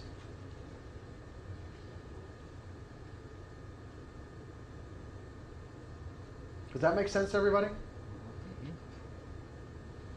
They seem to be made, I'm just going to say, of structured energy. Electrical energy. Yeah, electrical energy. Now there's a really there's a real important implication here. That that if the environment can express itself in an infinite combination of ways, and if beliefs and memories aren't made of atoms and molecules, wouldn't that imply that we have an unlimited capacity to learn?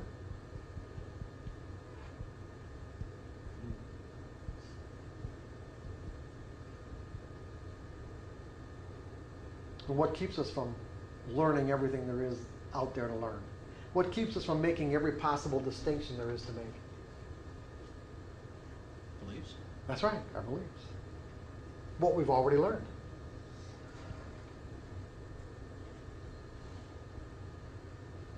What's the force inside of us that says, when we're, we're in, encountering something that we haven't experienced yet, but that's in conflict with something we already have experienced, say, I don't believe that. I don't believe it. What's that force inside of us that causes us to instinctively, I don't believe that? Force of the belief that you already have. That's right, the force of the belief that you already have. In other words, that is an inherent characteristic of a belief, isn't it?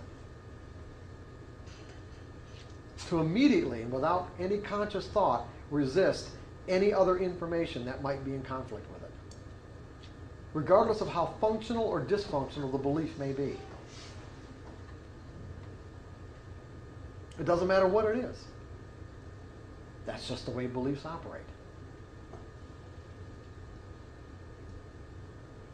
But that's not what I'm getting at at the moment. What I'm getting at at the moment is that you understand this nature of, of energy that takes on structure and form. Energy that takes on form. You have to get, you have to, in other words, I want you to make the nature of a belief as tangible as possible in your mind. The more tangible that we can make it, the easier it is, you know, the easier time you're going to have to work with them.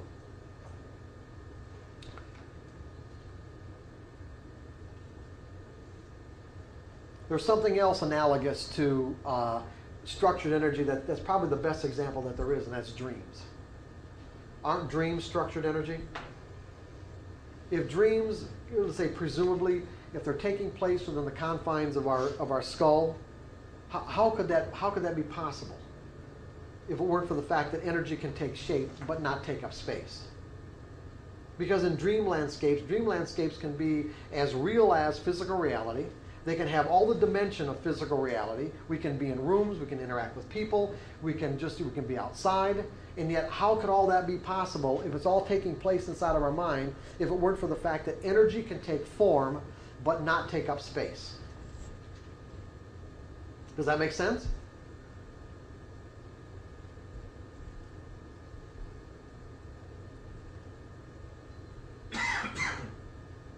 So, do you guys have any questions about this so far?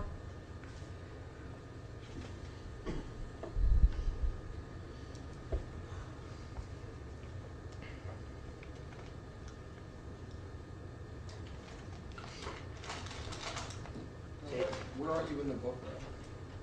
I'm on page two of section four.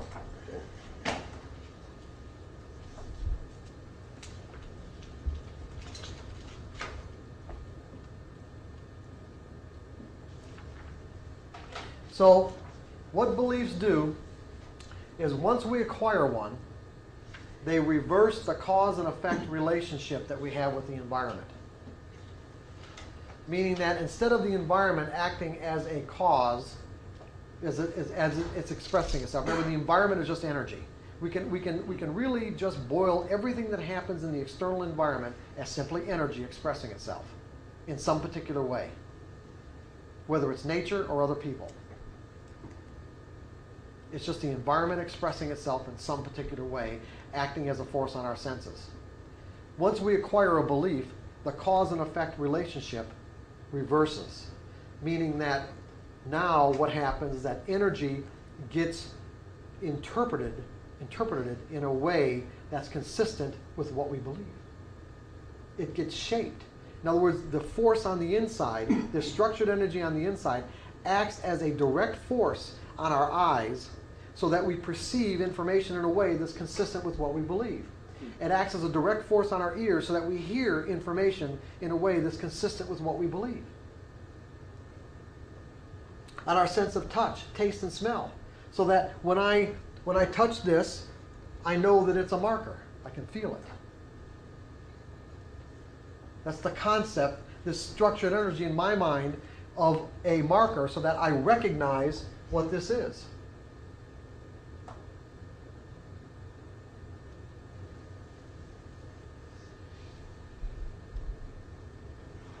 And as a result, they also create our expectations. And remember what I said what is an expectation? Belief projected into the future. Yeah, a belief projected into the future. Into some future moment. Whether it's a whether it's a second from now, a minute from now, a day or whatever. It's that we're expecting the environment to show up in a way that's consistent with what we believe. Just so I understand, this concept of the, uh, the environment having, once you have a belief, the cause and effect, cause and effect relationship is reversed. If I don't have a belief and you uh, utter a phrase to me, if I have a, it, it, they're just simply words. Once you attach a belief to that, though, I can interpret that in a multitude of ways, as opposed to just simply a phrase that's being projected at me. Is that correct?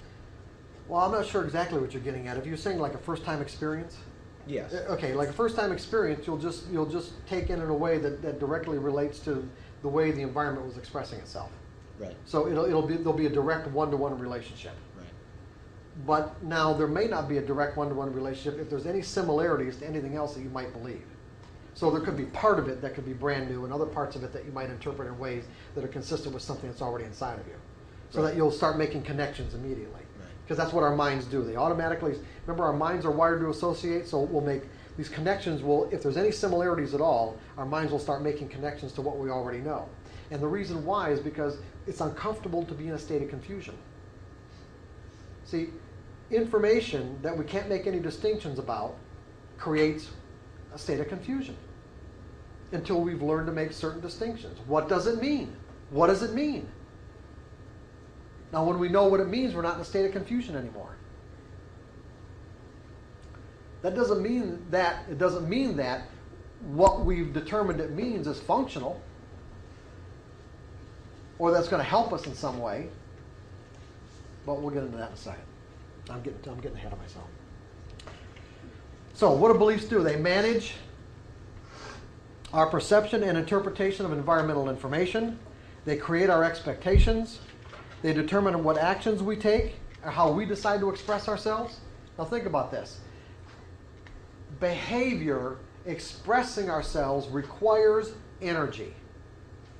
I am going to express myself, and you are going to express yourself in a way that's consistent. Your outward behavior is, will be consistent with the energy that's inside of you. It's that simple. It can't be really any other way. And the energy is inside of you. How that energy is structured are what you believe, or is what you, or is what you believe. Now, you may not know what you believe, meaning that you may not have taken the time to say that or to extrapolate your behavior and say that, you know, for me to behave this way, this is what I need to believe. Or for me to behave in this circumstance, this is what I have to believe. But that's not a very hard thing to do. In other words, in, in, you know, in the consulting, you know, coaching business that, that I've had for many years, that's exactly what I did do. You could just describe to me what you did, under what circumstances you did it, and it got to be very easy to extrapolate it into this is what you would have to have to believe to behave this way under these circumstances.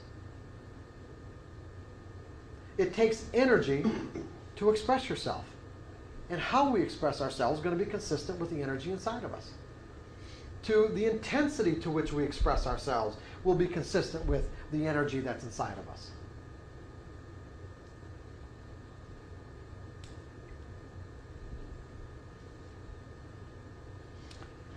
And in, and in, in, in terms of our expression of our behavior, it will be a function of basically two broad categories our beliefs in relationship to these kind of genetically encoded behavior characteristics that we came here with and how they interact together.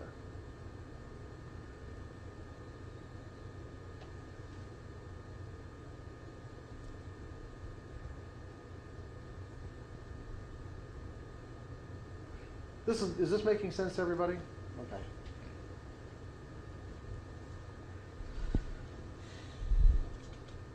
So they determine what action we take and, and how we decide to express ourselves and also how we feel about the outcome. So if I'm interacting with the environment in some way, you can, you can say that there, I have a particular reason or purpose for doing so. Meaning that our desires, our needs, our wants, our goals, our aspirations, they're generated from within and usually fulfilled out there. Are you with me on this?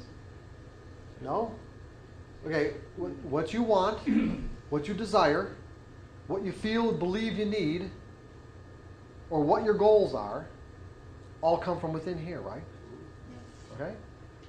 From, let's say, a number of different factors that, that go into formulating what your goals are or what your desires might be. Your desires could also be, you know, a combination of your, let's say, genetically encoded genetically encoded behavior characteristics, those kind of filters that we're born with, in combination with what we've learned to believe. Also, based, we're going to add another dimension to this, and that's that's our our inherent capability of being creative. And creative creativity comes from, let's say, let's instead of going where it comes from at this point, let's just say that that creativity is bringing forth bringing forth something that didn't previously exist. Now, it doesn't mean it didn't exist somewhere else in the world or somewhere someone else's life or in someone else's mind, but but there we do have this inherent capability of being creative in that our thoughts are not bounded by what we've learned to believe. In other words, we can think in any direction we choose. And therefore, as a result, we can also be inspired by certain thoughts and feelings that cause us to think of something outside of something we've learned to believe, and therefore generate a desire based on that. All I'm saying is that whatever it is desire, want, need, goal, aspiration generate from within and usually fulfilled out there. Meaning, I'm going to take a particular set of steps to fulfill my needs. I'm going to have to interact with the external environment to fulfill my needs. I'm going to have to interact with the external environment to fulfill, fulfill my desires. Your desire is to be, let's say, a consistently successful trader, to accumulate wealth as a trader. That's a desire generated from within. What do you have to do? You have to interact with the market to fulfill that desire, correct? And as a result, you are going to take a particular set of steps to do that, correct? Those set of steps are going to be based on what? What steps you decide to take are going to be based on what? A function of what? Internally. No, come on.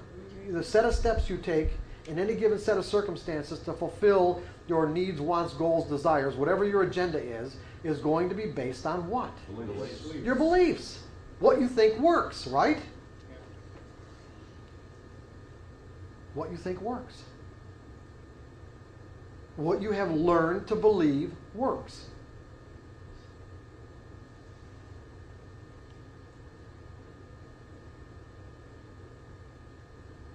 And then how you feel about the outcome of whatever steps you took in interacting with these external forces is also a function of what? What I've learned to believe. So, probably, you know, when you look at sports, the dynamics of, of, of, uh, of, of um, successful athletes, you've got athletes who you probably all have read about things about you know certain athletes have, have certain styles of self-talk or you know their, their internal the internal dialogue that goes on between them okay? So when one athlete makes a mistake they might criticize themselves and, and call themselves name and other athletes you know just shake it completely off and, and, and think very positive thoughts and, and get themselves refocused on what they need to do. That those are based on beliefs that they have about what they think works or whether they even think it works or not doesn't even make any difference because a lot of times, this, certainly the self-criticizing beliefs were usually installed by other people anyway, and they won't really even have a choice in that in that respect unless they've gone ahead and kind of cleared that stuff out, worked on clearing it out. They won't have a choice about what they're hearing in their mind anyway. But the point is, it is based on how they feel about the results of any particular action they take will be based on what they've learned to believe. So you can, regardless, see, so what I'm saying is that regardless of what outcome you get, you can learn, you can actually acquire a set of beliefs that allow you to think positively of yourself regardless of the outcome. It's just a matter of what you've learned to believe, what you've learned to believe about the nature of mistakes.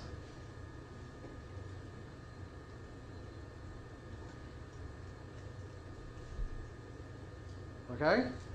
So, beliefs manage the way we interpret environmental information. They create our expectations, determine what actions we take, and how we feel about the results. You guys with me on all this? I'm going to give you some examples to, to really illustrate it. The, uh, the, the best example I can give, two of the best examples I can give you, one's in the disciplined trader, one's in trading in the zone. But I really like I really like the one where uh, I was writing the Disciplined Trader. This would have been sometime around 1986 or 1987, and uh, I'd been writing all Saturday afternoon, and, and I took a break and, and turned on the TV, and there was some locally produced uh, TV program in Chicago called Gotcha Chicago, and what the news station did was was hire people to play practical jokes on some local Chicago celebrities. But in one case, what they did is they hired a guy to go out on Michigan Avenue, and they stuffed his pockets full of cash, and they gave him a sign that said, "Free money today only." That's what the sign said, "Free money today only," and his instructions were to only give money to anyone who asked for it. Right? That was the instruction. Give money to those who ask. He went out on Michigan Avenue.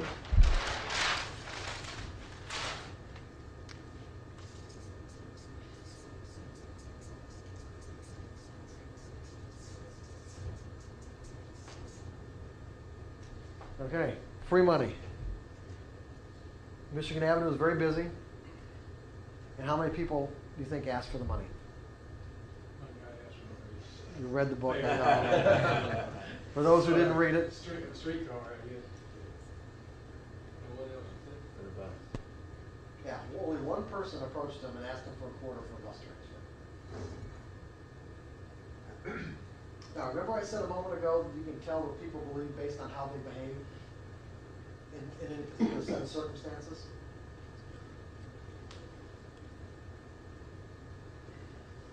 What would, what would, you, we could presume, let's make some assumptions. We can make assumptions, first of all, that people could read the sign that said free money today only.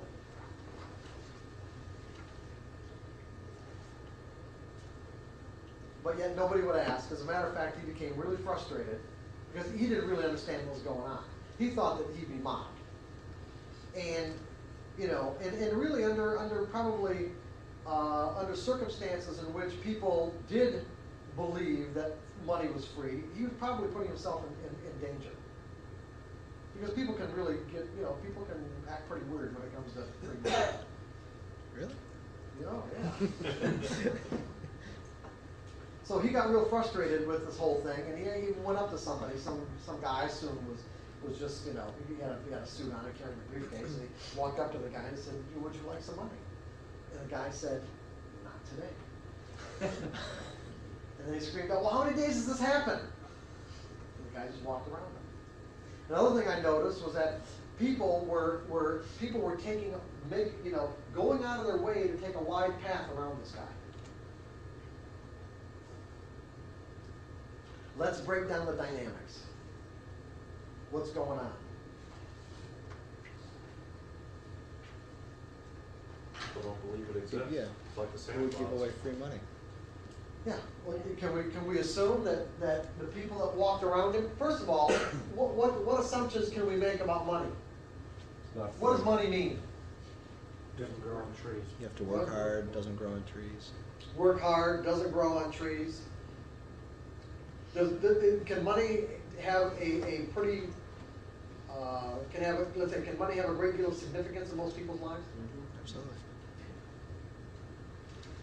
There's a big attachment, emotional attachment for most people.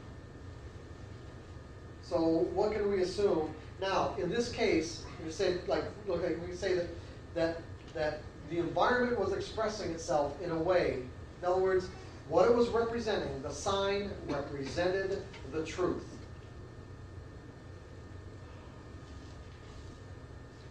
The sign represented the truth. The money was free.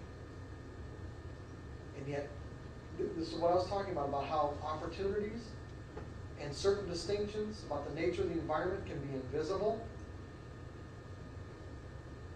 The people that made the decision to walk around this person to actually take a wide path, what would that tell you about what they believed in that moment based on, and based on how their beliefs were causing them to interpret that information?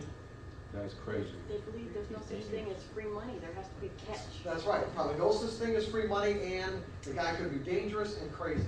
In other words, if the money were really free, he would already be mobbed. Otherwise, this guy must really be a nutcase, and therefore, I should take a wide path around him to avoid the possibility of coming into contact with him. Now let's look, again, let's break down the dynamics. I don't believe that free money exists, okay, that's basically what they're saying. In other words, the environment can express itself in an infinite combination of ways, remember that?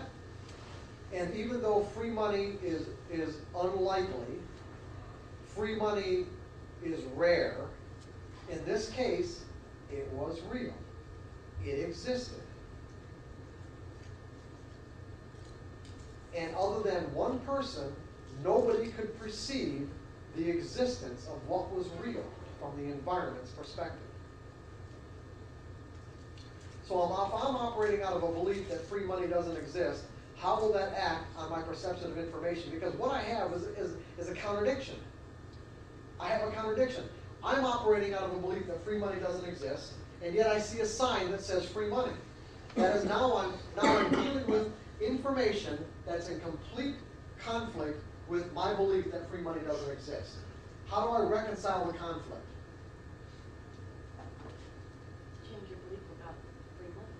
No, not, not in this Don't. case, no, no. Interact People with are gonna, on the street, and starting to start changing their beliefs, that's for sure. How they gonna, how, yeah, how are they gonna reconcile the conflict? Interact with them? Or? Interact? No. Go and take it. You, you already said it, you already decided the guy's crazy. Oh, they listen to their own beliefs. They Yeah, don't- they don't you, change. no, you guys are, okay, I'm sorry, I'm not making myself clear. I've got a belief that says free money doesn't exist. That's my reality. I've got information in the environment that's in direct conflict with what I think is real. How do I reconcile this conflict between what's in front of my face, I can read the sign, You gotta ignore one of them. Changing energy? yeah, I've gotta rationalize it away in some way. In order to keep your belief. Not to keep my, nothing's gonna happen to my belief, believe me. That's, that ain't gonna happen. No, My belief isn't gonna change at all. I mean, people's beliefs just don't change unless, unless something very dramatic happens or they consciously do something about it. But I still have to recon, because I still have to reconcile the conflict. It needs to be You ignore justified. It. But, what? You ignore it. I can ignore it, or I can again, like Jeff said, I can decide that the guy must be crazy. Because he believe, free money could, free money's big. I just can't walk away from free money. What, what would happen if they decided to just take a chance that one day and go against their belief and really see if there was? That's right, we're gonna get into that in a second, Sean, okay, that's, the- yeah, but that's, you know, but, but right now, we're just dealing with the people who saw the sign, could read it. What do they do about it? What do we do about it? See, these aren't, these are, these shouldn't be hard questions to, to answer, guys, because this is something we do all, every day in our lives. Every time we, we, we confront conflicting information from our, our friends, our spouses, or whatever, we find some way to, to either argue our way out of it, right? Or if we can't do that, what do we say? Well, you're crazy. Rationalize it away until you, Yeah, until you're not in a state of conflict anymore. I've got a belief that says free money doesn't exist. I've got conflicting information I'm being confronted with. I didn't ask for this conflict, meaning that I stepped into it, stepped into it inadvertently. I'm walking along the street, and all of a sudden I see this sign that says free money today only. It completely violates what I believe to be true. What do I do about it? I say, well, it's not true. And as a result, this guy must be crazy. So as a result, my belief that free money doesn't exist, manage my perception of the information in a way that's consistent with what I believe. My expectation was one of possible threat or danger. The guy I decided was crazy. My behavior is I take a wide path around this particular person to avoid encountering him. And how do I feel about the results? Good. Good. Yeah, I did good, didn't I? Okay? I avoided a possible conflict with a crazy, crazy person. the belief ruled all of your actions. That's right, the belief ruled the whole process. It created an experience that was completely, let's say, um, out of touch with the reality of the situation.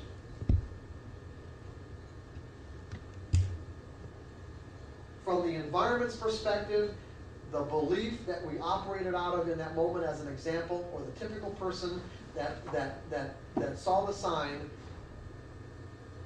the way the belief, you know, impacted their perception, their expectation, their behavior, and how they felt about the results, created a reality for them, meaning an experience, a reality for them that was 100% or 180 degrees away from what was available from the environment's perspective. And interestingly enough, if you gathered those people together and asked them what they experienced,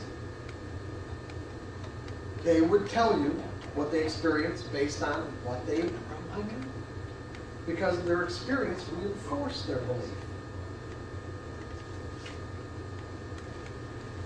And if encountering the same situation again, what would they do? Same.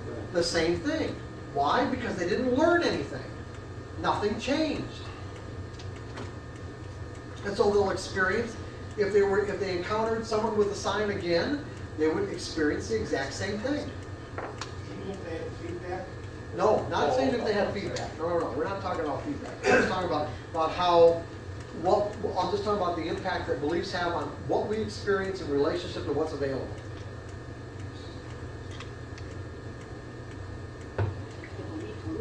The belief rules. Exactly right.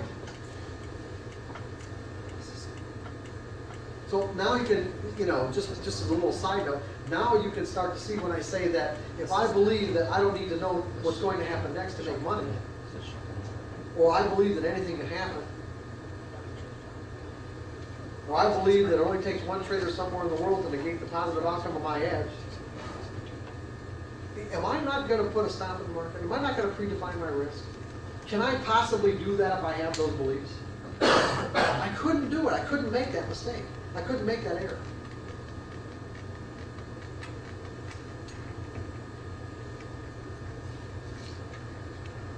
Or that every moment is unique, as long as I understand the real, the real implications of the word unique. This moment is not like any other, even though it may seem like it.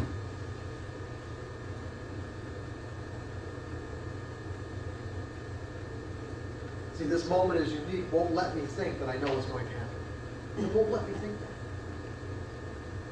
And since I know I don't have to know, it doesn't become an issue, does it?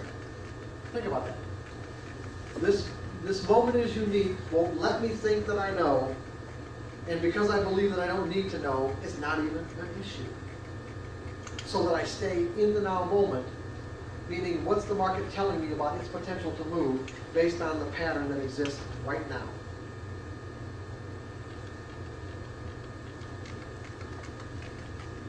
I just wanted to do a little reinforcing just so, is that all right, guys? That's good, right? Uh, Okay, so, uh, again, if, if, if all these people, we we gather, we gather together all these people to, you know, get their feedback in terms of what they got out of this, they would relate the experience in a way that was completely consistent with what they experienced because the experience itself reinforced the belief, creating a closed loop.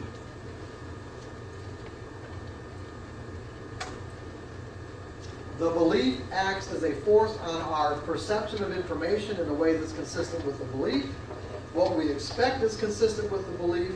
What we do and what we what we do is going to be consistent with the belief. Therefore, the experience that we have will be consistent with the belief, and therefore everything gets reinforced, and nothing that might have that might exist outside that circle even has the possibility of, of entering into to break the circle.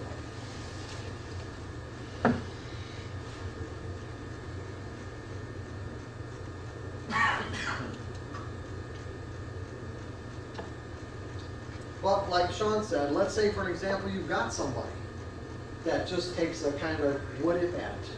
What if? What if it's real? Or what have I got to lose to find out?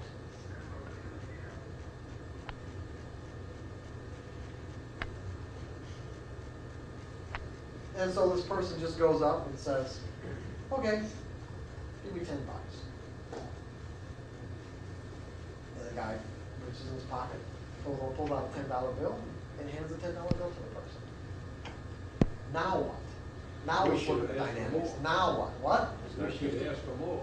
Well, yeah, yeah, yeah, well, I was gonna get to that, right, wish you asked for more, right. Typical trader's mentality is ask for more. However,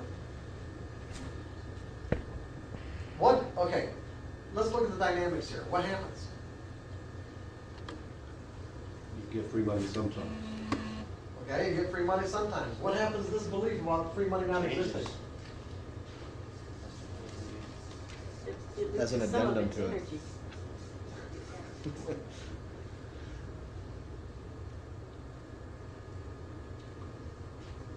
Weakens.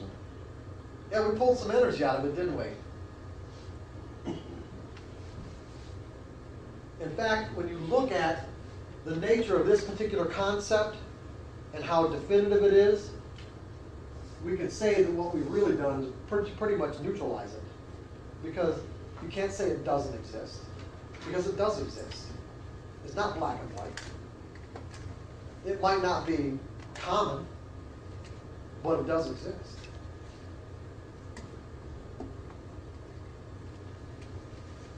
And so what happened? In essence, we used the vernacular, he changed the belief. We really didn't change the belief. We've got two contradictory beliefs inside of his mental system. One that says money doesn't, free money doesn't exist, one that says it does. Which has more energy? Probably the one that says that it does, because under similar circumstances, is he going to hesitate asking for the money? Not at all. He'd be the first one in line, right? Oh, I remember, I remember that, okay? Yeah, okay. I know what's happening. I know what's happening here. And interestingly enough, when you have this kind of experience where you have, let's say, been pleasantly surprised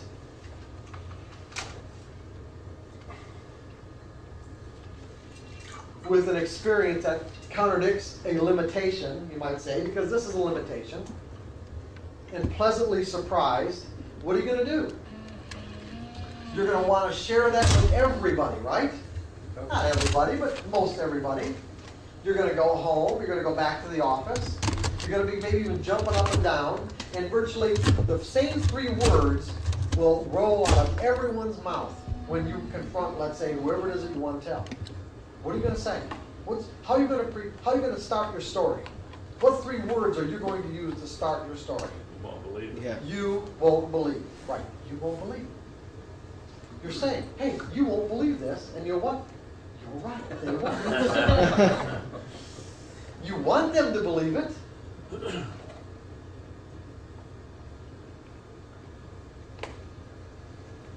But you're right. They probably won't. And and why won't they? Goes against their belief. It goes against their belief that free money exists. And so they will interpret your story as being a, a fabric of your imagination, or just maybe something you're trying to pull over on them. Whatever, whatever way they might interpret why you're saying what you're saying, they will find a way to rationalize it away so that they're not in a state of conflict. By the fact that you're confronting them with information that completely contradicts what they believe to be true.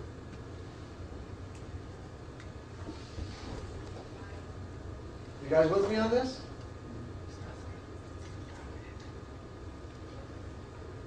And interestingly enough, let's look at let's look at the state of mind.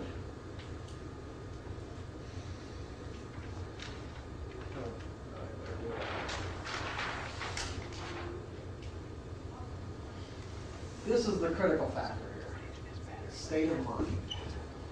The relative degree of positiveness or negative energy that's rolling through our brain and body.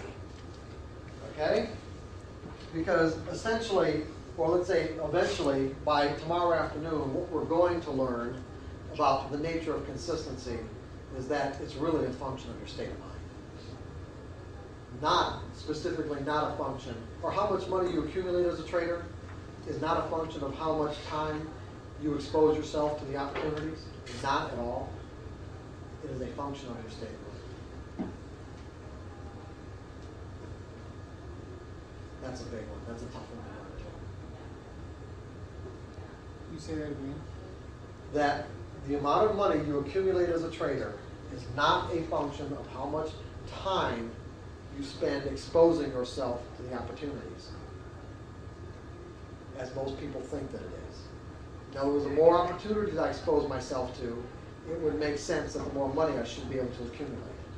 And I'm saying that that is expressly not the case. The amount of money you accumulate is a function of your state of mind while you're trading.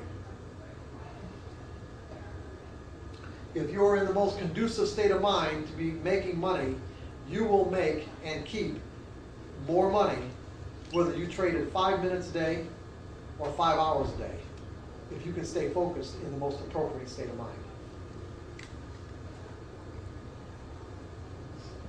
And so the whole idea is that if you're not in the most appropriate state of mind, then again, don't train. It's like putting money in the bank. And that's basically what I meant yesterday. But let's look at the state of mind. What time is it, by the way? Ten forty. Okay, but let's, um, let's look at, at, at, at the state of mind that each one of these, each one of these beliefs produce. The people who believe that free money didn't exist and, and walked around that particular person, you could say that there are varying degrees of discomfort based on how crazy they thought the person was. The crazier they thought the person was, the greater the degree of discomfort. So you could take someone who really thought the person was crazy, and instead of just taking five or six feet, you can, there's a one-to-one correlation. You can even measure it, basically. How far away they would go out of their way and alter their path would be in direct relationship to the degree of discomfort, meaning the degree of negative energy that was in their belief about how crazy this person was. To the point where somebody might even just cross the street just to stay on the other side of the street. And so their experience of the situation was, let's say, close to, if this was terror, okay, and this is confidence, you could say that someone could actually create for themselves an experience of fear or terror. When that's not what existed at all. Go ahead, Michelle. Mark, uh, there's a little problem with your microphone, so can you just take it? Now, what we were talking about before we broke, we went on break, was that we were talking about various states of mind. And how whatever beliefs we're operating out of in any given moment will basically control or determine what state of mind that we're in.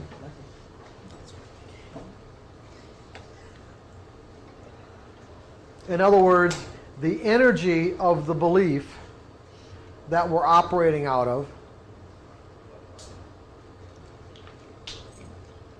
will correspond with the state of mind that we experience.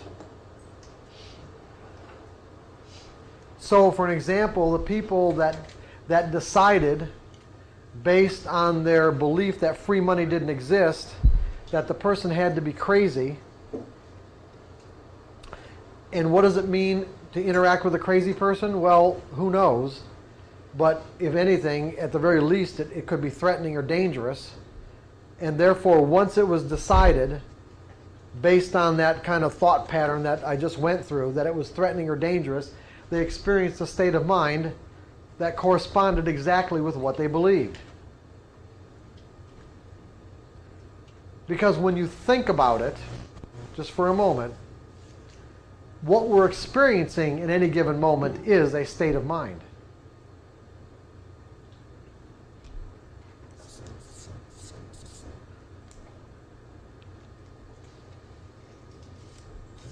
Are we not? That's what's real. What's real in any given moment is our state of mind. What we're going to find is that the beliefs that may have tapped us into any particular state of mind may not have any relevancy whatsoever to the actual conditions that existed in that moment from the environment's perspective. So you've got one person or a number of people who thought he was crazy, and therefore their experiences of the situation were, if this is neutral right here, were on this side, on the negative side, varying degrees of, of, of, of a negative state of mind. And as a result of feeling that negative energy, they reinforce their belief. Whereas the guy who operated out of the what if question and decided to try the experience out and ended up with $10, what did he experience? excitement. And excited to the point where he wanted to share that excitement with everyone he knew. And therefore would go and, you know, people that he knew that he'd, he'd you know, encounter, he'd say, hey, you won't believe what happened to me today.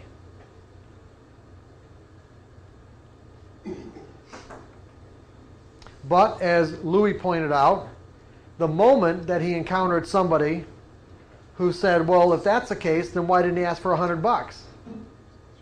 What's going to happen? Or if it occurs to him that he should have asked for a hundred dollars, what's going to ha- what's going to happen to his state of mind?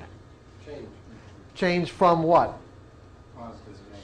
Positive, from excitement to regret. Okay, instantaneously. Because of what? Because of a belief about missing opportunities. Right? Right. Right. What if you didn't have a belief about missing opportunities? Meaning, what if you didn't believe that missed opportunities didn't exist? How could I even say that, right? Is it possible to even believe that missed opportunities don't exist? Sure, it is. Because if you're capable of taking advantage of whatever it is you perceived was available in any given moment, you'd have done it. And by the mere fact that you didn't or didn't take advantage of it to the extent that, that you would have liked to only indicates something that you need to learn. So it was an opportunity to find out what you need to learn. So you really didn't miss anything. You gained something. Now, if you really believe that, would you flip into a state of regret? No, you wouldn't. And you, stay, you would stay positively focused, right?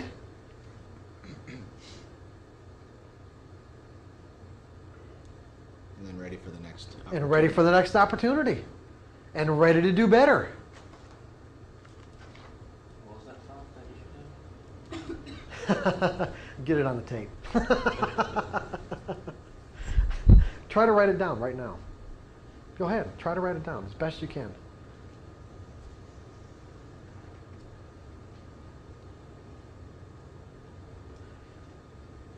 I'll repeat it for you later, but I want you to try to write it down.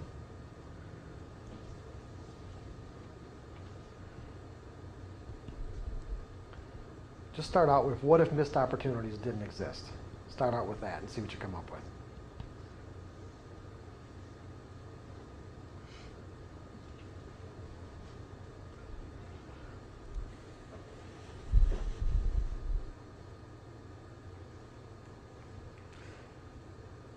So does everyone understand the dynamics involved? Are we, are we getting are we getting there about the nature of beliefs? And see, when you think about it, I'll go back to the very beginning when we started this. This whole idea, free money exists, free money doesn't exist, it's it's an abstract concept when you think about it. It's these it's these just these letters, these these these symbols that form into a word, that form into a concept that in essence become a reality. Whether it corresponds with what's actually available from the environment's perspective may not, you know may or may not correspond at all is what I'm saying. But the point is is that just that concept, this energized structure inside of our minds, caused them to experience something that was completely 180 degrees contradictory, or, or 180 degrees different than what was available, and yet, and yet we would walk away from the experience believing thoroughly believing that what we experienced was the true reality of the situation. And would argue that. And would defend it. Religious fundamentalists are like. Exactly. But it doesn't really, you don't have to be a religious fundamentalist, Sean. Every belief works that way, just about. Unless they're open ended beliefs.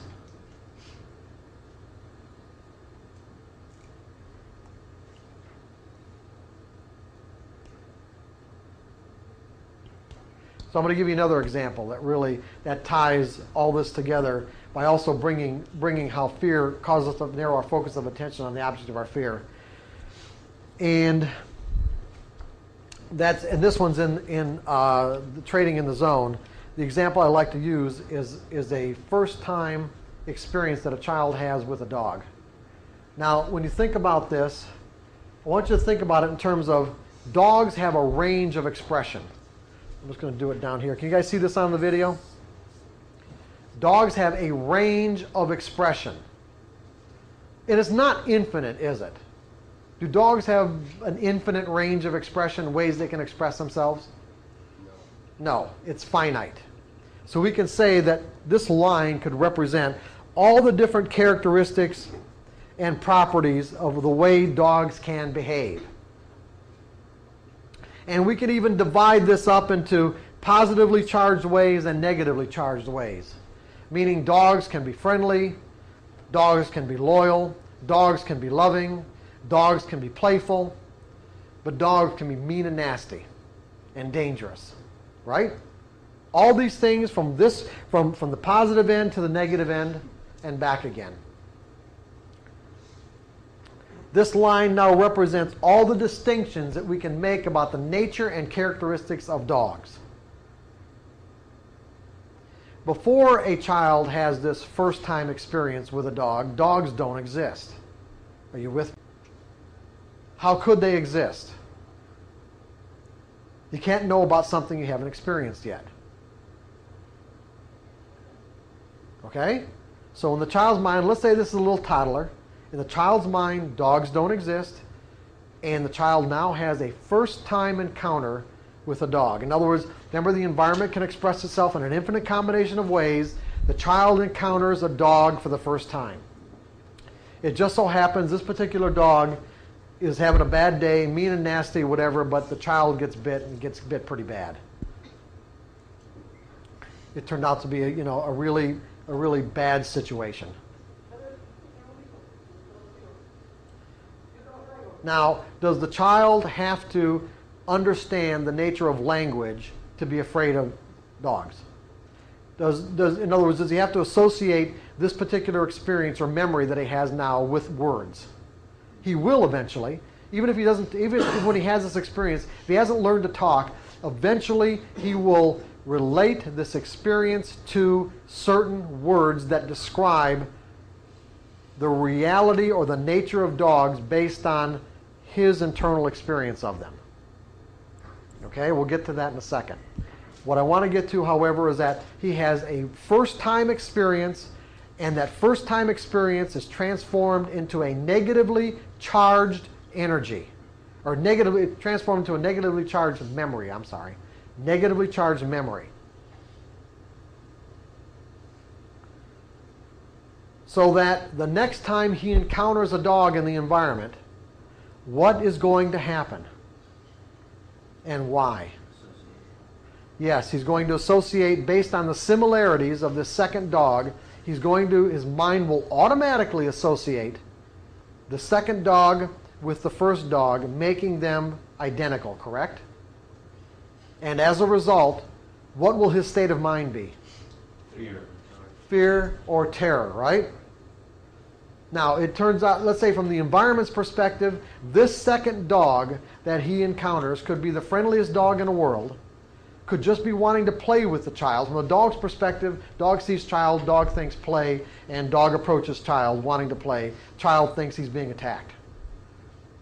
Dog never touches the child.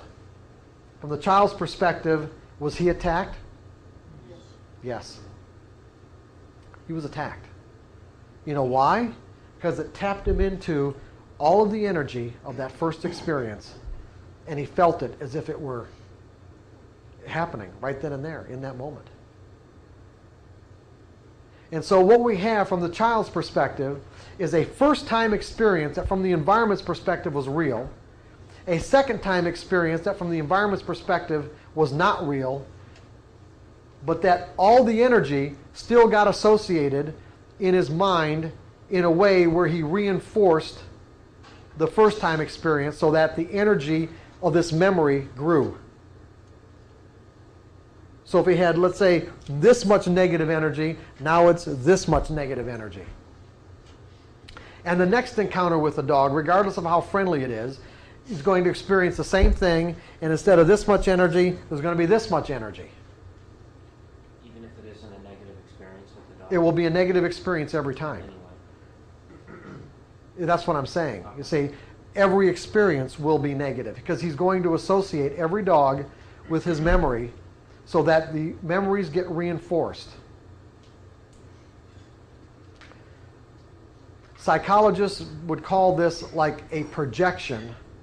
I call it like an instantaneous association, meaning that, that what's really happening is that his, the energy in his mind is acting as a force on his senses to see a threatening or terrorizing circumstance or situation every time he comes into contact with a dog. What he's feeling inside is real.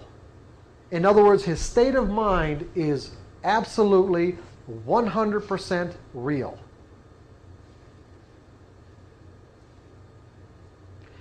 How he got into that state of mind is not.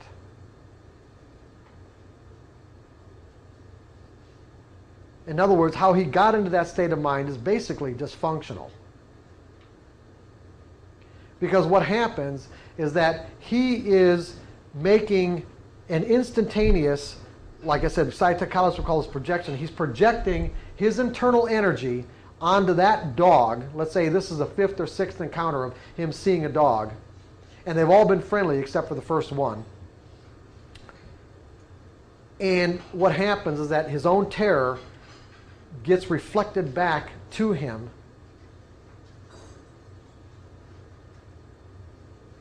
I don't want to say this. I want to say this differently. What's that? What? In his mind, all dogs. Yes, and his, but he hasn't. We haven't talked about the actual concept yet. I'm just getting, you know, going from the memory itself. But but what happens is that as he as he because the dog is in his field of awareness, and because he's experiencing the terror, he will project that terror onto that dog, saying that it's that dog that's making me feel this way. You got okay? You guys with me on that? It is that dog that's making me feel this way. That particular dog isn't doing anything to him. Nothing at all. There was no possible way you could convince the child otherwise. As a matter of fact, trying to convince the child otherwise is only, only does what? Enforces it. Enforces it and really frustrates them, right? Because what you're really doing is, is in essence, you're, you're, you would be, from the child's perspective, not, not honoring his fear, not supporting it, and, and trying to invalidate it in a way where he just wouldn't be able to even remotely understand. Because what he's, the state of mind he's in is real.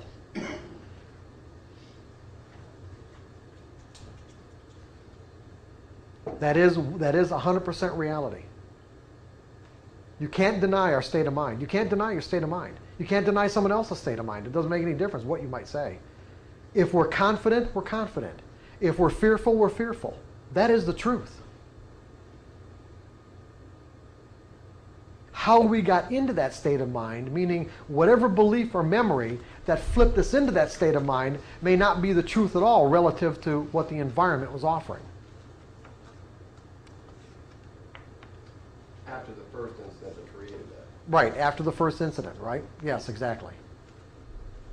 Because what happens is that as this experience as as this experience gets reinforced, as this memory gets reinforced, his senses become particularly attuned to picking up the sights and sounds of dogs that otherwise wouldn't even exist in his field of awareness. So you can imagine a situation where he walks on his front porch. There's kids in the park playing across the street, his friends. He, that's an opportunity. He desires to be with his friends and to play with them and to have fun, right? He walks out on the porch and off in the distance he hears a dog bark. What's he going to do? And go back in the house, right? This is something that he would have been oblivious to if it weren't for the fact that fear causes us to narrow our focus of attention onto the object of our fear so that we create the very experience we're trying to avoid. So in this case, he's trying to avoid dogs because he believes that they're inherently dangerous. And what does he do? He created an experience of fear where it otherwise wouldn't even exist. The dog could have been two blocks away, three blocks away. It wouldn't have made any difference. And yet, from his perspective, this is a real experience. A valid and real experience.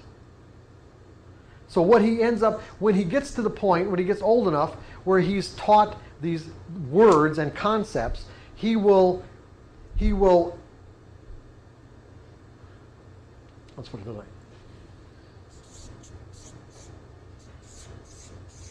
Now, let me do it this way.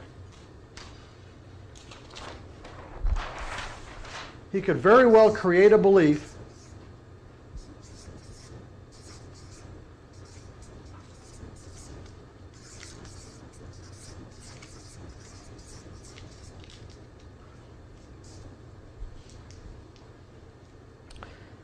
Eventually, he will learn to associate those memories, those particular memories, with these particular words and create a concept about the nature of the way the world works in relationship to dogs.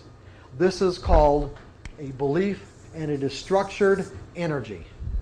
It is an abstract concept by itself, but once all the energy from his memories, this is what's this is really important. Now you need to get this. This is this is critically important. Once all the energy from his memories get attached to these words, these words become reality.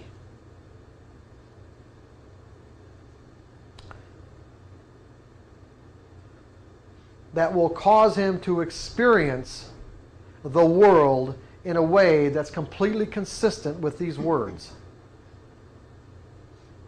So that every time a dog comes into his field of awareness, he will experience the energy, the extreme negative energy that's in this concept. That's the state of mind he will flip into instantaneously. Now, in relationship to the environment or what we know about the nature of dogs and the ways that they can express, all the different ways that they can express themselves, we know that this particular characteristic exists over here on the extreme end. And every other characteristic about the nature of dogs, this child is oblivious to. Remember? Friendly, loving, loyal, playful. Remember those characteristics? Has, does this child have any capacity to perceive these characteristics? No, none, no capacity whatsoever. They do not exist.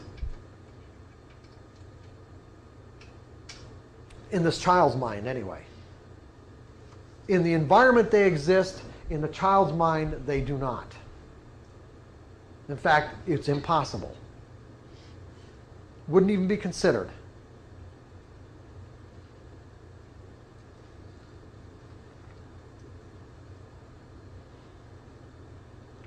Can you think of a situation in which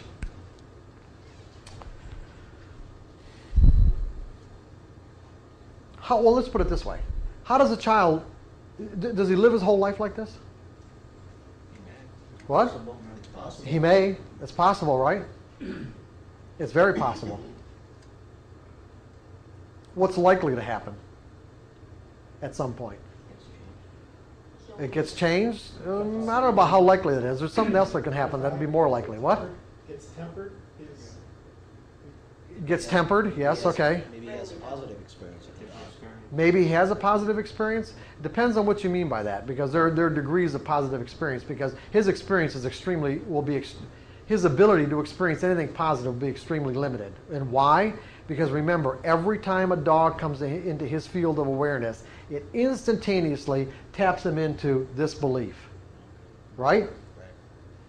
So how is he going to get out of this closed loop? He doesn't even know it's a closed loop. Remember that. He doesn't know it's a closed loop. You can tell him that, that all dogs aren't dangerous, and he will not believe you.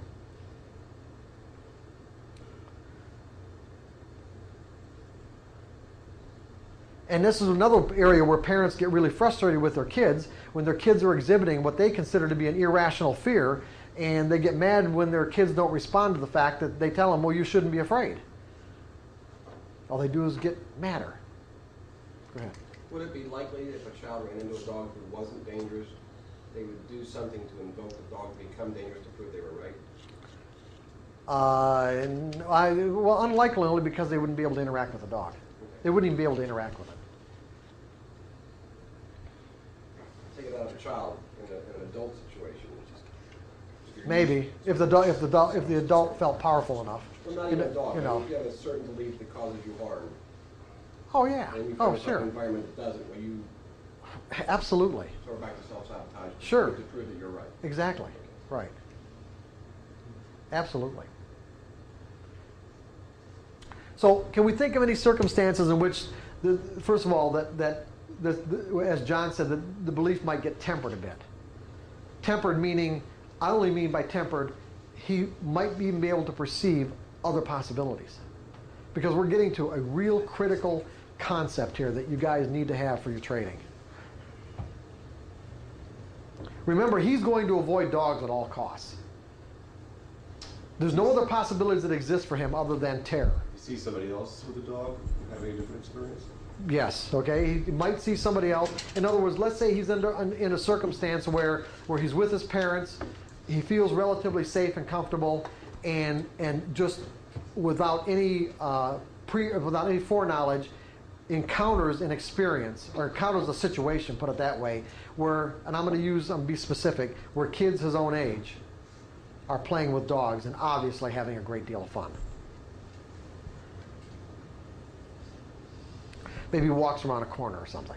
And all of a sudden he's confronted with this scene where kids, maybe two or three other kids, maybe kids that he even knows, his own age, that are playing with dogs and having a great time. now, the dynamics. Based on what we've learned so far, what happens? First thing that happens. Maybe a little energy gets taken out of that belief. Not that's not the first thing that happens. Association. What? Association. Uh, that's still not the first thing that happens.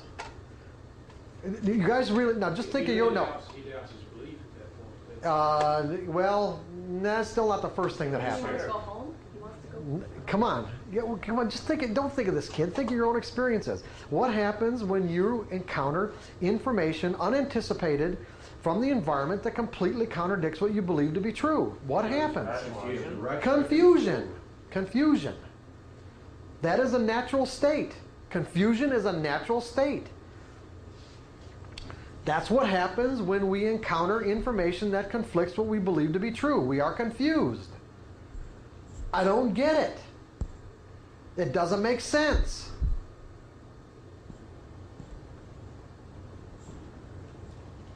Now, at some point, the confusion will kind of wear away a bit as he contemplates what it is that he experienced. And he, at that point, realizes that other possibilities exist beyond the limitations of his belief.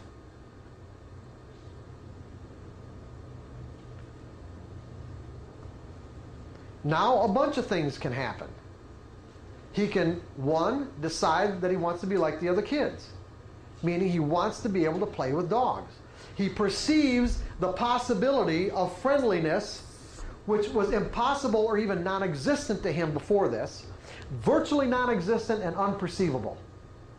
Now, think about the implications of what I just said non existent and unperceivable until he inadvertently encountered this situation with undeniable information. In other words, the kid was very relatively normal, could not deny the fact that these kids were having fun and they were not getting mauled or bitten by these dogs. Whenever we encounter information that conflicts what we believe to be true, that we find virtually undeniable, we go into a state of confusion. until we can sort it out.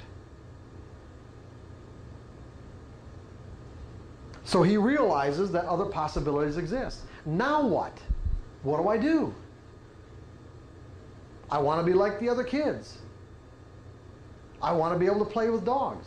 Okay, he makes up his mind in, in a sense, he, not to the extent like we talked about with the kind of conviction about what we talked about earlier, but he decides, let's say, I want to, I want to, I want to be able to play with dogs. Is he able to do it?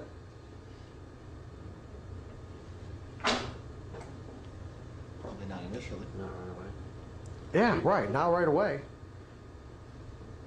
He's going to have to go through a, well, no, he's going to have to go through a process, a step by step incremental process. Just the same kind of step by step incremental process you're going to have to go through to instill those five fundamental truths about the nature of the market that cause you to think in probabilities. Anything can happen. Every moment is unique. I don't need to know what's going to happen next. I don't uh, to make money. Uh, there's a random distribution between wins and losses and any given set of variables to define an edge. I guess it's the same concept of starting off with 100 shares. Yeah, right. Incremental, step by step process. How is this step by step process likely to occur? See, here's what's important here. He has a desire. He inadvertently, let's say, acquired a desire that is in direct conflict with what he believes to be true about the nature of reality. Now, just because he now is able to perceive a possibility that otherwise didn't exist, does that mean that all his fear has been dissipated? And if his fear has not been dissipated, then what we have is a classic conflict between what he desires and what his other belief about the nature of dogs would argue as being true and real. Okay? Uh, we have a classic conflict between his desire and what his beliefs say is true and real. So he could say, I want to play with dogs, but when he encounters another dog the next time, he might find the closest he could get to one might be 10 or 15 feet. That would be, in a sense, a positive encounter because nothing happened. Right? In other words, what we have are two contradictory beliefs. One that has an enormous amount of energy. All dogs are dangerous. And another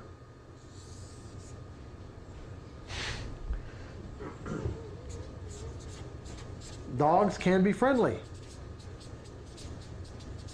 and playful. Okay? We have two contradictory beliefs.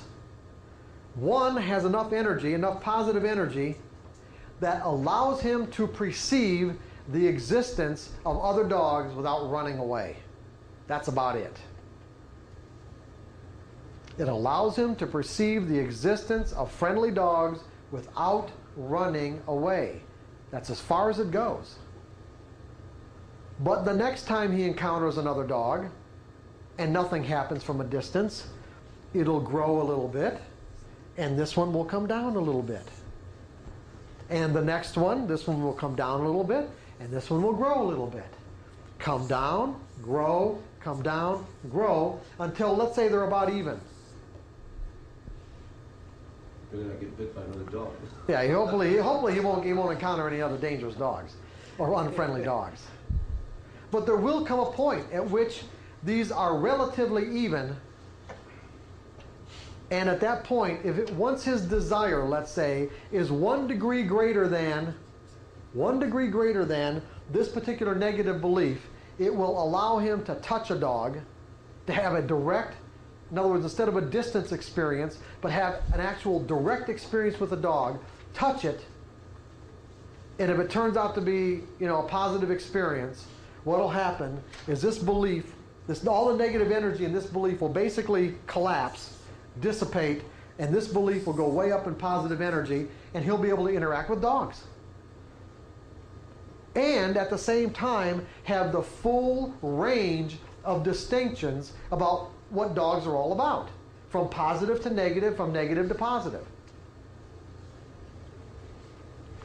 And at some point in his life, maybe he's an adult in his 40s or 50s or whatever, he might run into a situation where he sees some kid who's terrified of dogs, and he'll, in, in the way he'll describe that, he'll say, You know, I remember when I used to be that way, but he'll say, I grew out of it. Isn't that typically what people say when they, when they transcend a fear, a childhood fear? I grew out of it. In other words, he went through an inadvertent process, meaning he wasn't really conscious of what he was doing. He didn't really know that he was going through a process of collapsing one belief, one concept, and energizing another, more functional. Because re- in relationship to the nature of dogs and what's possible, was this particular concept, could we say that it was dysfunctional? Is this a dysfunctional concept or not? Well, the process of getting to it after the fact is. Well, no, even, no, is this a dysfunctional concept or not? You can Oh, see, yes. the reason what makes it Oh, yes, dysfunctional is this right here. Yes.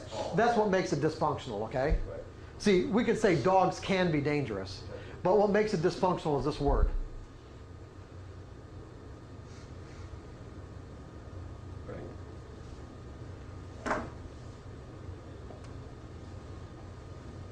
Which brings up another issue. It's like, well, what's the truth? You see, if our if our beliefs, if our beliefs limit what we what we are aware of and what we can experience in relationship to what exists, then what's the truth? What is it? What's the truth? Some dogs. No, I mean, you know, I mean more philosophically, what's the truth? How the external environment interacts with what you believe.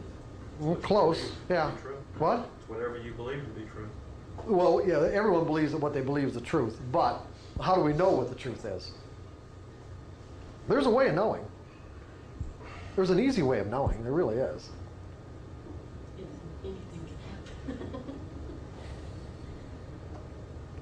Whatever works. Whatever works. Right? Now think about this.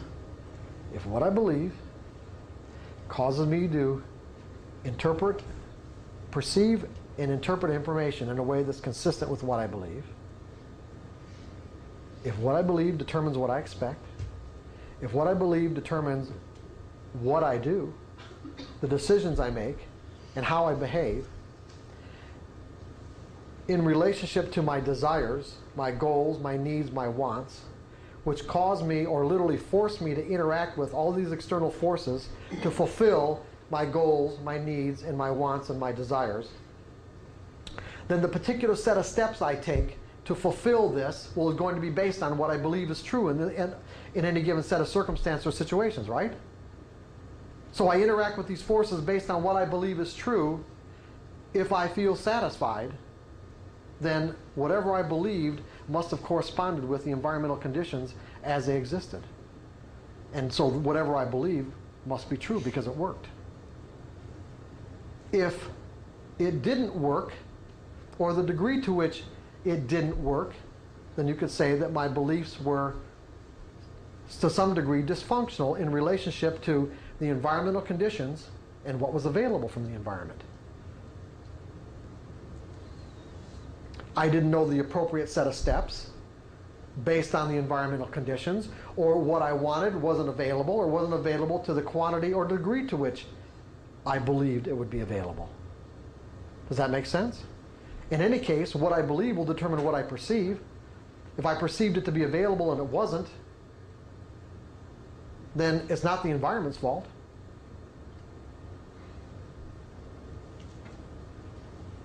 You guys with me on this?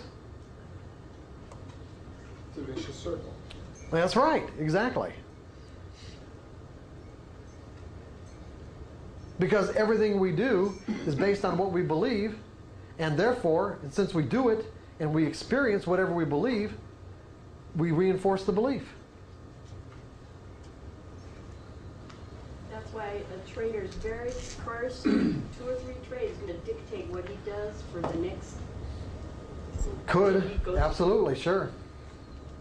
But you're saying that if it, if you believe works, that's a closed loop? I would think that opens a loop. Well, it doesn't mean your belief's going to continue to work. See, most beliefs create these closed loops. For an example, I have a belief. I have a belief in the structural integrity of this chair. Okay, and as a result of my belief in the structural integrity of this chair, I will sit down and not have any problem, not even think about it, right? But what's interesting is that because the environment or because the universe is constantly expanding, and because everything that's made of atoms and molecules is in motion,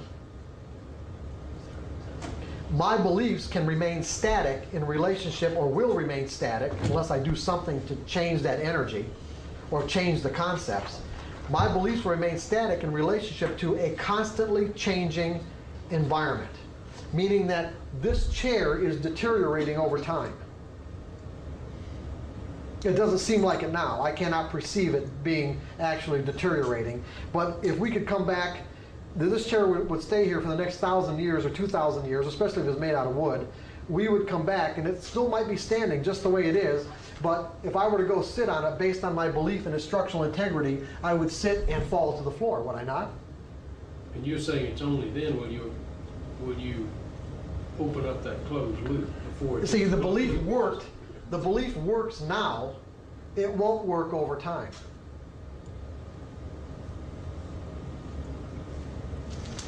But you're saying there has to be a uh, counter-reaction for that belief to have to alter, otherwise it. Well, yeah, the counter reaction, well, the, coun- we're gonna get into the counter reactions, yeah. You, you, there, it takes energy to move energy. Now, that energy can come from different sources. It can come as, like I say in the discipline of a forced awareness, meaning that I sat down in the chair, it collapsed. The environment forced me to become aware of the fact that my belief was dysfunctional. Or we can do it as a result of a conscious choice. We can make an assessment.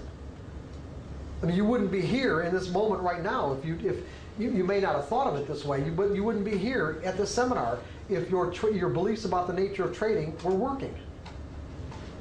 Would you?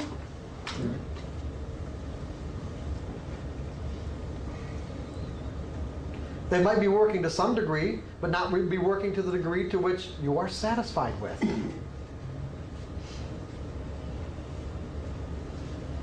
Or, like I said, you just wouldn't be sitting here.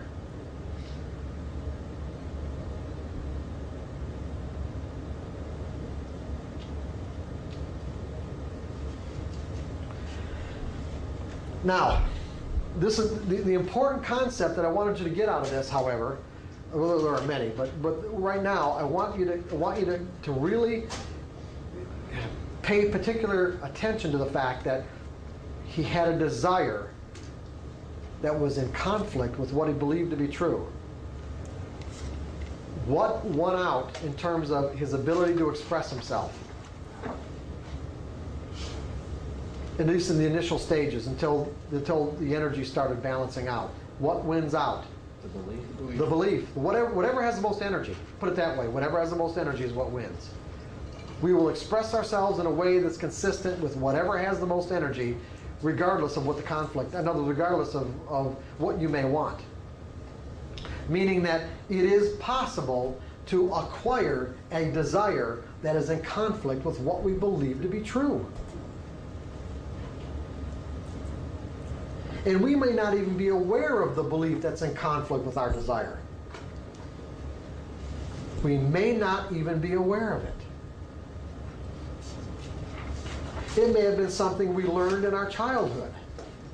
But what we're going to learn in a moment is that it doesn't matter when we learned it. If there's energy in it, it will have the potential to act on our perception and on our behavior, regardless of what our desire is.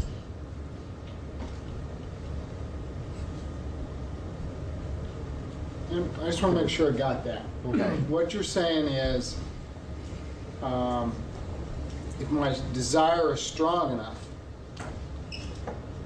it can, it can cause me to look at my belief or take some of the energy out of my belief.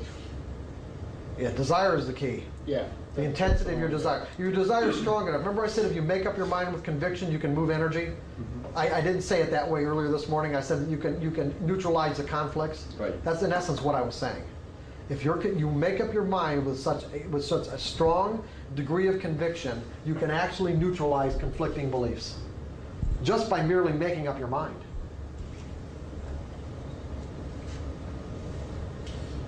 In some cases, that'll happen. It really will.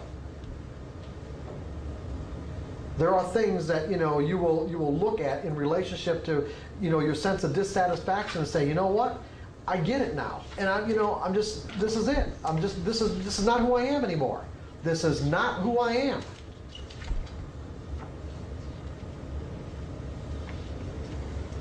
And resolve that from this moment forward, this is who I am. And if it's strong enough, it'll be enough to move that negative energy out, or that energy period, and that other, and the- what I'm just going to call a, a non a dysfunctional belief. Dysfunctional only in the sense that from the environment's perspective, in relationship to what you want, it doesn't work. What we're going to be learning later on this afternoon is that you don't have to you don't have to attach so much importance to what you learn to believe. Meaning that, you know, people people have this sense that their beliefs are their identity. And you don't have to look at your beliefs as being so much a part of your identity, but simply something that, that might be useful in the moment. So for an example, this particular sweater was useful, I put it on. When it's no longer useful, I take it off. When it really becomes dysfunctional, I throw it away.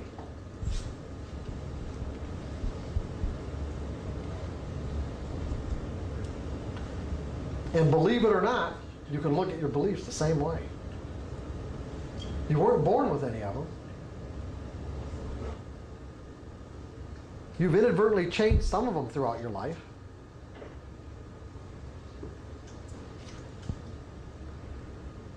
All you're doing now is, is altering some of them based on your desire to fulfill certain desires and goals. That's all you're doing.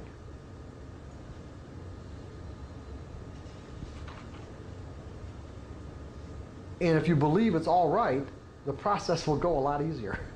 If you don't believe it's all right, that's one of the first beliefs you're going to have to work on, is why it isn't all right to change a belief.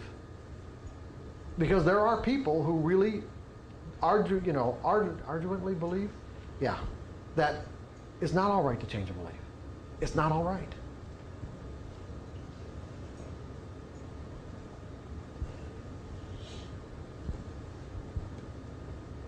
So therefore, that would be the first thing they'd have to work on, is making it all right. Is drawing the energy out of the belief that says it's not.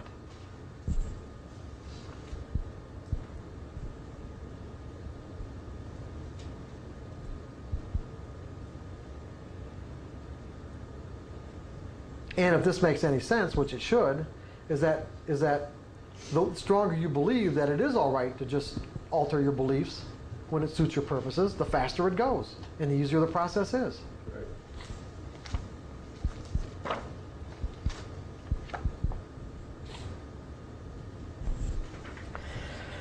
Okay, where are we? How what time? What time is it?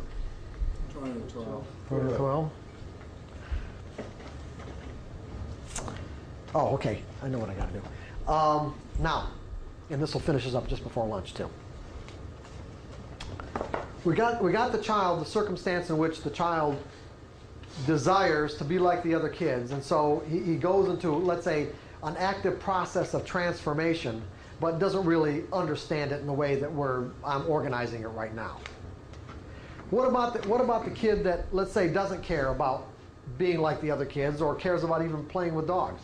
What happens to him?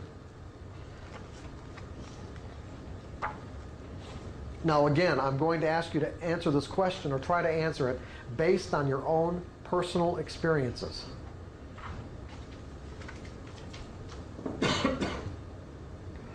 try to put it within the context of your own personal experiences. You've got a situation. He has a negatively charged belief about the nature of the way dogs exist. Conflicts, he, he confronts, inadvertently is confronted with information that contradicts this belief, making it in essence not true. Meaning not true in the sense all dogs are not dangerous. The all is what's the critical is the critical active word here. But also at the same time has no desire to interact with dogs. Now, his experience allows him to now perceive the possibility of interacting with dogs on a friendly basis, but he has no desire to do so. So, what we have in this person's mental environment is an active contradiction that will probably remain that way for his whole life. He will be able to perceive the possibility of act, interacting with dogs, but the way he'll rationalize his inability to do so, and I say his inability because what will determine his ability to interact with dogs? What has the most energy? That's right. What has the most energy? So he will rationalize his inability to interact with dogs with, I just, I know they're not dangerous, but I don't want to touch them anyway. Okay? I don't want to touch them anyway. I don't like dogs. The example I use in, in, the, in trading in the zone was a trader that I worked with from Brazil that uh, had a terrified of snakes, doesn't remember why, doesn't remember any particular experience, just always knows, or always, always just, as far as his recollection goes back, he's always been afraid of snakes. His wife went, went to uh, New York to visit some relatives. Uh, he was left taking care of, I think at the time she was maybe two, two and a half year old daughter, three, I don't remember exactly how old. Went over to a friend's house and he didn't know, who also has a two and a half or three year old daughter, but didn't know that the friend had a snake. The two kids go into the room, and I guess, I don't know if there was supervision or not, but came out of the room and his daughter had the snake wrapped around, him, wrapped around her. And he saw this and literally jumped across the room. I mean, he just flew. And his first reaction, other than being terrified of the fact that, that he was confronted with a snake, was the fact that it was wrapped around his daughter and the fact that she wasn't afraid. That perplexed him, deeply perplexed him, thinking that that's his daughter, that somehow or another she should also be afraid of the snake too, right? But because she's had no personal experience with snakes that's negative, it was just pure fascination to her. Now, how would he explain his behavior? Is he can he make it does he know that that that there are obviously dangerous and non-dangerous snakes? Well, I mean, yeah, one was wrapped around his his, his three-year-old kid. So he knows that snakes aren't dangerous. Could he touch that snake? No. The way he'll explain that is that I don't want to. That's just an active contradiction. In other words, there's enough energy inside his mental environment to be able to perceive the existence of non dangerous snakes, no desire to change it, and so he'll just live with this active contradiction for the rest of his life.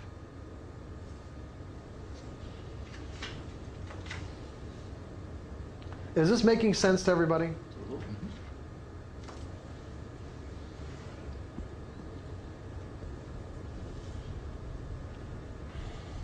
Now, the, the next example I want to give is let's take somebody, let's take a kid who's never had a negative experience with a dog.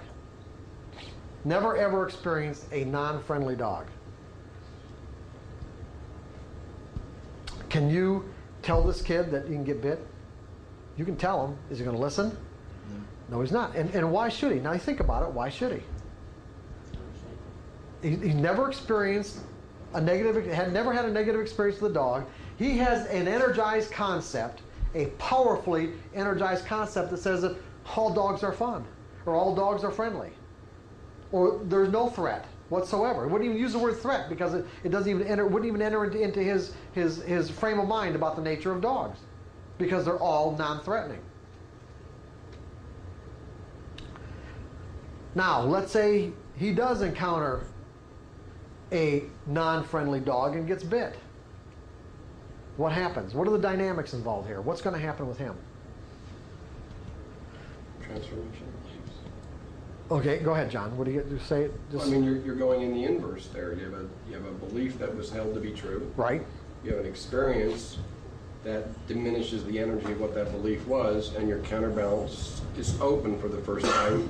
That loop opens. That loop opens. And its seesaw effect is where Good. now you can start to see where one gain- gains strength and one loses strength. Good. Excellent. Would would this experience cause him to not ever interact with dogs any longer? Not yet. Under normal circumstances, you're right, it won't. But I can think of a circumstance in which it would. But I'll tell you about that in a second. Okay? Just that what's going to happen is exactly what John said. Just is going to have he's going to now be able to perceive the other side of the continuum. where that side was virtually non-existent to him, he's now able to perceive the possibility of and make the distinction between dogs that are friendly and dogs that aren't. Where before he couldn't make that distinction at all. But it isn't necessarily going to cause him never to interact with dogs again. He's just going to be more careful. But I can certainly think of a situation where he could not ever interact with dogs again. Based on another belief. Anybody think of anything? Based on a belief, not a Based on another belief, another belief that comes into play.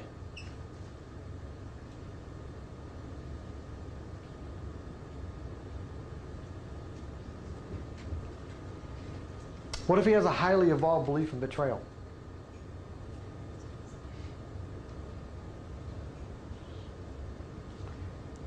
From other experiences, having been betrayed, this opens up the possibility that this could. That's right. well. In other words, if he has a highly, good, John, this is great.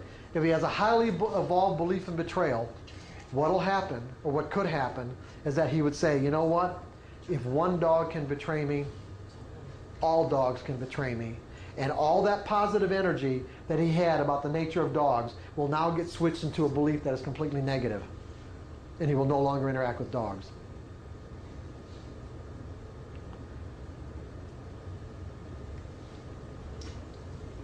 Everybody see what happened?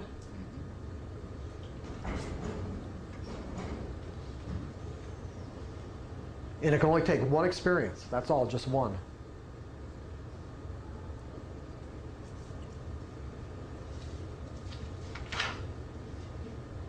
You could also experience denial, maybe not with a, maybe a, physical dog, but a denial of that, that that actually happened because it's in conflict with your belief. It didn't, it didn't really happen. So you don't. You mean like you never got bit? Well, that'd be pretty hard to deny. hard, I'm, I'm saying in a, in a, not in that situation, but Yeah, there's there are there are things definitely that things that we, we just we can you know Ignore, I guess. ig- yeah well no no denial is, is a real state of mind. The implications of what we're experiencing are too difficult to deal with in the moment.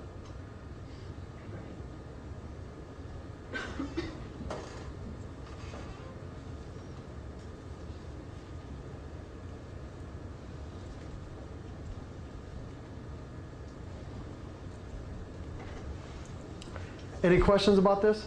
It seems like you guys are getting it. Are, you- are you getting it, Daniel? Are you all right? Okay. Jeff?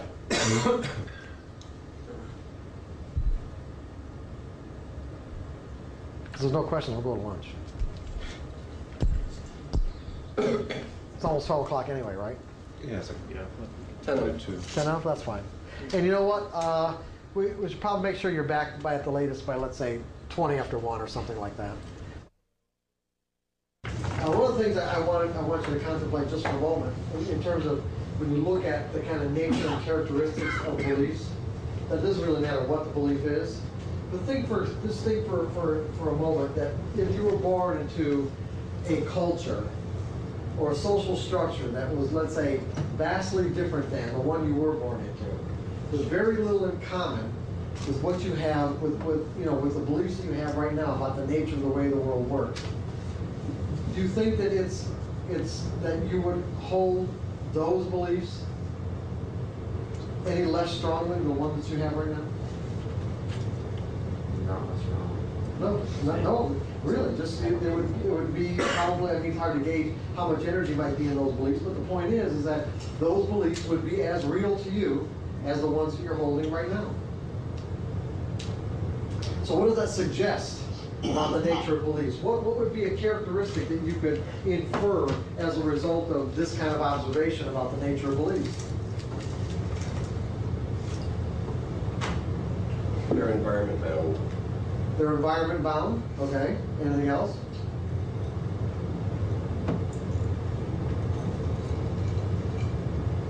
Your experiences shape your beliefs. Okay, well, your, and then your beliefs shape your experience, right? Yeah. Yeah, really, that's important. Your experience shapes your beliefs, and then your beliefs shape your experiences. Would you like to sit up at night and think of these? Uh, Go with that tomorrow, that'll wow them. Good at that for five minutes. How does he- her- uh, heritage influence? How does heritage? Yeah. I'm not sure. I don't see, I don't see how it does. I thought you referred to that earlier as being. that you Heritage acquired, meaning your descendants or? Genes. I- I- Since it's, uh, I think that there's, I think that there's, uh, I think certain cultures or, or cultural heritage can have an effect on, on the kind of beliefs that, kind of maybe characteristics or beliefs that people have. Uh, it's hard to really, well, I don't know, I really want to take that back. I don't want to into that. I- I'm sorry, because there, there are certain ideas that I have about that, that, that, uh, that, you know, people born of, of certain cultural heritage can have certain tendencies that, that are, seem- that seemingly are genetically encoded. But But, basi- but but basi- basically, we- what we can get into is a lot of, a lot of kind of cultural, racial jokes that, you know, that, that may have some validity or truth to them. But in the, but but in the, in the end, it's the experiences that one grows up that We're not gonna go there. No, we're not gonna go there. Probably might, might have to edit that out of the video. Anyway, I'm sorry, go ahead. Well, in the end, it's, it's still even, uh, influences from your childhood acquired, not, they don't, they don't come that way. As you said earlier, the child's born, born with no beliefs. Right. Yeah, there's no way a child could be born with a belief, because we're defining a belief as basically, basically, based on the definition that we have of a belief that we're working with, based on that definition, there's no possible way a child could be born with one, because a belief is simply a concept about the nature of the way the world works. It's an energized concept. Okay? It's, it's a group of abstract words that form into a concept that is energized. What, what do you mean? That's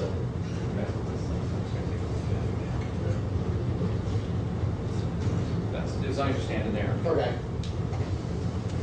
Yeah, it's an energized concept, and I don't know if there's any possible way that, that a newborn child could, could have an energized concept. You know, might be a way, maybe the mother talking to the child in the womb or something like that, or, I don't know. I mean, I wouldn't rule it out. So what were you getting at? I'm sorry. I was just thinking of other ways.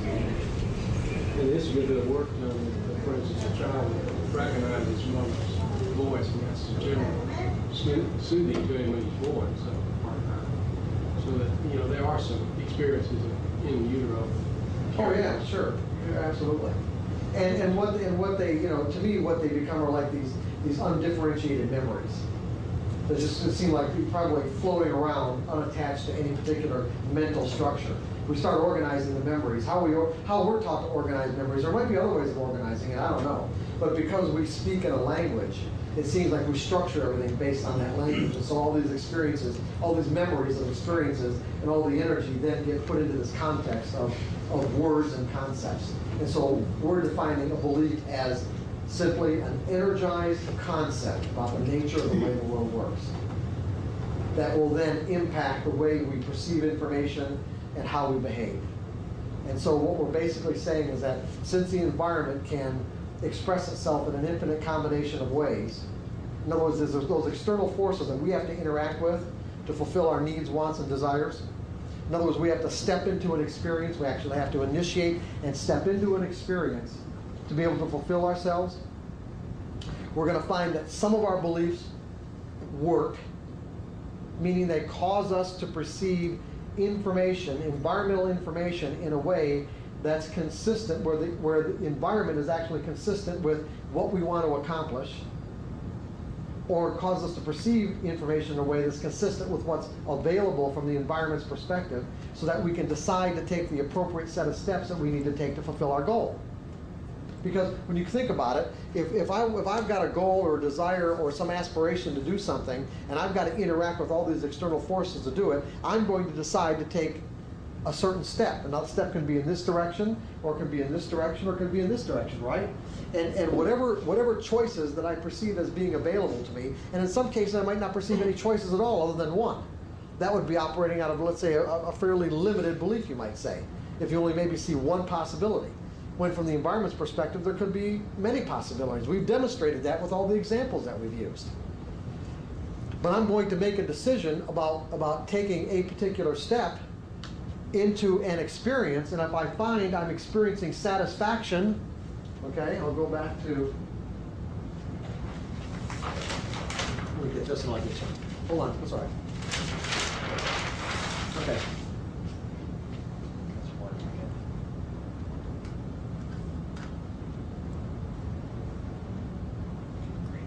Okay, if I'm experiencing satisfaction, that's my reality in this moment, let's say. Okay, I've taken, I've made a decision, I've taken a step, I got an outcome. Okay? And that's one thing that's nice about trading is that what we do is we get immediate outcomes. It's very hard. It's very difficult to shift the responsibility. Although we may try, it's very difficult to shift the responsibility of that outcome to something or someone else because we're the ones that made the decision to get into the trade or get out of the trade when we did. So we know it's us. The market has no, really, when you think about it, the market has, has no power to cause us to, to uh, perceive its information in any particular way. So if I'm experiencing satisfaction, that's my state of mind in this moment. That's a nice state of mind to be in, right? Satisfaction, joy, happiness, excitement. What would that tell me about the nature of my beliefs and relationship to the environmental forces that existed in that moment? What? You're in harmony. You're in harmony, yeah, exactly. You're in harmony. There's no, there's no conflict that deflects you in another direction. Yeah, there's no conflict. There's no conflict either internally. Now think about this. There's no conflict either internally or externally. And that could be described in some cases, in some ways, as the zone. Because you're operating in perfect harmony, not only within yourself, where you're completely reconciled about what you're doing and why you're doing it. You're completely reconciled. That's, the, that's our definition of acceptance. There's no inner conflict. And there's also no conflict with whatever it is that your, whatever your agenda is with the external environment. That would be the zone. You're in perfect harmony.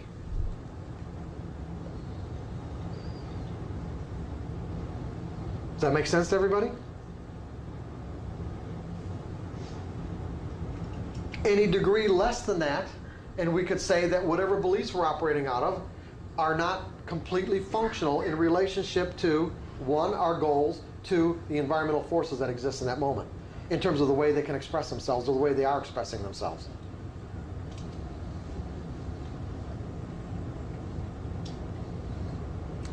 So if you recognize the dynamics within this context as I just explained it, then you know what we're what you know, and if you're not satisfied with your outcomes, what are you going to do? I'm, I'm going to change my beliefs. Normally, the way we what we learn how to do is to try to change the external circumstances. If I'm not getting what I want, if I'm feeling disappointed, things aren't working out the way that I want them to, what we try to do is control the external forces that are in conflict with our beliefs, desires, or expectations. Now, if the environmental situation has to be controlled, meaning that you have to exert some sort of force on the environment to shift it in a way that it conforms with your expectation, and normally what we're talking about is other people, then you're, you're naturally going to get a consequence that's going to reflect the fact that nobody likes having to behave in a way that's inconsistent with what they believe to be true.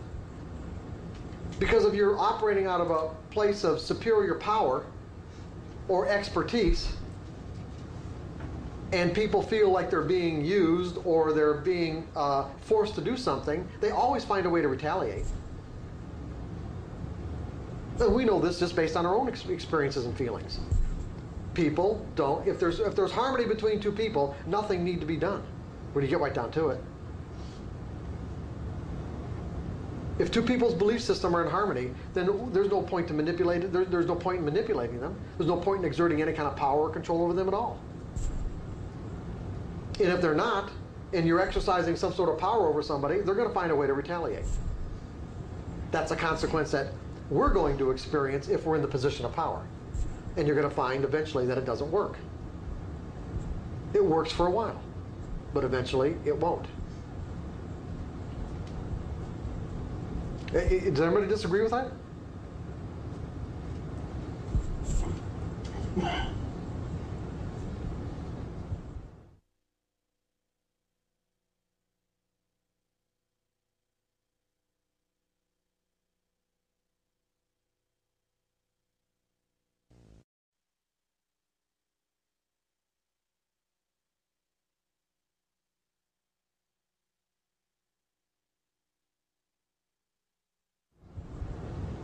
To me, the best way to do it is change your beliefs.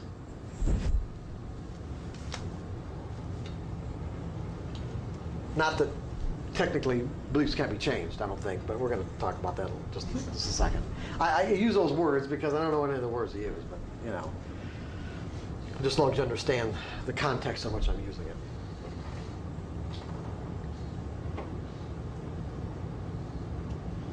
So ultimately, what you want, ultimately, I would think that what you want to do is to get yourself in, in perfect harmony with the market, meaning be in that state of mind, that's the zone. The problem with being in a psychological zone is that you can't will yourself into it.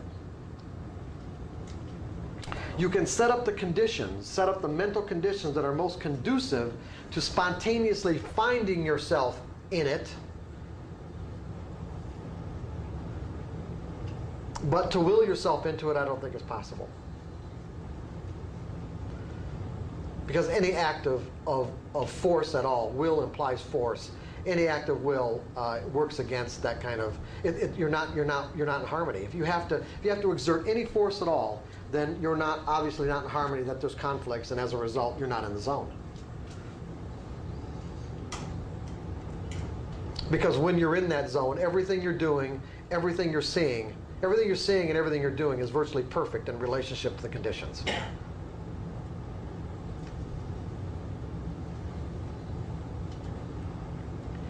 And often, many of the things that, that, you, that people find themselves doing are things they've never done before. Like, so you can take great athletes, for an example, that, that make these really terrific moves. They're in the zone in the moment. And it's not like something they contemplated beforehand. It's something they look back on after they did it and said, wow, whew, man, that's, that's really something.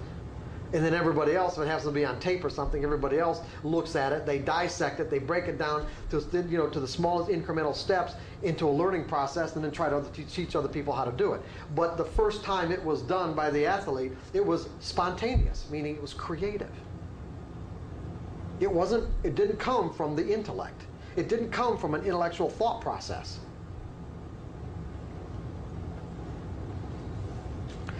I mean, the best example that I like to use of, of let's say, someone being in a zone, although we all know of, of seen and seen in many circumstances with like great sporting events, but but you know, back what 20 years ago with that soccer player Pele or whatever his name was, where I, I am I not ever having met the guy or talked to him, even read much about him, I am absolutely sure that the first time that he decided to do one of these backflips and hit the ball over with his feet over his head, you know, he didn't think about doing that. He just did it. Go ahead. So with Roger Bannister, the four-minute mile was probably a classic example of the fact that no one. Yeah, sure. Yeah, it would have to be because it never been done before. And in, and in essence, it would be creative.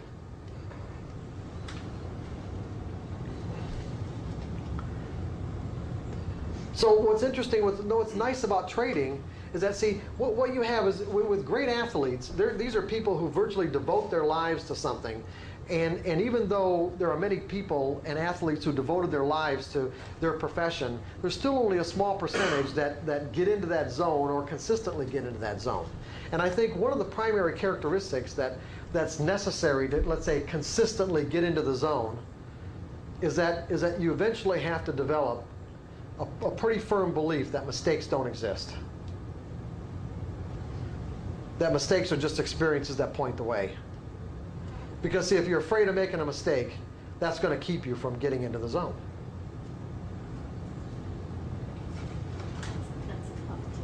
Yeah, well, that, that you're talking about cultural upbringing. You're talking about a cultural upbringing that you know that that for all virtually all of us, all of us have learned about mistakes in painful ways. And so you're you're talking about undoing a, a lot of negative energy.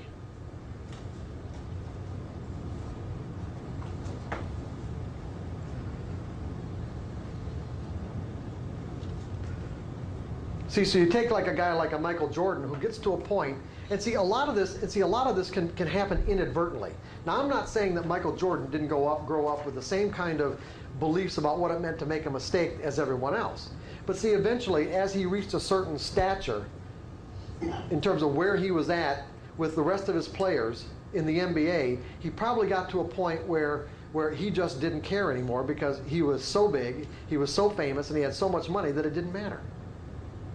And when it didn't matter, is when it was much easier for him to just flow, spontaneously find himself doing things that, that he otherwise wouldn't have even thought about, couldn't have probably never thought about doing, at least at a rational level.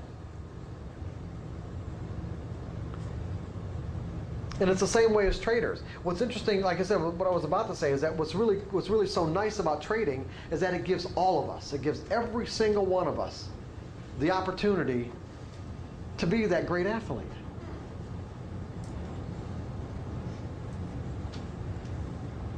And we don't have to get picked in the draft by the NFL or the NBA or the NHL.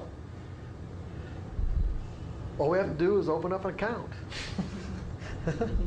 and we have the opportunity to experience states of mind, uh, or let's say states of, of development that, you know, some, in many cases, only some of the most accomplished people in the world have, have uh, you know, attained. It's available to all of us.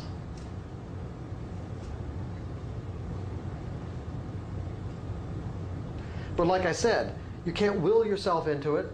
It's something you can set up the most conducive conditions to find yourself in that state of mind. And normally, when you recognize, the moment that you recognize you're in a zone, chances are you're going to pop right out of it.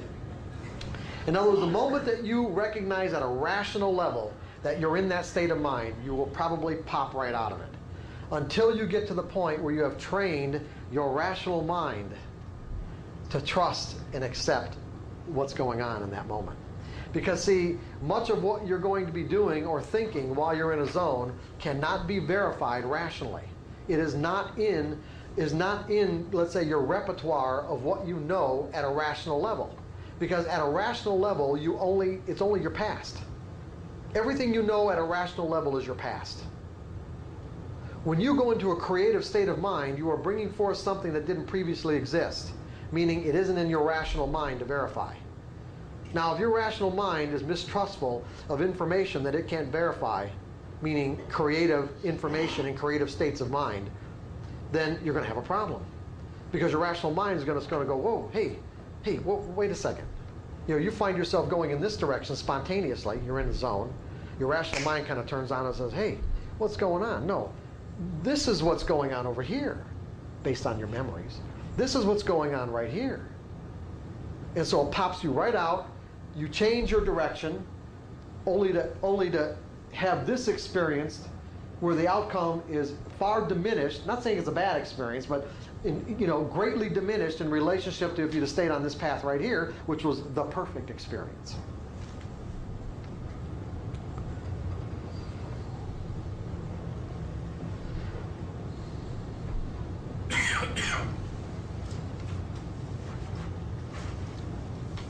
that's normally referred to, at least with trading, would be would be trading intuitively, where you get an intuitive impulse, an intuitive hunch, and and I and everyone has the capability of being intuitive.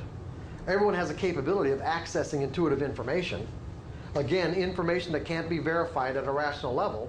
The problem is, especially for most men, is that most men are so rational that that they have a very difficult time trusting intuitive information and women seem to be based on their makeup seem to me seem to be more inherently intuitive but but males have done a lot to try to you know try to kind of in, in essence beat it out of women uh, because you know they don't trust it for themselves they certainly aren't going to trust it for them And so, because of our male-dominated society, it's probably caused a lot of caused a lot of women not to trust their own intuition.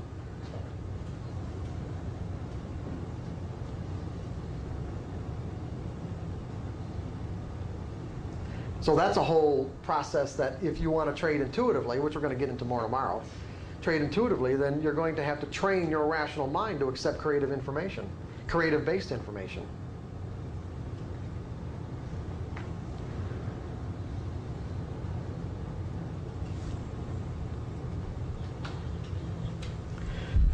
Okay, so where we're at is on page uh, page three of section four. And we're going to get into the specific characteristics of a belief. First of all, it is my contention, I have a notion about this, that, uh, what's that? it is my, that beliefs have to be, that the energy that beliefs are composed of have to be conscious in some way? Now, I want you to think about that for a second. Like, like they have to have some degree of conscious awareness because beliefs seem to take on a life of their own. And how else could beliefs cause us to recognize in the environment something that's similar to, or in many cases seemingly identical to, something that we already believe? It's like there has to be some sort of conscious awareness there. And the only reason why there has to be some sort of degree of conscious awareness I'm not saying a great degree of conscious awareness, but at least some degree of it, is that how would, how would our beliefs know that, that, we're, that we're being confronted with information that is in conflict with what we believe? And at the same time, why would they compel us to instantaneously reject any information that's in conflict with what we already believe to be true? So there seems to be like a degree of consciousness there. And the other thing too is that when you look at the common characteristics of beliefs, like like you, you could say there's there's universal, it's it, like there's there's some universal um, properties there. It's like, is there anyone in this room that does not like to be believed? Do you like to be believed? Does it feel uncomfortable to be disbelieved? You see, this is, this is universal. Uncomfortable to be disbelieved. Regardless of what the belief is, it doesn't feel good. Do we feel more comfortable being around people who share our beliefs? Just naturally feel more comfortable with people who share our beliefs. And uncomfortable around people who what? Don't.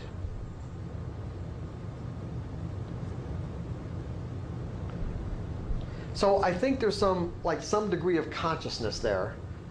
And as a result, I'm saying that beliefs seem to take on a life of their own. And the reason why I state it that way is that they take on a life of their own is because we have this capability of thinking in any direction that we that we choose to. We can think outside of any limitation imposed by any belief. We can draw any bizarre thought we want to our mind and contemplate it. And and it doesn't matter if, if the conflicting thoughts or conflicting ideas or information is coming from the external environment or coming from our own willingness to think outside the belief. What we'll find is that if we're thinking something that's in conflict with an energy structure that's inside of us, it will do something to protect itself. So one of the characteristics is that beliefs seem to resist any force that, that would alter its present form and they also seem to resist extinction. Now that would make sense, wouldn't it? That beliefs seem to see to resist extinction. And why do you think that would make sense? Why would I say that? Anybody got any ideas? They don't want to disappear. They, they want to disappear. Okay, now we don't know why they don't want to disappear. You know, you think, they don't want to die. Yeah, we don't know why that, that might be the case, other than the fact that we can observe that is probably so. And the, the way that I thought about it was that if most people consider what they've learned to believe an inherent part of their identity, and if the sum total of our identity would resist extinction, meaning that if someone threatened us, we'd, we'd fight for our lives, just naturally, right? And not only would we fight for our lives, but, but virtually every war and every conflict throughout the whole history of humanity is based on what? Conflicting beliefs? Right? Is that what we're talking about here? Conflicting beliefs? Every conflict, every war, every argument is based on simply conflicting beliefs. So if the sum total of who we are would, would resist extinction and fight to stay alive, it just seemed to me that it was, it was okay to infer that the, that the individual parts would too. If the sum total will, so will the individual parts. Meaning that, this is really important, when you're working with your beliefs, fighting your beliefs doesn't work. Okay? No matter what you may find in terms of in your mental environment as a belief, and no matter how distasteful you might think having that belief might be, or how dysfunctional, or how it might have messed up your life in some ways that are that are uh, not very pleasing to you, directing any negative energy whatsoever towards your beliefs will only cause them to become usually more powerful at the very worst, and at the very least, fight you back.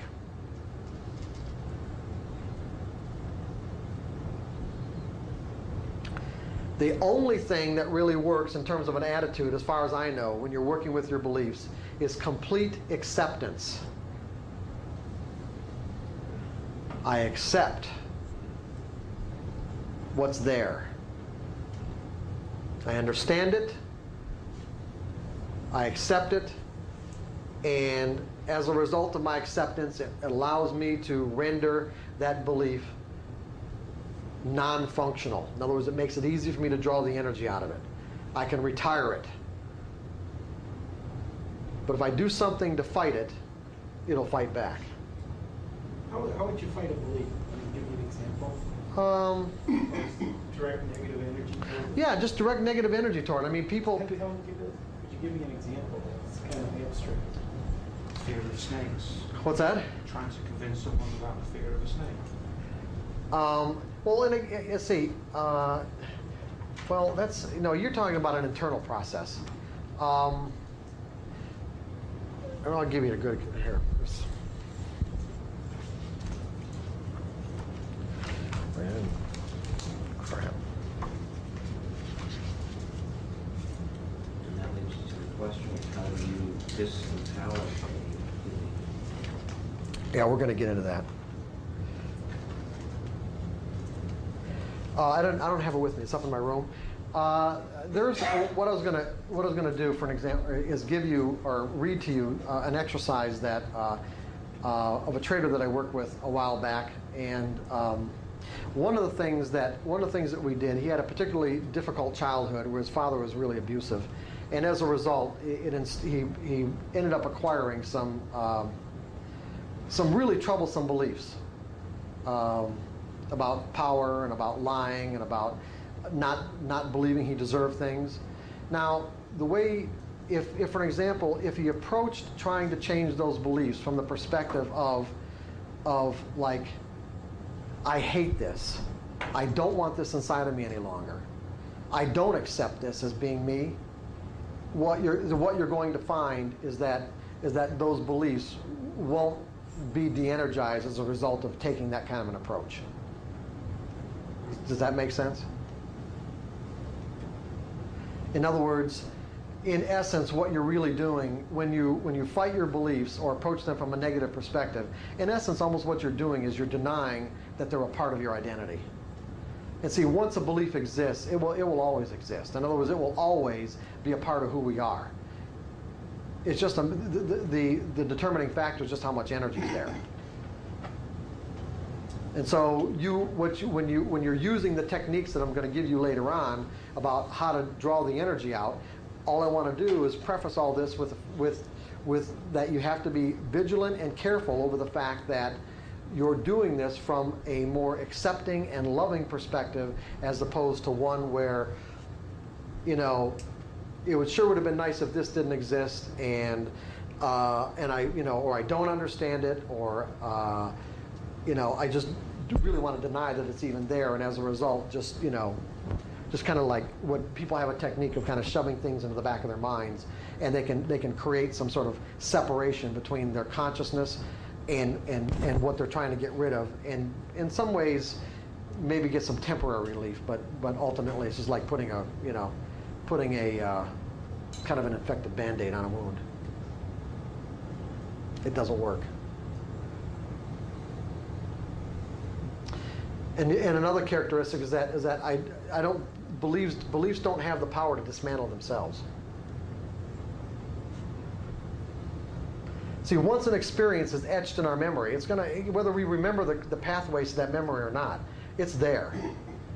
The difference is between whether we can or we can't remember something is just a matter of, you know, just a matter of how many times we've reinforced the memory and and and our desire to even remember it in the first place because I found that there are many things that you know I just don't pay attention to, and as a result, it completely escaped my, in some cases, seemingly escaped my awareness.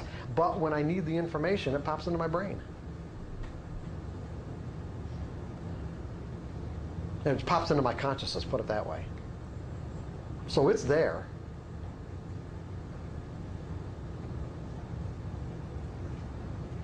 It's the same way with a belief. Once it gets etched, once it sort of gets etched into our mental environment, it'll it'll be there forever. But it doesn't have to affect us forever. That's the difference. So did I answer your question, John? Okay.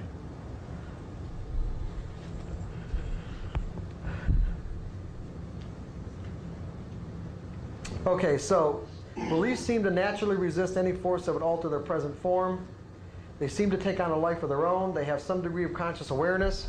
And the next characteristic is all active beliefs demand expression. Now, what does that mean? What do you think that means? All active beliefs demand expression. Act in accordance with your beliefs. Uh, yeah, you will act in accordance with your beliefs, but, but don't think of it in terms of, of the total you. Think of it in terms of the individual beliefs. If I said all active beliefs or any individual belief will demand expression. I mean, first of all, I've got to, I, I used, pay attention to the fact that I used the verb, or, or not a verb, but a, uh, yeah, uh, what would that be? A pro, an adverb, active. It's like, it's like that would imply that we could have active and inactive beliefs, right? Uh, what would be an example of an inactive belief that we've already talked about? Santa Claus. That's an inactive belief. It exists in my mind or in yours, but it doesn't have any energy, or it doesn't have enough energy to cause to have any impact whatsoever on our perception of information and our behavior. That's an inactive belief. If it's an active belief, it implies that it has energy. And as such, what I'm saying is that it will demand expression. Now, by saying that, am I implying that all of our active beliefs are swirling around in our brain at any given moment? Just the ones the environment triggers at the. Yeah, exactly. Just just the ones that get triggered.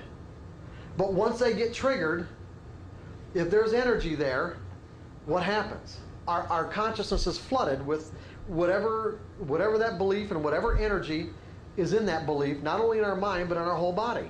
Then we experience whatever state of mind corresponds with that belief. And as a result, think that or assume that what we are experiencing is the true reality of the situation. Because keep in mind that our state of mind is always the absolute truth. Joy is the absolute truth. Satisfaction is the absolute truth. Happiness is the absolute truth. Fear, regret, dissatisfaction, anger, anxiety, betrayal. When we're in it, it's the truth. What may not be the truth is the belief that triggered the state of mind. Okay? There, there, there's, a, there's a profound distinction here that I'm making. The state of mind we end up in is the absolute truth. The belief that triggered the state of mind could be completely dysfunctional.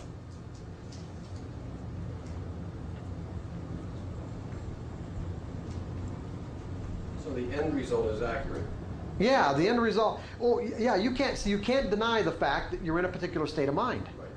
But the trigger, The trigger may be completely dysfunctional. It's just like remember the boy and the dog example. As far as the boy is concerned, that dog caused him to experience terror. Was that the truth?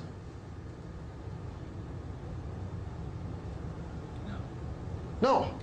No. And the reason why, the reason why he believed that dog causes terror is because of this, this instantaneous association that he makes between the similarities in the now moment to the terror and the, and the dogs that exist in his mind, which make the two identical. It makes the now moment identical with the memory.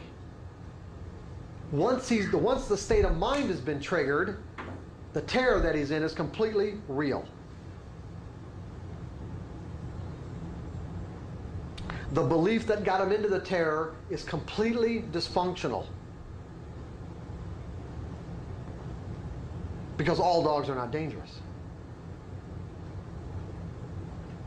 See, so now that you can you can make this separation between the actual belief that you may have learned causing the particular state of mind, you can say, hey, you know what? Yeah, the state of mind is definitely real, but you know, if I change my belief about this, I'm going to experience a different state of mind. And that's and that's in essence what we're getting at. Change your belief and you experience a different state of mind under under similar circumstances.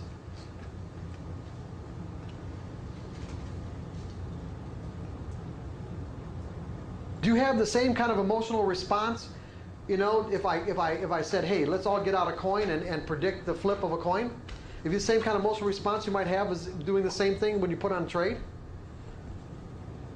that'd be completely different. Completely different. Why? You're operating out of a different belief. You know why you know, I know you're operating out of a different belief. You say it's completely different. You're operating out of a belief that the outcome of a coin flip is random. So therefore, all you're doing is guessing, and it doesn't matter. Right? Now, because you do analysis, because your intellect is involved with the way you analyze the market, you have associated the fact that you're using your intellect with having to be right. When trading doesn't have anything to do with having to be right. Take trading out of a right or wrong context, put it into the random category in terms of outcomes, and you get the same emotional responses when you flip to predict the flip of a coin. You don't care.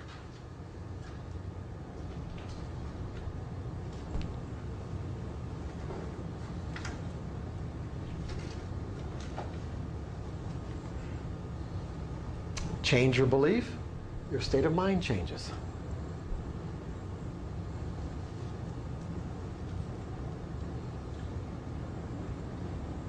Did we skip It's a step? No. it's not exactly the same. I mean, if you flip the coin, it's told me that they could lose a thousand dollars. If I don't guess it right, my emotion are not going to be the same. No, that's true. When you've got something at stake like that. Now, I, I'm not saying the example is perfect, but you know, I just, I just, just giving you an idea that that No, I understand, but there, there is a lot more than just being right or wrong. It's uh, it's like uh, flipping a coin. It's like a paper trading. A lot of people do well paper trading.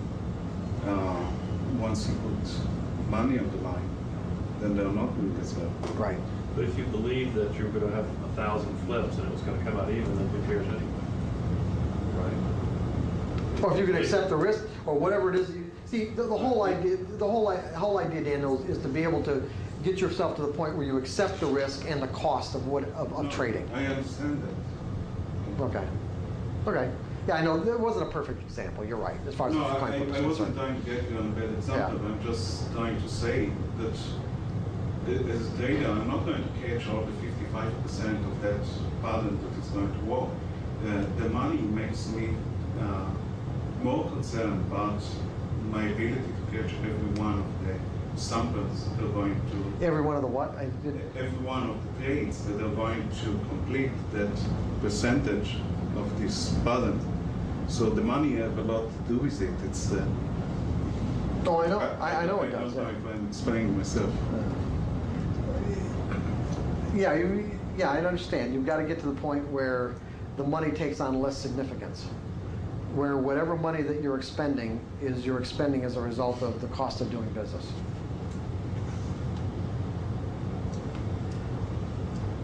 So, we'll, we'll, that's what, we're, we'll get into the- that, that more tomorrow. Okay, John, you said something about skipping a step? All right. Okay. So, so the, the example that I like to use is that uh, in terms of active beliefs demanding expre- expression, when, when the environment triggers something and our, you know, and it, it it floods our consciousness, it's like it wants to come out, doesn't it? And even if we know that we're in a, in a circumstance where it would be best or in our best interest not to express ourselves, it is extremely difficult to hold it back. It Goes to your consciousness. What? It goes to your consciousness. Well, what do you mean? It would is okay. You explain yourself a little bit more. Something from the external environment triggers an a active belief, whether you want to express it or not. It goes to your consciousness to think about whether you think it's appropriate to express it or not. Yeah. Okay. But but all I'm saying is that it's difficult to hold it back. And and what you need to hold it back would be another set of beliefs that that that let's say are stronger than that particular belief expressing itself. So the example I use is let's say a superior subordinate in a in a boss employee employee employee relationship. You know, where the boss is saying something and the employee completely disagrees, thinks the boss is full of shit, and but he's nodding his head, yeah, like this, right? But what's going on inside his mind? Is he agreeing? No, he's going like this. No, you're full of shit. But it's and, it, and, it, and the only thing that's holding him back is a belief that the energy of the belief that says I can't tell him the truth. I can't be I can't be candid about what it is that I think about what he's saying. Well, there are some beliefs that might even, you know, if he said something that was insulting, you might hold, not hold it back, so you might, Sure. different degrees of. Different degrees. beliefs. You're absolutely right. Strength, might, you know, Right. said something that smeared me, maybe I would. Sure. do it more. And there are employees who would who would tell him he's full of shit no matter what. Because that's you know that's just what they believe. It's like I'm going to be candid, and you know I think the guy's got his head up his butt. I'm going to say so. But interestingly enough, if we hold back, and this is what I really wanted to get to, is if we hold back, what's going to happen? Let's say we did the nod, okay? Hold back. We, we held back expressing it. What's going to happen? It'll build up. It's going to build up, and we will find somebody else to unload on. Right?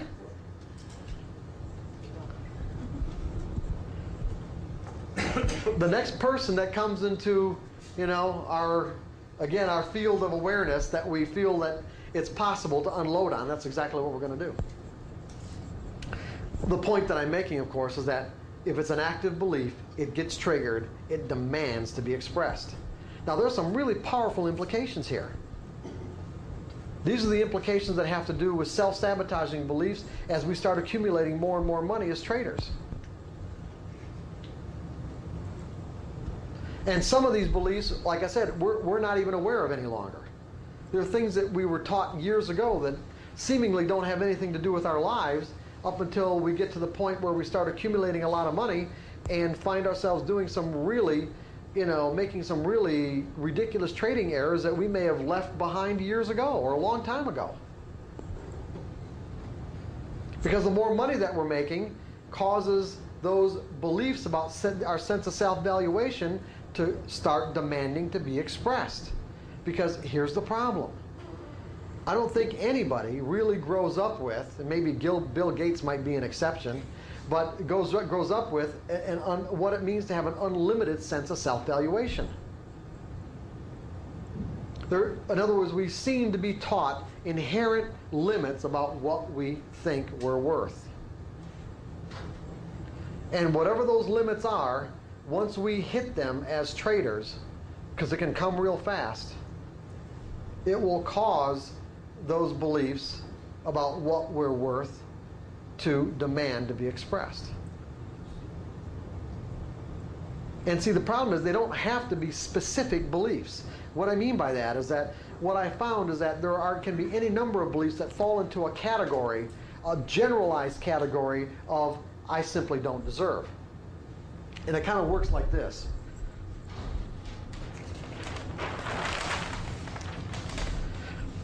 If you were to inventory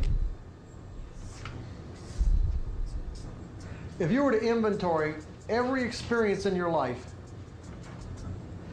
that was positive, and let's say contributed to a positive sense of self valuation,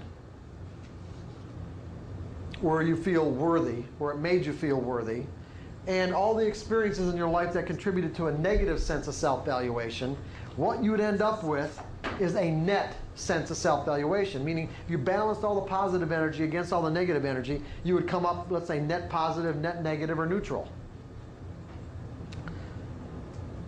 The problem is that if you're net negative, of course, it's going to be very difficult to accumulate money. And the, the other problem is a lot of these experiences may not specifically have been, let's say, directed toward a sense of self valuation, but if they were painful experiences, either both physically or emotionally, many times what ends up happening is that, especially as children, these experiences get put into this broad, generalized category where, let's say, a parent might say, oh, you know, you, you, you hurt yourself, you fell, you skinned your knee, you, or your elbow, or whatever, and your mother just told you not to do that. She says, look, see, God punished you. And so then what happens is that what you do is start associating as a child every time that something like that happens with, oh, God punished me. And then the next step is, if God's punishing me, then I must not be a worthy person. So then every negative experience can get categorized. Can I'm not saying it does, but every negative experience has the potential to get categorized into a broad, broad, let's say, category of I must be an undeserving person, or this wouldn't have happened to me.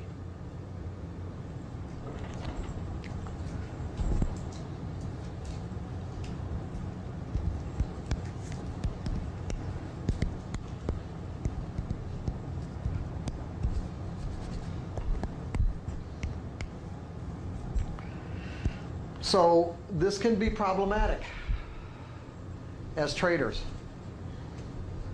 And, and other than the, let's say, inability to not think in probabilities causing trading errors, this is the thing that, that is most responsible for these kind of, uh, you know, doing all the hard work and doing really good and following your rules and being disciplined and, and everything you need to do, and all of a sudden you just whack yourself. and you start the process over again and whack yourself again. Sense of self-valuation coming in saying, you, you don't deserve this. Remember, all beliefs demand expression. All beliefs seem to take on a life of their own. And regardless of whether or not your desire is to keep on going up like this indefinitely, if your sense of self, total sense of self-valuation doesn't correspond with any particular level, wherever it is, then it, it will find a way to express itself on your consciousness, meaning how you see the market and what you do in that moment to make sure that you lose the money. Scary. Just is. Doesn't have to be scary. Is there a way to figure out when you? Oh yeah, sure. Oh no, I'm you know you're, you're going to leave and and I'm not going to. You know, yeah, absolutely, sure there is, Jeff. The upsell tapes up. Yeah, that's yeah, yeah, exactly. yeah, that's the next workshop. Uh, so, so are we? You know, are we kind of? Is everyone together on this? It's all kind of coming together for you a little bit, okay?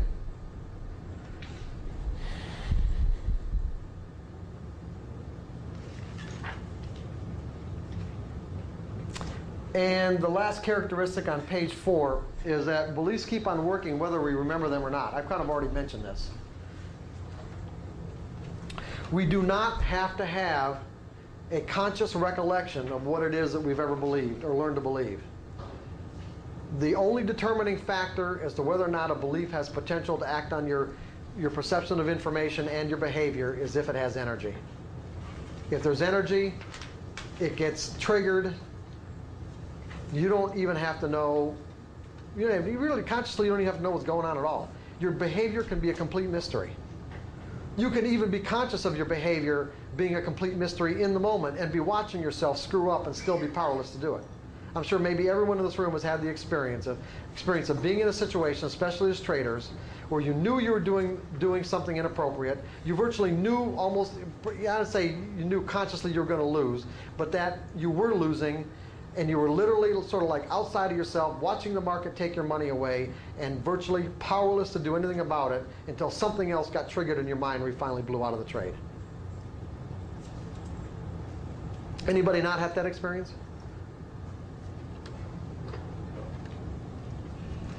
You don't have to know where that behavior is coming from for it to happen. You don't even have to understand it. You don't have to have any understanding of it, any knowledge of it. It's just going to happen. Until you do get knowledge of it, till you do understand it and do something about it if you want.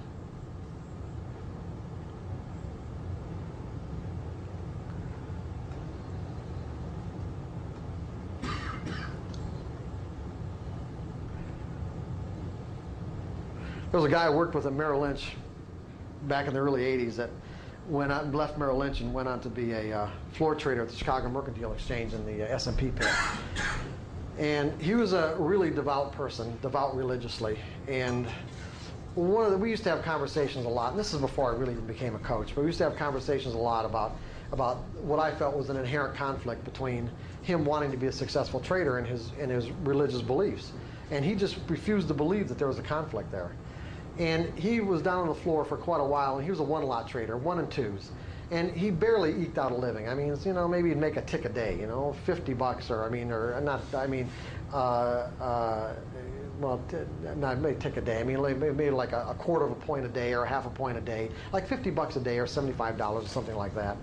And and um, then he got on a on a on a bit of a winning streak and started started accumulating some money, and he was in the pit one day and literally snapped.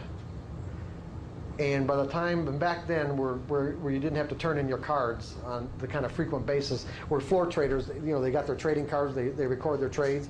Now they have to turn them in, like, you know, practically every five minutes or something. But I don't know what it is. But there, they turned them in at the end of the day.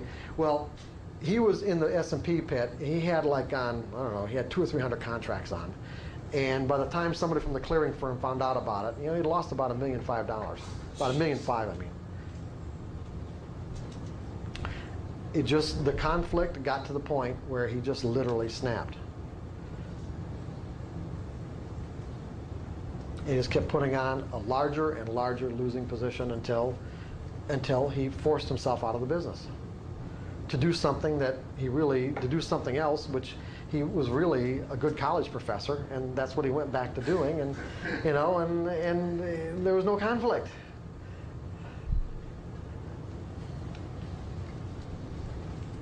Mark, would you clarify something? Sure. I think, I think you suggested that as you uh, de-energize the old beliefs, Mhm. they drop into subconsciousness. so No, I didn't say that. No, that, and that's not what I'm saying there either. What I'm saying is that is that beliefs can exist at, at two different levels. They can they can you can be consciously aware of your beliefs, okay, and they can drop down to a sub level, some subconscious level of operation. And and the best way that I that I have of explaining that is that is using driving as an example. Things that we learn typically do drop down to a subconscious level of operation, which basically frees our consciousness up to do other things, to pay attention to other things, what's going on in the environment, to learn it, to learn something else, as a matter of fact. So, for example, uh, what I noticed when I was in college, and you know, and people would drink a lot, is that there were there were times where you know, not only did I observe people driving completely drunk, but even myself, where I got from point A to point B and had no conscious recollection whatsoever of, of how I got there. Totally unconscious.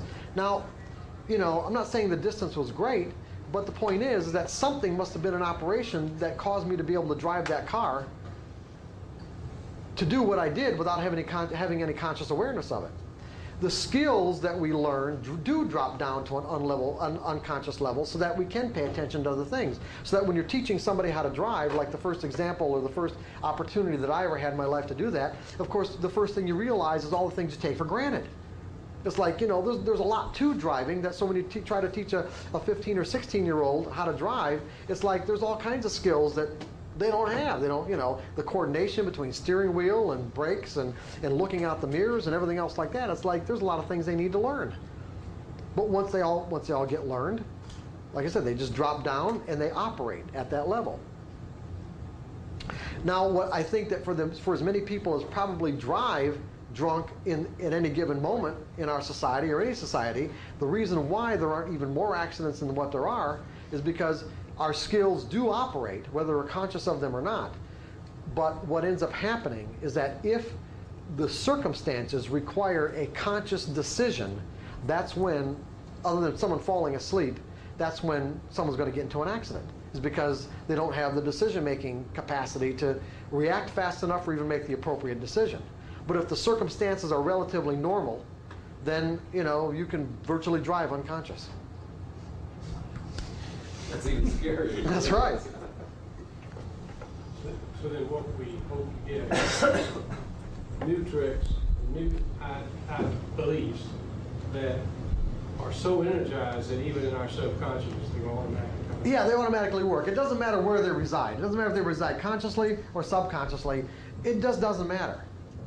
Th- That's an that, as far as I'm concerned. This this dichotomy between conscious and subconscious is, is pretty much uh, sort of man-made anyway. I don't really believe there has to be any kind of separation between conscious and subconscious. If you want access to this information, you can have it. There are any number of techniques available to get access to whatever information you know exists in what psychologists or psychiatrists call your subconscious mind. It's really just a function of desire and, and a willingness to ask questions. That's all it really is. And you can do this to the extent that you virtually erase this this this boundary. I think it's like I said, an artificial boundary between conscious and subconscious.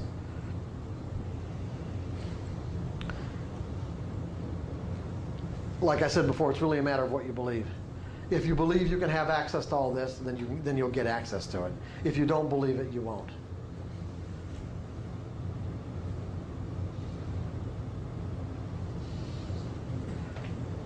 Whether you believe it or not believe it, you're right. In both ways, it's going to either way, it's going to work. If you believe it's possible, it's going to work. If you believe it isn't possible, it's going to work. You're going to be right in both circumstances.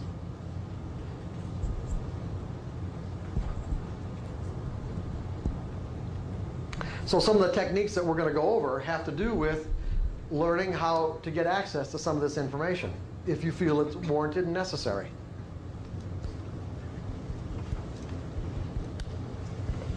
And like I said last night, if you don't want access to it, but you do think that there's a possibility that, you know, there are beliefs that reside in your subconscious that uh, would have a negative effect on your ability to accumulate money, then you're going to have to compensate in the way that you trade.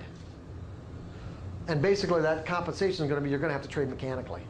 You're going to have to you're going to have to make sure that the only thing you do has very rigid rules so that you can make a clear distinction between what your rules say to do and what you might feel compelled to do as a result of self-sabotage so that you can make that you, it is very clear in your mind what's happening in that moment. Because you know that anytime the first moment you start noticing that you want to break a rule then what you know that probably what's happening is that you've got some sort of subconscious beliefs that are acting on your perception of information and your behavior.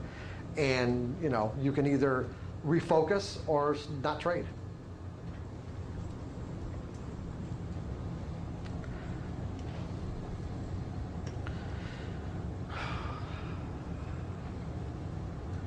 You, are you guys, you're not getting overwhelmed, are you? Oh, okay, good. How do you find out which, you know, the subconscious beliefs? Well, I'm gonna, I'm gonna tell you. I'm gonna tell you. Let's get on with the- No, that's, the- that's, the- no, that's the next one. Again, that, that, that's also the next seminar, okay?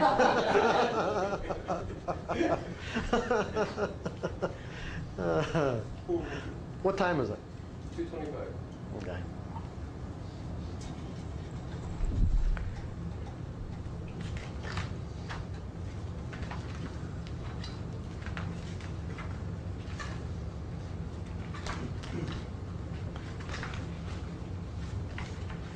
So let's see where we're at right here.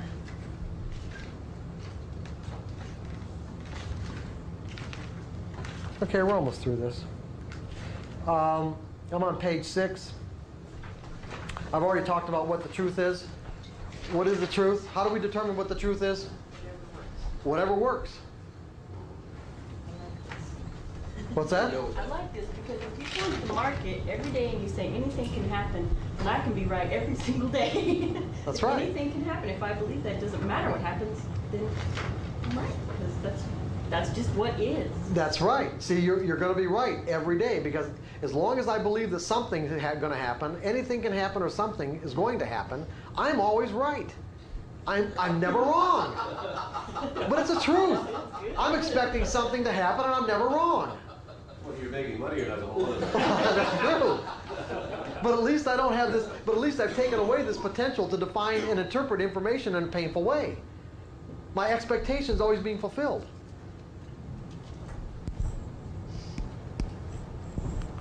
And that's exactly what you want to do. You want to you, your expectations. You want your expectations to correspond with the realities from the market's perspective, from the characteristics of the market from the from the market's perspective. The market can do anything, and regardless of what pattern may, it may be presenting at any given moment, the outcome could be anything, right? So therefore, it can do anything. I expect it to do something. The only thing that where I'd be disappointed is if it dead just dead stopped. Okay? That that would not conform to my expectation.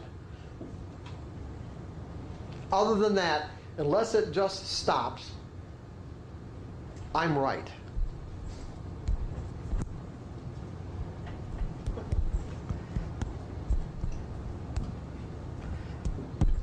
And see, I've also taken away any responsibility towards or being responsible for what the market does. I am not responsible for what the market does.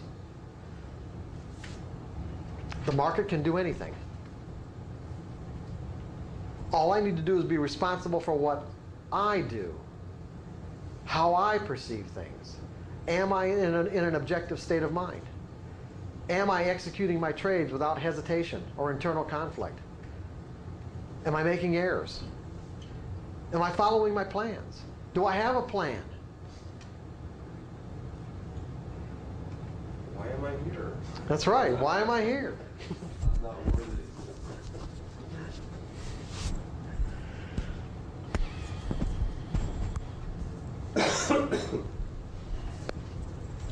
Okay, so we know what the truth is, right? The environment can express itself in an infinite combination of ways, but beliefs limit our ability to perceive the environment from in, from the from a, let's say a uh, from the perspective of it being able to express itself in an infinite combination of ways. Then the only way we can really measure the truth is within the context of what we're trying to accomplish in any given moment. Now keep in mind, we're, we're, we're determining what the truth is based on what am I trying to accomplish in this moment. What am I trying to accomplish? Well, well, yeah, ultimately, but you know that's good to make money. But keep in mind something, John. Okay, you want to keep money as a byproduct. What you're trying to accomplish are acquiring skills. Okay, acquiring skills will will make money a byproduct of whatever skills you've acquired, as opposed to focusing on the money. So the truth is relative to what am I trying to accomplish, and do my beliefs correspond with the, the characteristics and properties of the environment that I'm operating in at any given moment. What were you going to say, Louis? Mark said that we're making money wasn't our goal. Our goal is to be in the zone, and then money will come if we're in the zone. Right, that's for sure. use money as the objective. Ultimately, it can be an objective. No, that's not really true because we can set we can set money goals. That's We absolutely As an yeah. occupation, you have to have some, you know, it's like Tony Robbins says, if you sit there and meditate all day, they'll soon take you out on your sofa because you haven't paid your bills. That's right. So there has to be a certain level of financial stability to the occupation. Right. Otherwise, acquiring the skills and scratching every trade, Well, you're acquiring skills. I'm assuming you're not scratching every trade. no, I'm saying, Yeah. but the, at the very end of the day, Yeah, I agree. right? You're right. Because you can't. I, that's the way I keep. That's the way I keep score. I love keeping score. Right. I do. I just, you know, I really do. So still you're focusing on the money in the long run, but not necessarily at Yeah, that's, yeah, you're absolutely right. In other words, you can set money goals for yourself. You can set even daily goals or weekly goals as long as, as long as you have these goals. Um, how do I put it? Um,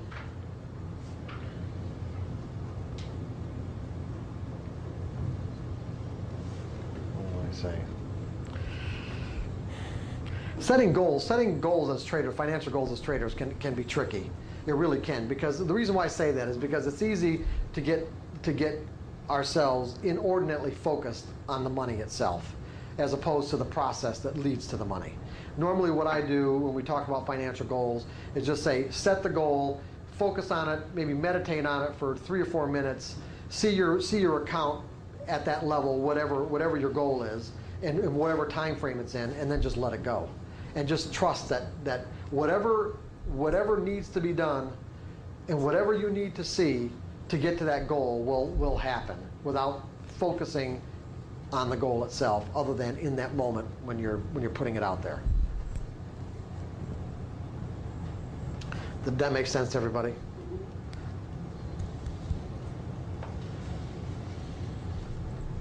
Okay so i said that the truth we determine the truth based you know relative to what we're trying to accomplish in any given moment and that the truth is what works. If we experience satisfaction it works. If we don't to whatever degree we don't then whatever beliefs we're operating out of we're not necessarily the truth in those in that under those circumstances in that situation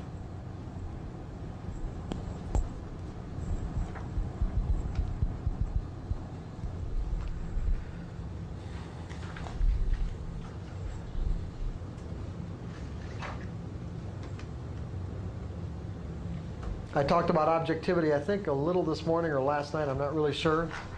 I'm on page seven. Is it possible to be truly objective? From, from a larger perspective, or from the largest perspective, we could say that, that we could share a reality. In other words, where you and I would be perceiving exactly the same things, the same information, and the same possibilities inherent within that information if we had simultaneous awareness of everything going on at once. So in other words, if I could represent all possibilities as a finite line, and I can't, but you know, because it's infinite, but let's say I could represent all possibilities that exist in this, in this line that has finite boundaries between here and here. The only possible way that we could share an objective reality is if all of us had the capability of perceiving every possibility and every distinction in any given moment because we'd be experiencing exactly the same thing. Are you with me on this? We'd be experiencing exactly the same thing because all the information that was available we would be perceiving in the same way. We'd be perceiving all of it. Remember, beliefs limit what we perceive. Beliefs limit what we perceive. So if you and I are operating out of different beliefs, which we are, it means that although we assume that everyone's sharing our reality in every any given moment, because each of us think that our reality is self-evident. Now think about this. In any given moment, each of us think that our reality is self-evident and everyone else has to be sharing it, right? Why wouldn't we? Which of course is not the case. And the only way that it could be is if, again, we, were, we, were, we could have the capability of having simultaneous awareness of everything going on at once. If we have not evolved to that state of that place where we can have simultaneous awareness of everything going on at once, it means that we are perceiving something less than what's being made available. What we perceive in relationship to what's available is based on what we've learned to believe. If you and I have learned to believe different things, then we can assume that in any given moment we are not going to be perceiving reality in the same way. It's that simple. And so, from a macro perspective, we really can't be objective. However, from the individual's perspective, the micro perspective, we are the micro or the macro, okay? From the individual's perspective, whatever it is that we have learned to perceive out of what's available we can be objective in the sense that are we in a state of mind where we have access to everything we've learned? Is there anything about what's going on in this moment that's being blocked by some mechanism inside of our mental environment? If there isn't, then we are being objective.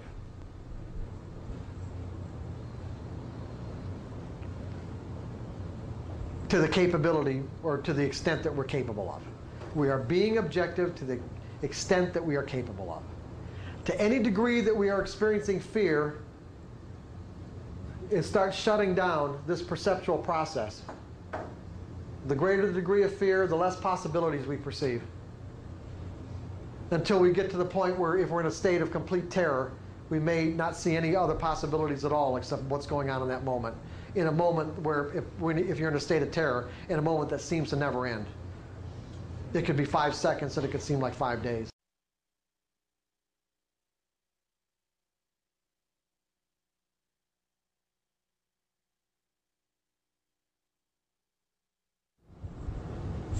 To me, the best way to do it is change your beliefs.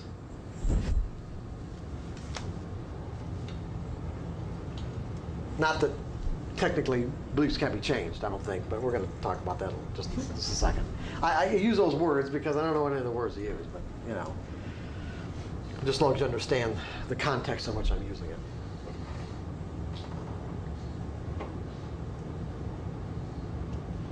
So ultimately, what you want, ultimately, I would think that what you want to do is to get yourself in, in perfect harmony with the market, meaning be in that state of mind, that's the zone. The problem with being in a psychological zone is that you can't will yourself into it.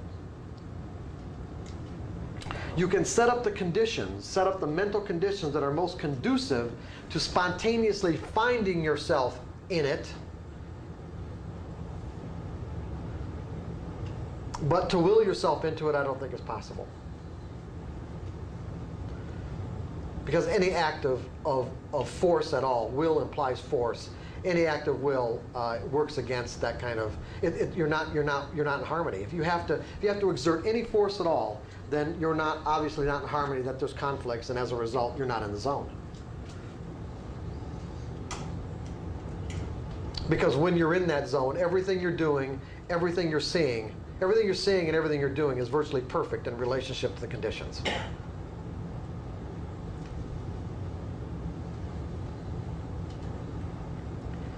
And often, many of the things that, that, you, that people find themselves doing are things they've never done before.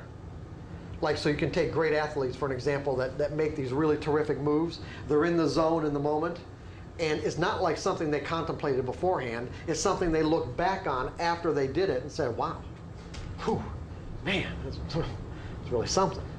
And then everybody else, if it happens to be on tape or something, everybody else looks at it, they dissect it, they break it down to, you know, to the smallest incremental steps into a learning process and then try to teach other people how to do it.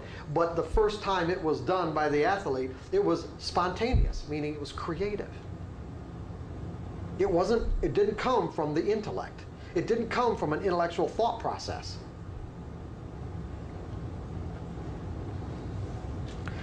I mean, the best example that I like to use of, of let's say, someone being in a zone, although we all know of, of seen and seen in many circumstances with like great sporting events, but but you know, back what 20 years ago with that soccer player Pele or whatever his name was, mm-hmm. where I, I am I not ever having met the guy or talked to him, even read much about him, I am absolutely sure that the first time that he decided to do one of these backflips and hit the ball over with his feet over his head, you know, he didn't think about doing that. He just did it. Go ahead. So with Roger Bannister, the four-minute mile was probably a classic example of the fact that no one. Yeah, sure. I- Yeah, it would have to be because it never been done before. And in, and in essence, it would be creative.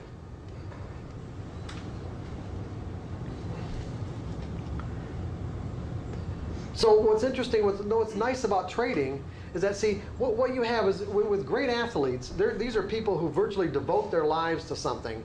And, and even though there are many people and athletes who devoted their lives to their profession, there's still only a small percentage that, that get into that zone or consistently get into that zone.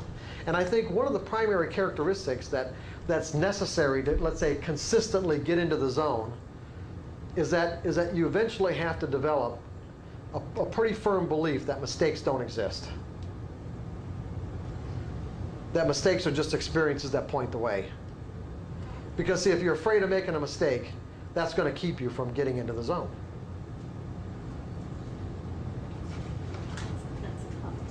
Yeah, well, that, that you're talking about cultural upbringing. You're talking about a cultural upbringing that you know that that for all virtually all of us, all of us have learned about mistakes in painful ways. And so you're you're talking about undoing a, a lot of negative energy.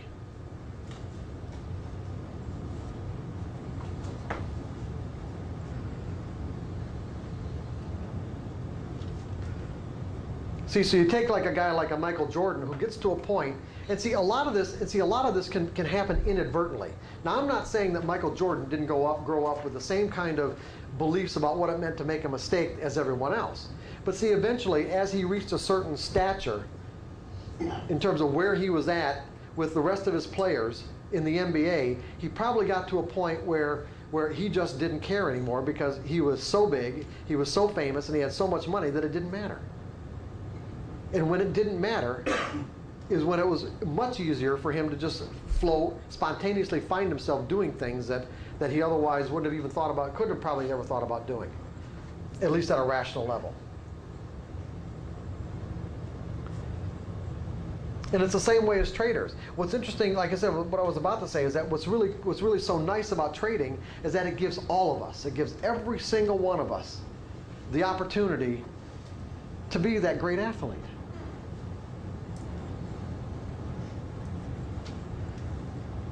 And we don't have to get picked in the draft by the NFL or the NBA or the NHL. All we have to do is open up an account.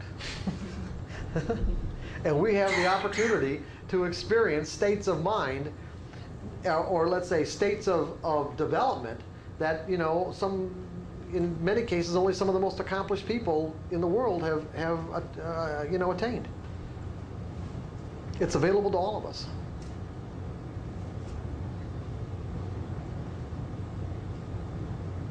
But like I said, you can't will yourself into it. It's something you can set up the most conducive conditions to find yourself in that state of mind. And normally, when you recognize, the moment that you recognize you're in a zone, chances are you're going to pop right out of it. In other words, the moment that you recognize at a rational level that you're in that state of mind, you will probably pop right out of it. Until you get to the point where you have trained your rational mind to trust and accept what's going on in that moment. Because, see, much of what you're going to be doing or thinking while you're in a zone cannot be verified rationally. It is not in, is not in, let's say, your repertoire of what you know at a rational level. Because at a rational level, you only, it's only your past. Everything you know at a rational level is your past. When you go into a creative state of mind, you are bringing forth something that didn't previously exist, meaning it isn't in your rational mind to verify. Now, if your rational mind is mistrustful of information that it can't verify, meaning creative information and creative states of mind, then you're going to have a problem. Because your rational mind is going to, go, whoa, hey, hey, whoa, wait a second. You know, you find yourself going in this direction spontaneously, you're in the zone. Your rational mind kind of turns on and says, hey, what's going on? No, this is what's going on over here, based on your memories. This is what's going on right here. And so it pops you right out. You change your direction, only to only to have this experience where the outcome is far diminished. Not saying it's a bad experience, but in, you know, greatly diminished in relationship to if you'd have stayed on this path right here, which was the perfect experience.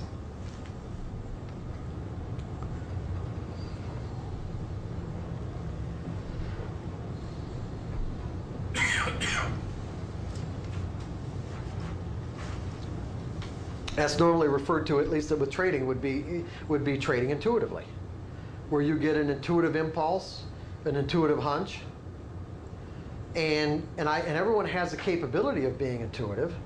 Everyone has the capability of accessing intuitive information. Again, information that can't be verified at a rational level. The problem is, especially for most men, is that most men are so rational that, that they have a very difficult time trusting intuitive information. And women seem to be based on their makeup seem to me seem to be more inherently intuitive but but males have done a lot to try to you know try to kind of in, in essence beat it out of women. Uh, because you know they don't trust it for themselves they certainly aren't going to trust it for them. And so because of our male dominated society it's probably caused a lot of caused a lot of women not to trust their own intuition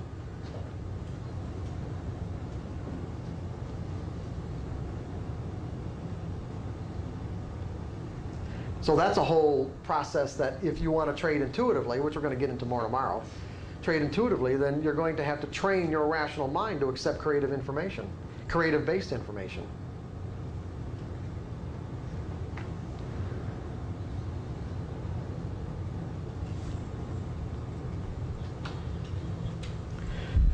Okay, so where we're at is on page uh, page three of section four. And we're going to get into the specific characteristics of a belief. First of all, it is my contention, I have a notion about this, that, uh, what's that? it is my, that beliefs have to be, that the energy that beliefs are composed of have to be conscious in some way? Now, I want you to think about that for a second. Like, like they have to have some degree of conscious awareness because beliefs seem to take on a life of their own. And how else could beliefs cause us to recognize in the environment something that's similar to, or in many cases, seemingly identical to something that we already believe? It's like there has to be some sort of conscious awareness there. And the only reason why there has to be some sort of degree of conscious awareness I'm not saying a great degree of conscious awareness, but at least some degree of it, is that how would, how would our beliefs know that, that, we're, that we're being confronted with information that is in conflict with what we believe? And at the same time, why would they compel us to instantaneously reject any information that's in conflict with what we already believe to be true? So there seems to be like a degree of consciousness there. And the other thing too is that when you look at the common characteristics of beliefs, like like you, you could say there's there's universal, it, it, like there's there's some universal um, properties there. It's like, is there anyone in this room that does not like to be believed? Do you like to be believed? Does it feel uncomfortable to be disbelieved? You see, this is, this is universal. Uncomfortable to be disbelieved. Regardless of what the belief is, it doesn't feel good. Do we feel more comfortable being around people who share our beliefs? Just naturally feel more comfortable with people who share our beliefs. And uncomfortable around people who what? Don't.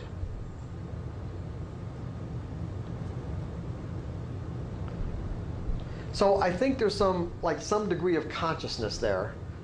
And as a result, I'm saying that beliefs seem to take on a life of their own. And the reason why I state it that way is that they take on a life of their own is because we have this capability of thinking in any direction that we that we choose to. We can think outside of any limitation imposed by any belief. We can draw any bizarre thought we want to our mind and contemplate it. And and it doesn't matter if, if the conflicting thoughts or conflicting ideas or information is coming from the external environment or coming from our own willingness to think outside the belief.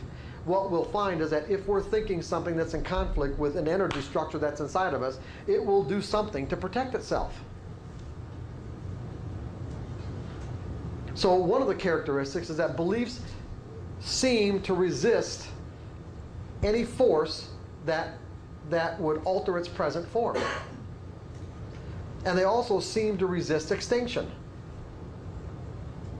Now that would make sense, wouldn't it? That beliefs seem to see to resist extinction. And why do you think that would make sense? Why would I say that? Anybody got any ideas? They don't want to disappear. They, they want to disappear. Okay, now we don't know why they don't want to disappear. You know, you think they don't want to die. Yeah, we don't know why that, that might be the case, other than the fact that we can observe that is probably so. And the, the way that I thought about it was that if most people consider what they've learned to believe an inherent part of their identity, and if the sum total of our identity would resist extinction, meaning that if someone threatened us, we'd, we'd fight for our lives, just naturally, right? And not only would we fight for our lives, but, but virtually every war and every conflict throughout the whole history of humanity is based on what? Conflicting beliefs, right? Is that what we're talking about here? Conflicting beliefs? Every conflict, every war, every argument is based on simply conflicting beliefs. So if the sum total of who we are would, would resist extinction and fight to stay alive, it just seemed to me that it was, it was okay to infer that the, that the individual parts would too. If the sum total will, so will the individual parts. Meaning that, this is really important, when you're working with your beliefs, fighting your beliefs doesn't work. Okay? No matter what you may find in terms of in your mental environment as a belief, and no matter how distasteful you might think having that belief might be, or how dysfunctional, or how it might have messed up your life in some ways that are that are uh, not very pleasing to you, directing any negative energy whatsoever towards your beliefs will only cause them to become usually more powerful at the very worst and at the very least fight you back.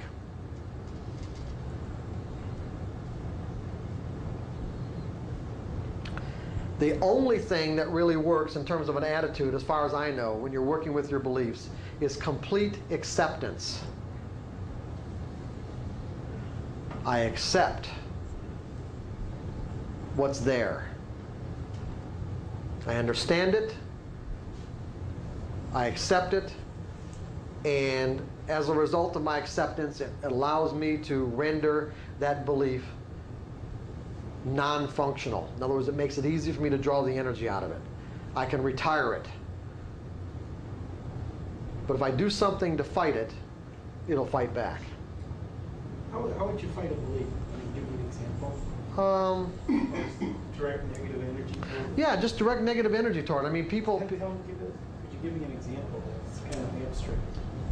Fear of snakes. What's that? Trying to convince someone about the fear of a snake. Um, well, and, uh, see. Uh, well, that's you know you're talking about an internal process. Um, and I'll give you a good here. Man, crap. And that leads to the question, how do you disempower a? Yeah, we're going to get into that.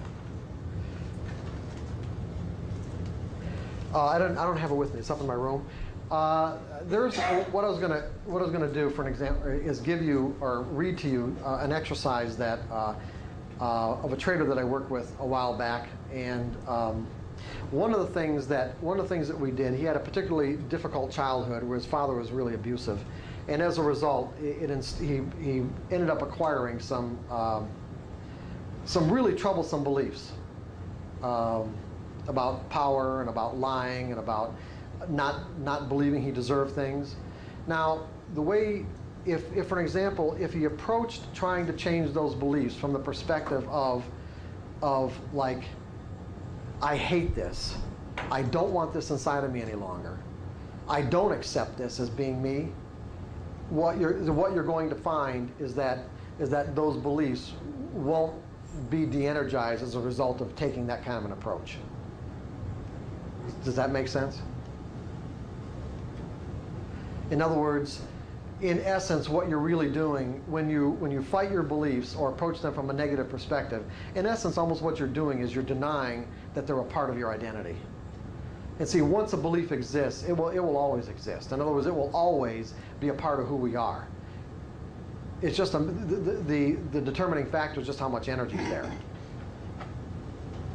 And so you, what you, when you, when you're using the techniques that I'm going to give you later on about how to draw the energy out, all I want to do is preface all this with, with, with that you have to be vigilant and careful over the fact that you're doing this from a more accepting and loving perspective as opposed to one where, you know, it would sure would have been nice if this didn't exist and uh, and I you know or I don't understand it or uh, you know I just really want to deny that it's even there and as a result just you know just kind of like what people have a technique of kind of shoving things into the back of their minds and they can they can create some sort of separation between their consciousness and and and what they're trying to get rid of and in some ways maybe get some temporary relief but but ultimately it's just like putting a you know putting a uh, kind of an effective band-aid on a wound. It doesn't work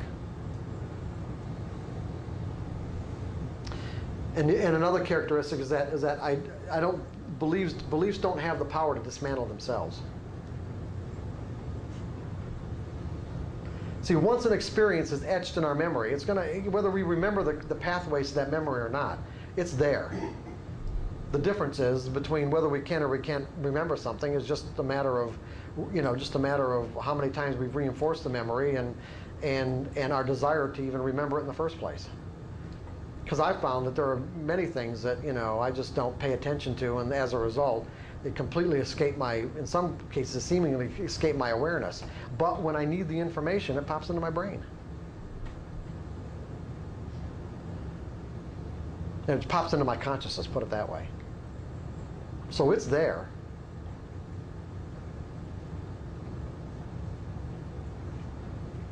It's the same way with a belief. Once it gets etched, once it sort of gets etched into our mental environment, it'll it'll be there forever. But it doesn't have to affect us forever. That's the difference. So did I answer your question, John? Okay.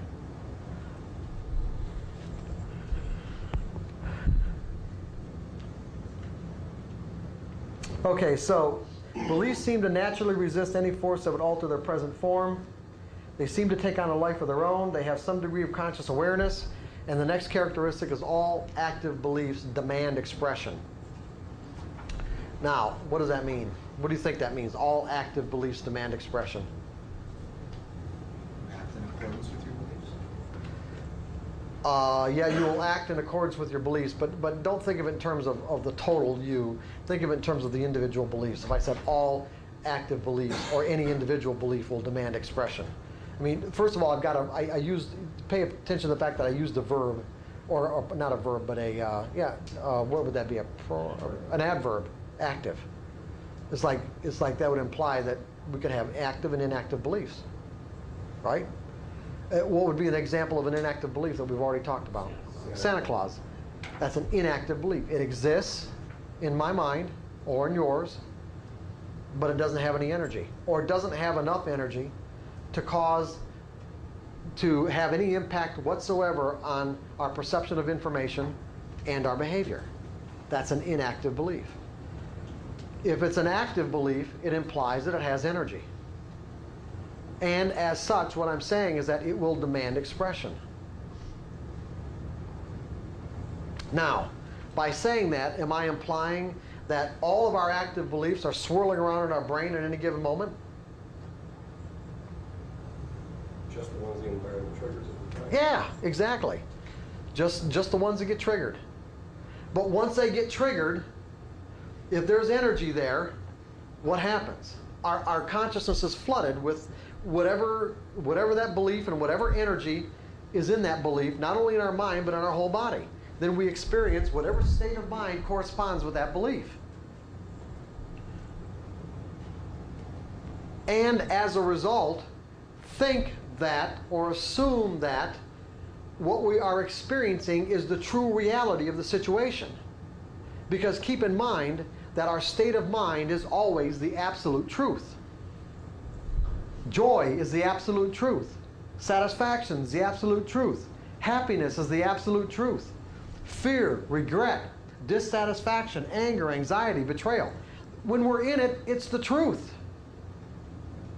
What may not be the truth is the belief that triggered the state of mind. Okay? There's, there, there's, a, there's a profound distinction here that I'm making. The state of mind we end up in is the absolute truth. The belief that triggered the state of mind could be completely dysfunctional.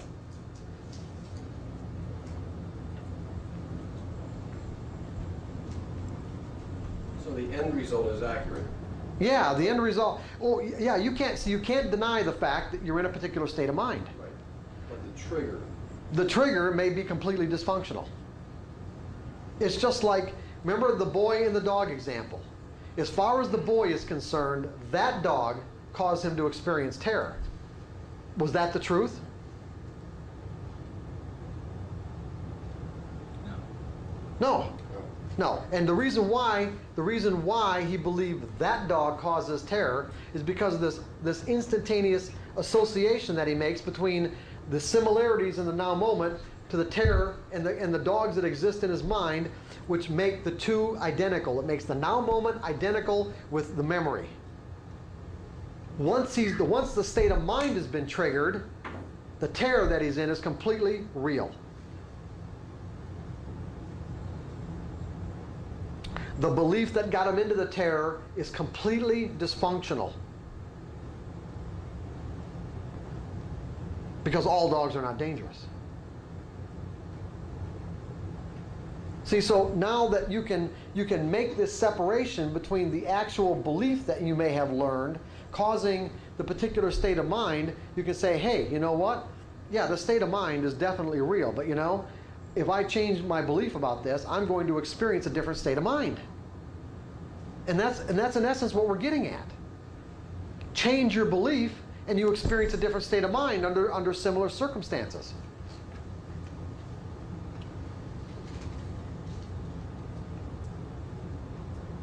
Do you have the same kind of emotional response? You know, if I if I if I said, hey, let's all get out a coin and, and predict the flip of a coin, if the same kind of emotional response you might have as doing the same thing when you put on a trade? that'd be completely different. Why? You're operating out of a different belief. You know why you know, I know you're operating out of a different belief? You say it's completely different? You're operating out of a belief that the outcome of a coin flip is random. So therefore, all you're doing is guessing, and it doesn't matter. Right? Now, because you do analysis, because your intellect is involved with the way you analyze the market, you have associated the fact that you're using your intellect with having to be right. When trading doesn't have anything to do with having to be right. Take trading out of a right or wrong context, put it into the random category in terms of outcomes, and you get the same emotional responses when you flip predict the flip of a coin. You don't care.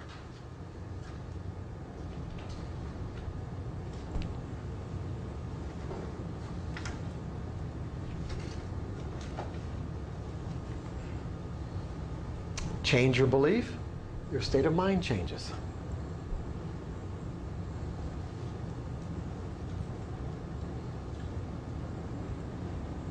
Did we skip a step? No. It's not exactly the same. I mean, if you flip the coin, it's probably that they could lose a thousand dollars.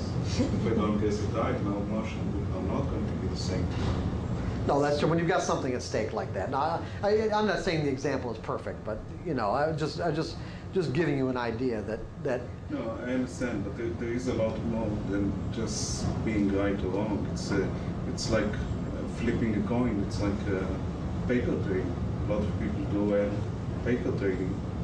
Uh, once you put money on the line, then they're not doing as well. right. But if you believe that you're gonna have a thousand flips and it was gonna come out even, then who cares anyway? Right? Or if you can accept the risk, or whatever it is. that You, see, the, the whole idea, the whole whole idea, Daniel, is to be able to get yourself to the point where you accept the risk and the cost of what of, of No, trading. I understand that. Okay. Okay. Yeah, I know there wasn't a perfect example. You're right, as far as No, the I, is I wasn't trying to get you on a bad example. I'm just trying to say that as data, I'm not going to catch all the 55% of that pattern that is going to work. Uh, the money makes me uh, more concerned about my ability to catch every one of the samples that are going to Every one of the what? I did, every one of the trades that are going to complete that percentage of this pattern. So the money have a lot to do with it. It's. Uh, Oh, I know, I, I know it I does. don't know if I'm explaining myself. Yeah, you, yeah, I understand. You've got to get to the point where the money takes on less significance. Where whatever money that you're expending is you're expending as a result of the cost of doing business.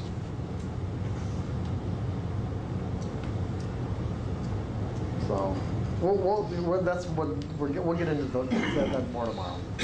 Okay, John, you said something about skipping a step? All right. Okay.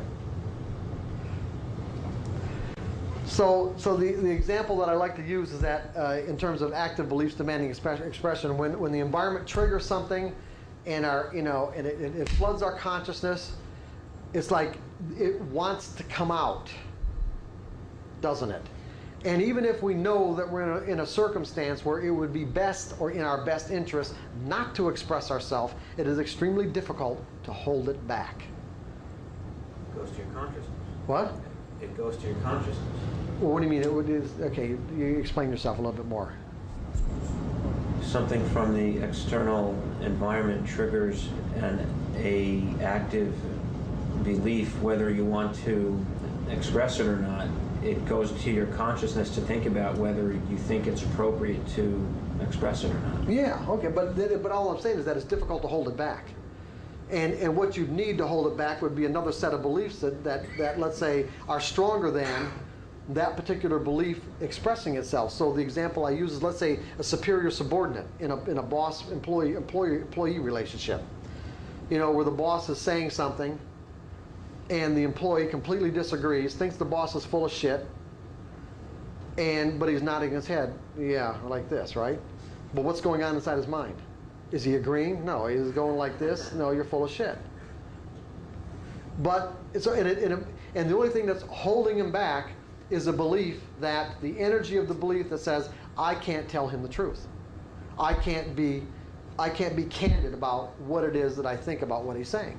But there are some things that might even, you know, if he said something that was insulting, you might hold, not hold it back, so you might, Sure. different degrees of. Different degrees. beliefs. You're absolutely right. The strength might, you know, Right. said something that smeared me, maybe I would. Sure. And there are employees who would who would tell him he's full of shit no matter what. Because that's you know that's just what they believe. It's like I'm going to be candid, and you know I think the guy's got his head up his butt, I'm going to say so. But interestingly enough, if we hold back, and this is what I really wanted to get to, is if we hold back, what's going to happen? Let's say we did the nod, okay? We, we held back expressing it. What's going to happen? it'll build up. It's going to build up, and we will find somebody else to unload on. Right?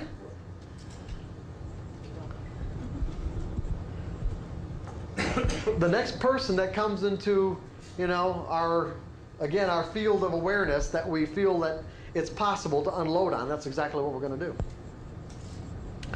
The point that I'm making, of course, is that if it's an active belief, it gets triggered, it demands to be expressed. Now, there's some really powerful implications here. These are the implications that have to do with self sabotaging beliefs as we start accumulating more and more money as traders. And some of these beliefs, like I said, we're, we're not even aware of any longer. There are things that we were taught years ago that seemingly don't have anything to do with our lives up until we get to the point where we start accumulating a lot of money and find ourselves doing some really, you know, making some really ridiculous trading errors that we may have left behind years ago or a long time ago. Because the more money that we're making causes those beliefs about our sense of self valuation to start demanding to be expressed.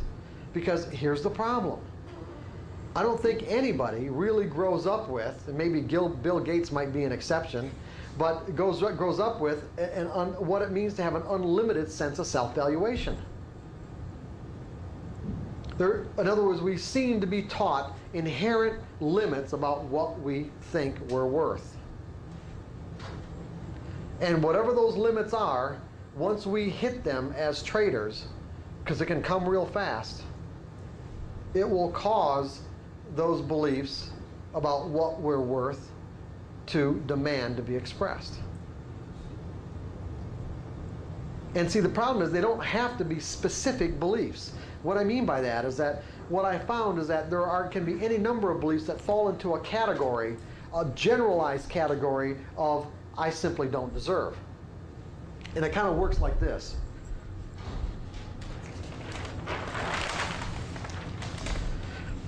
If you were to inventory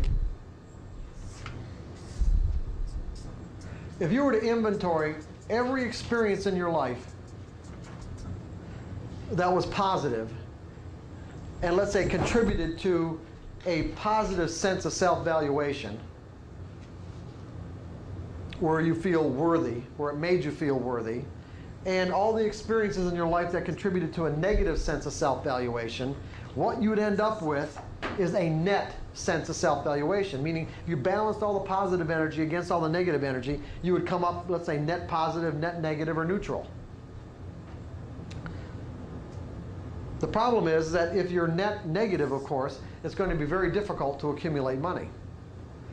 And the, the other problem is a lot of these experiences may not specifically have been, let's say, directed toward a sense of self-valuation, but if they were painful experiences, either both physically or emotionally, many times what ends up happening is that, especially as children, these experiences get put into this broad, generalized category where, let's say, a parent might say, oh, you know, you, you, you hurt yourself, you fell, you skinned your knee, you, or your elbow, or whatever, and your mother just told you not to do that. She says, look, see, God punished you. And so then what happens is that what you do is start associating as a child every time that something like that happens with, oh, God punished me. And then the next step is, if God's punishing me, then I must not be a worthy person. So then every negative experience can get categorized. Can I'm not saying it does, but every negative experience has the potential to get categorized into a broad, broad, let's say, category of I must be an undeserving person, or this wouldn't have happened to me.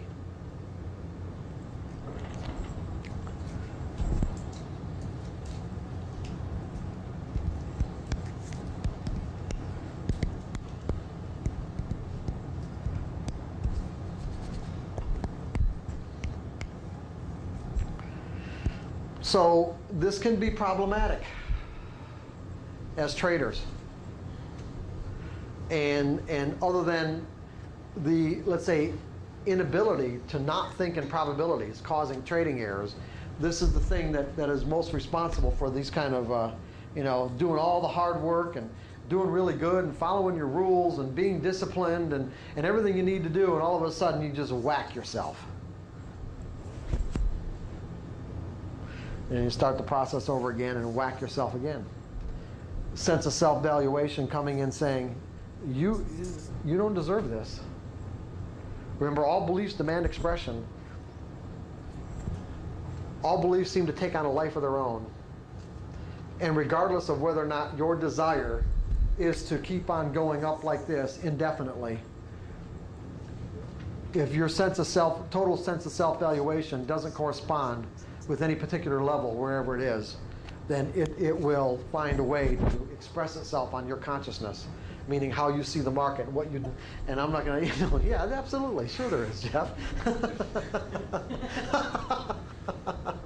The upsell tapes up. Yeah, that's, yeah, yeah, exactly. yeah, that's the next workshop. Uh, so, so are we, you know, are we kind of, is everyone together on this? It's, it's all kind of coming together for you a little bit? Okay?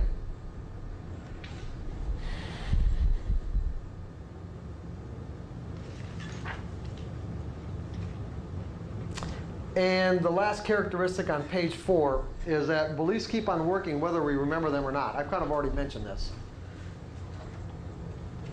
We do not have to have a conscious recollection of what it is that we've ever believed or learned to believe. The only determining factor as to whether or not a belief has potential to act on your, your perception of information and your behavior is if it has energy. If there's energy, it gets triggered. You don't even have to know, you know, you really consciously you don't even have to know what's going on at all. your behavior can be a complete mystery. You can even be conscious of your behavior being a complete mystery in the moment and be watching yourself screw up and still be powerless to do it.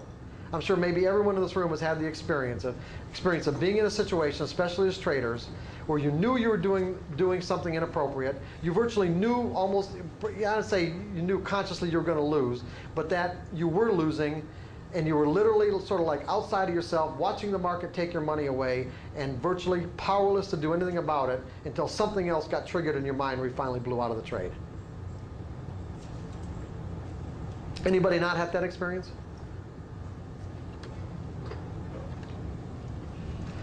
You don't have to know where that behavior is coming from for it to happen. You don't even have to understand it. You don't have to have any understanding of it, any knowledge of it. It's just going to happen. Until you do get knowledge of it, till you do understand it and do something about it if you want.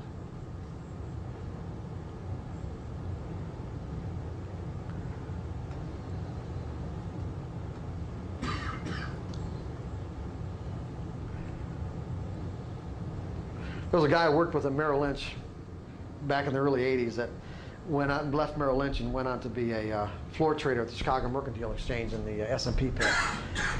And he was a really devout person, devout religiously. And one of the, we used to have conversations a lot, and this is before I really even became a coach, but we used to have conversations a lot about, about what I felt was an inherent conflict between him wanting to be a successful trader and his, and his religious beliefs. And he just refused to believe that there was a conflict there. And he was down on the floor for quite a while, and he was a one-lot trader, one and twos. And he barely eked out a living. I mean, you know, maybe he'd make a tick a day, you know, 50 bucks, or I mean, or not, I mean, uh, uh, well, not maybe tick a day. I mean, like, maybe like a, a quarter of a point a day or half a point a day, like 50 bucks a day or $75 or something like that. And and um, then he got on a on a on a bit of a winning streak and started started accumulating some money, and he was in the pit one day and literally snapped. And by the time, back then, where, where, where you didn't have to turn in your cards on the kind of frequent basis, where floor traders, you know, they got their trading cards, they, they record their trades. Now they have to turn them in, like, you know, practically every five minutes or something. But I don't know what it is. But there, they turned them in at the end of the day. Well, he was in the S&P pit. He had like on, I don't know, he had two or three hundred contracts on. And by the time somebody from the clearing firm found out about it, you know, he'd lost about a million five dollars. About a million five, I mean. It just, the conflict got to the point where he just literally snapped. He just kept putting on a larger and larger losing position until, until he forced himself out of the business. To do something that he really, to do something else, which he was really a good college professor, and that's what he went back to doing, and you know, and and uh, there was no conflict.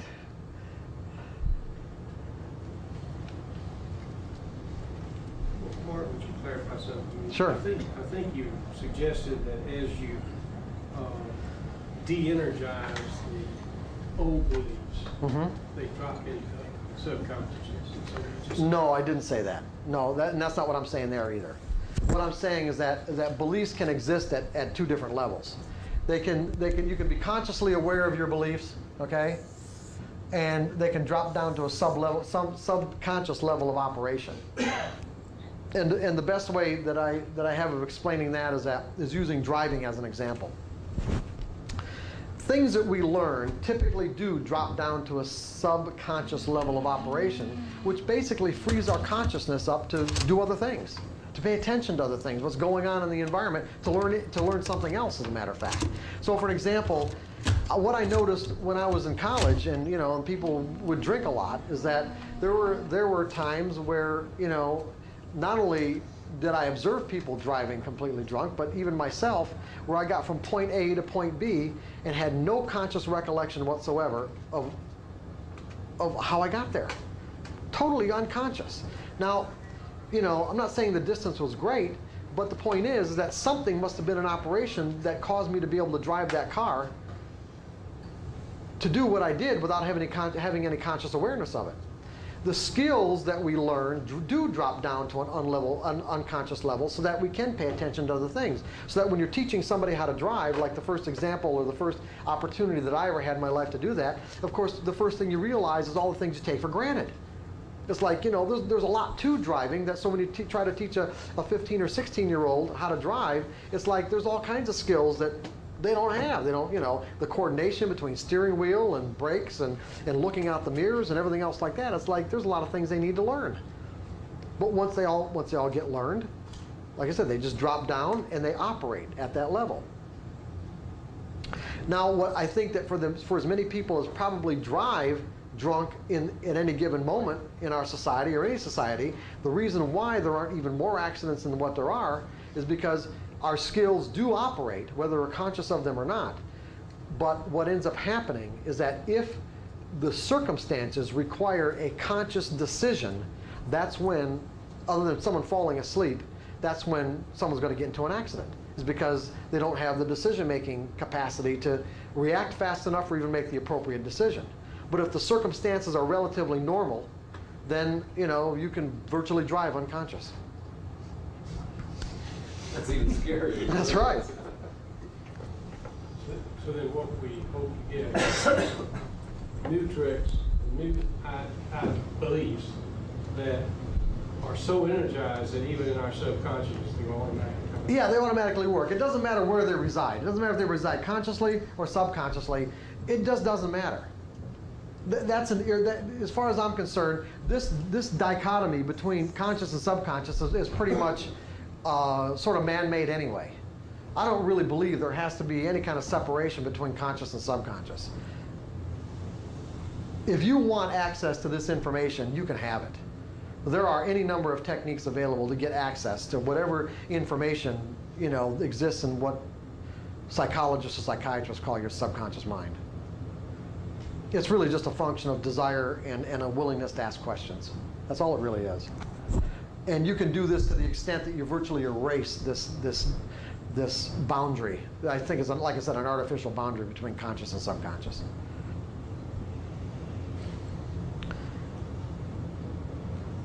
Like I said before, it's really a matter of what you believe.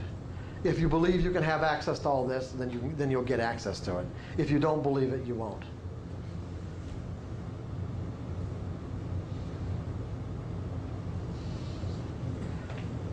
Whether you believe it or not believe it, you're right. In both ways, it's going to either way, it's going to work. If you believe it's possible, it's going to work. If you believe it isn't possible, it's going to work.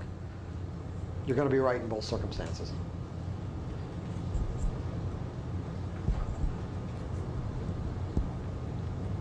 So some of the techniques that we're going to go over have to do with learning how to get access to some of this information if you feel it's warranted and necessary.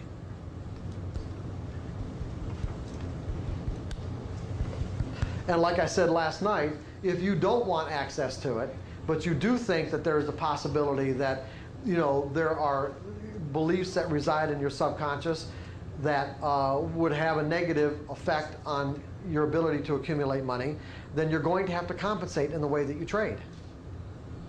And basically, that compensation is going to be you're going to have to trade mechanically. You're going to have to you're going to have to make sure that the only thing you do has very rigid rules so that you can make a clear distinction between what your rules say to do and what you might feel compelled to do as a result of self-sabotage so that you can make that you, it is very clear in your mind what's happening in that moment. Because you know that anytime the first moment you start noticing that you want to break a rule then what you know that probably what's happening is that you've got some sort of subconscious beliefs that are acting on your perception of information and your behavior. And you know you can either refocus or not trade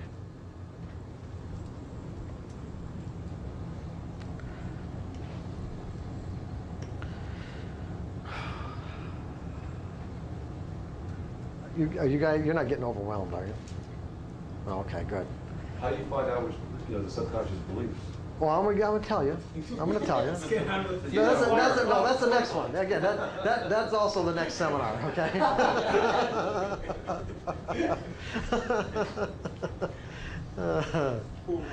what time is it? Two twenty-five.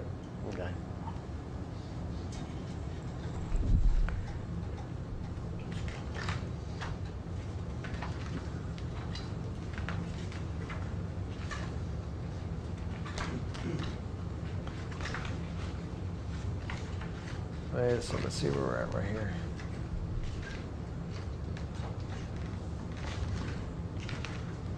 Okay, we're almost through this. Um, I'm on page six. I've already talked about what the truth is. What is the truth? How do we determine what the truth is? Whatever works. What's that? I like this because if you go to the market every day and you say anything can happen, and I can be right every single day. That's If right. Anything can happen. If I believe that doesn't matter what happens, then I'm right because that's that's just what is. That's right. See, you're, you're going to be right every day because as long as I believe that something is ha- going to happen, anything can happen or something is going to happen, I'm always right. I'm, I'm never wrong. But it's the truth. I'm expecting something to happen and I'm never wrong. Whether you're making money or not, the whole other. That's true. But at least I don't have this, but at least I've taken away this potential to define and interpret information in a painful way. My expectation's always being fulfilled.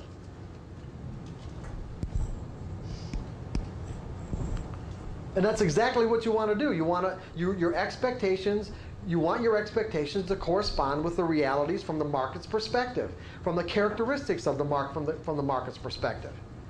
The market can do anything, and regardless of what pattern may, it may be presenting in any given moment, the outcome could be anything, right? So therefore, it can do anything. I expect it to do something. The only thing that where I'd be disappointed is if it dead just dead stopped. Okay? That that would not conform to my expectation.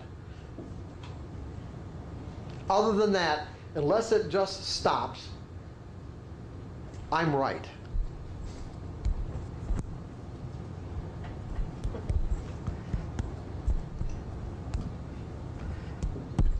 And see, I've also taken away any responsibility towards or being responsible for what the market does. I am not responsible for what the market does.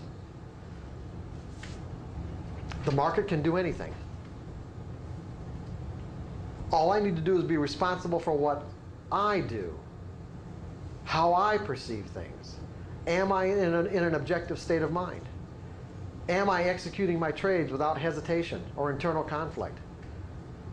Am I making errors? Am I following my plans? Do I have a plan? Why am I here? That's right. Why am I here? I'm not worthy.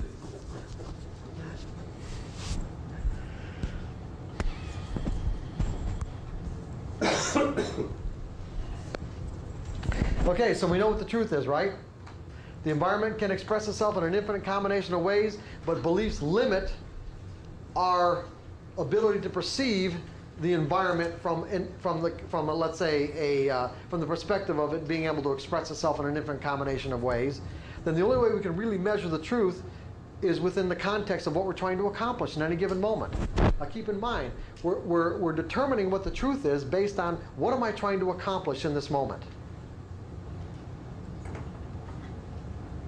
What am I trying to accomplish? Well, well, yeah, ultimately, but you know that's good to make money. But keep in mind something, John. Okay, you want to keep money as a byproduct. What you're trying to accomplish are acquiring skills. Okay, acquiring skills will will make money a byproduct of whatever skills you've acquired, as opposed to focusing on the money. So the truth is relative to what am I trying to accomplish, and do my beliefs correspond with the, the characteristics and properties of the environment that I'm operating in at any given moment. What were you going to say, Louis? Mark said that mo- making money wasn't our goal. Our goal is to be in the zone, and then money will come to people in the zone. Right, that's for Shouldn't sure. use money as the objective. Ultimately, yeah, it can be an objective. No, that's not really true because we can set we can set money goals. We absolutely As an occupation, you have to have some, you know, it's like Tony Robbins says, if you sit there and meditate all day, they'll soon take you out on your sofa because you haven't paid your bills. That's right. So there has to be a certain level of financial stability to the occupation. Right. Otherwise, acquiring skills and scratching every trade, Well, you're acquiring skills. I'm assuming you're not scratching every trade. no, I'm saying, Yeah. but the, at the very end of the day, Yeah, I agree. right? You're right. Because you can't. I, that's the way I keep. That's the way I keep score. I love keeping score. Right. I do. I just, you know, I really do. You're focusing on money in the long run, but necessarily. Yeah, that's, yeah, you're absolutely right. In other words, you can set money goals for yourself. You can set even daily goals or weekly goals as long as, as long as you have these goals. Um, how do I put it? Um,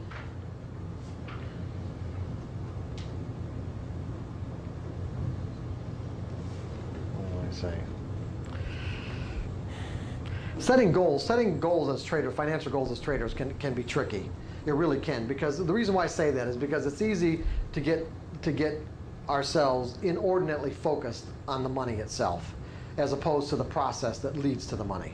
Normally what I do when we talk about financial goals is just say set the goal, focus on it, maybe meditate on it for 3 or 4 minutes, see your see your account at that level whatever whatever your goal is and, and whatever time frame it's in and then just let it go and just trust that that whatever whatever needs to be done and whatever you need to see to get to that goal will will happen without focusing on the goal itself other than in that moment when you're when you're putting it out there.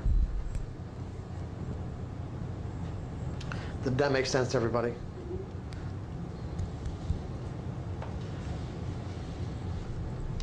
Okay, so I said that the truth, we determine the truth based, you know, relative to what we're trying to accomplish in any given moment, and that the truth is what works. If we experience satisfaction, it works. If we don't, to whatever degree we don't, then whatever beliefs we're operating out of, we're not necessarily the truth in those, in that, under those circumstances in that situation.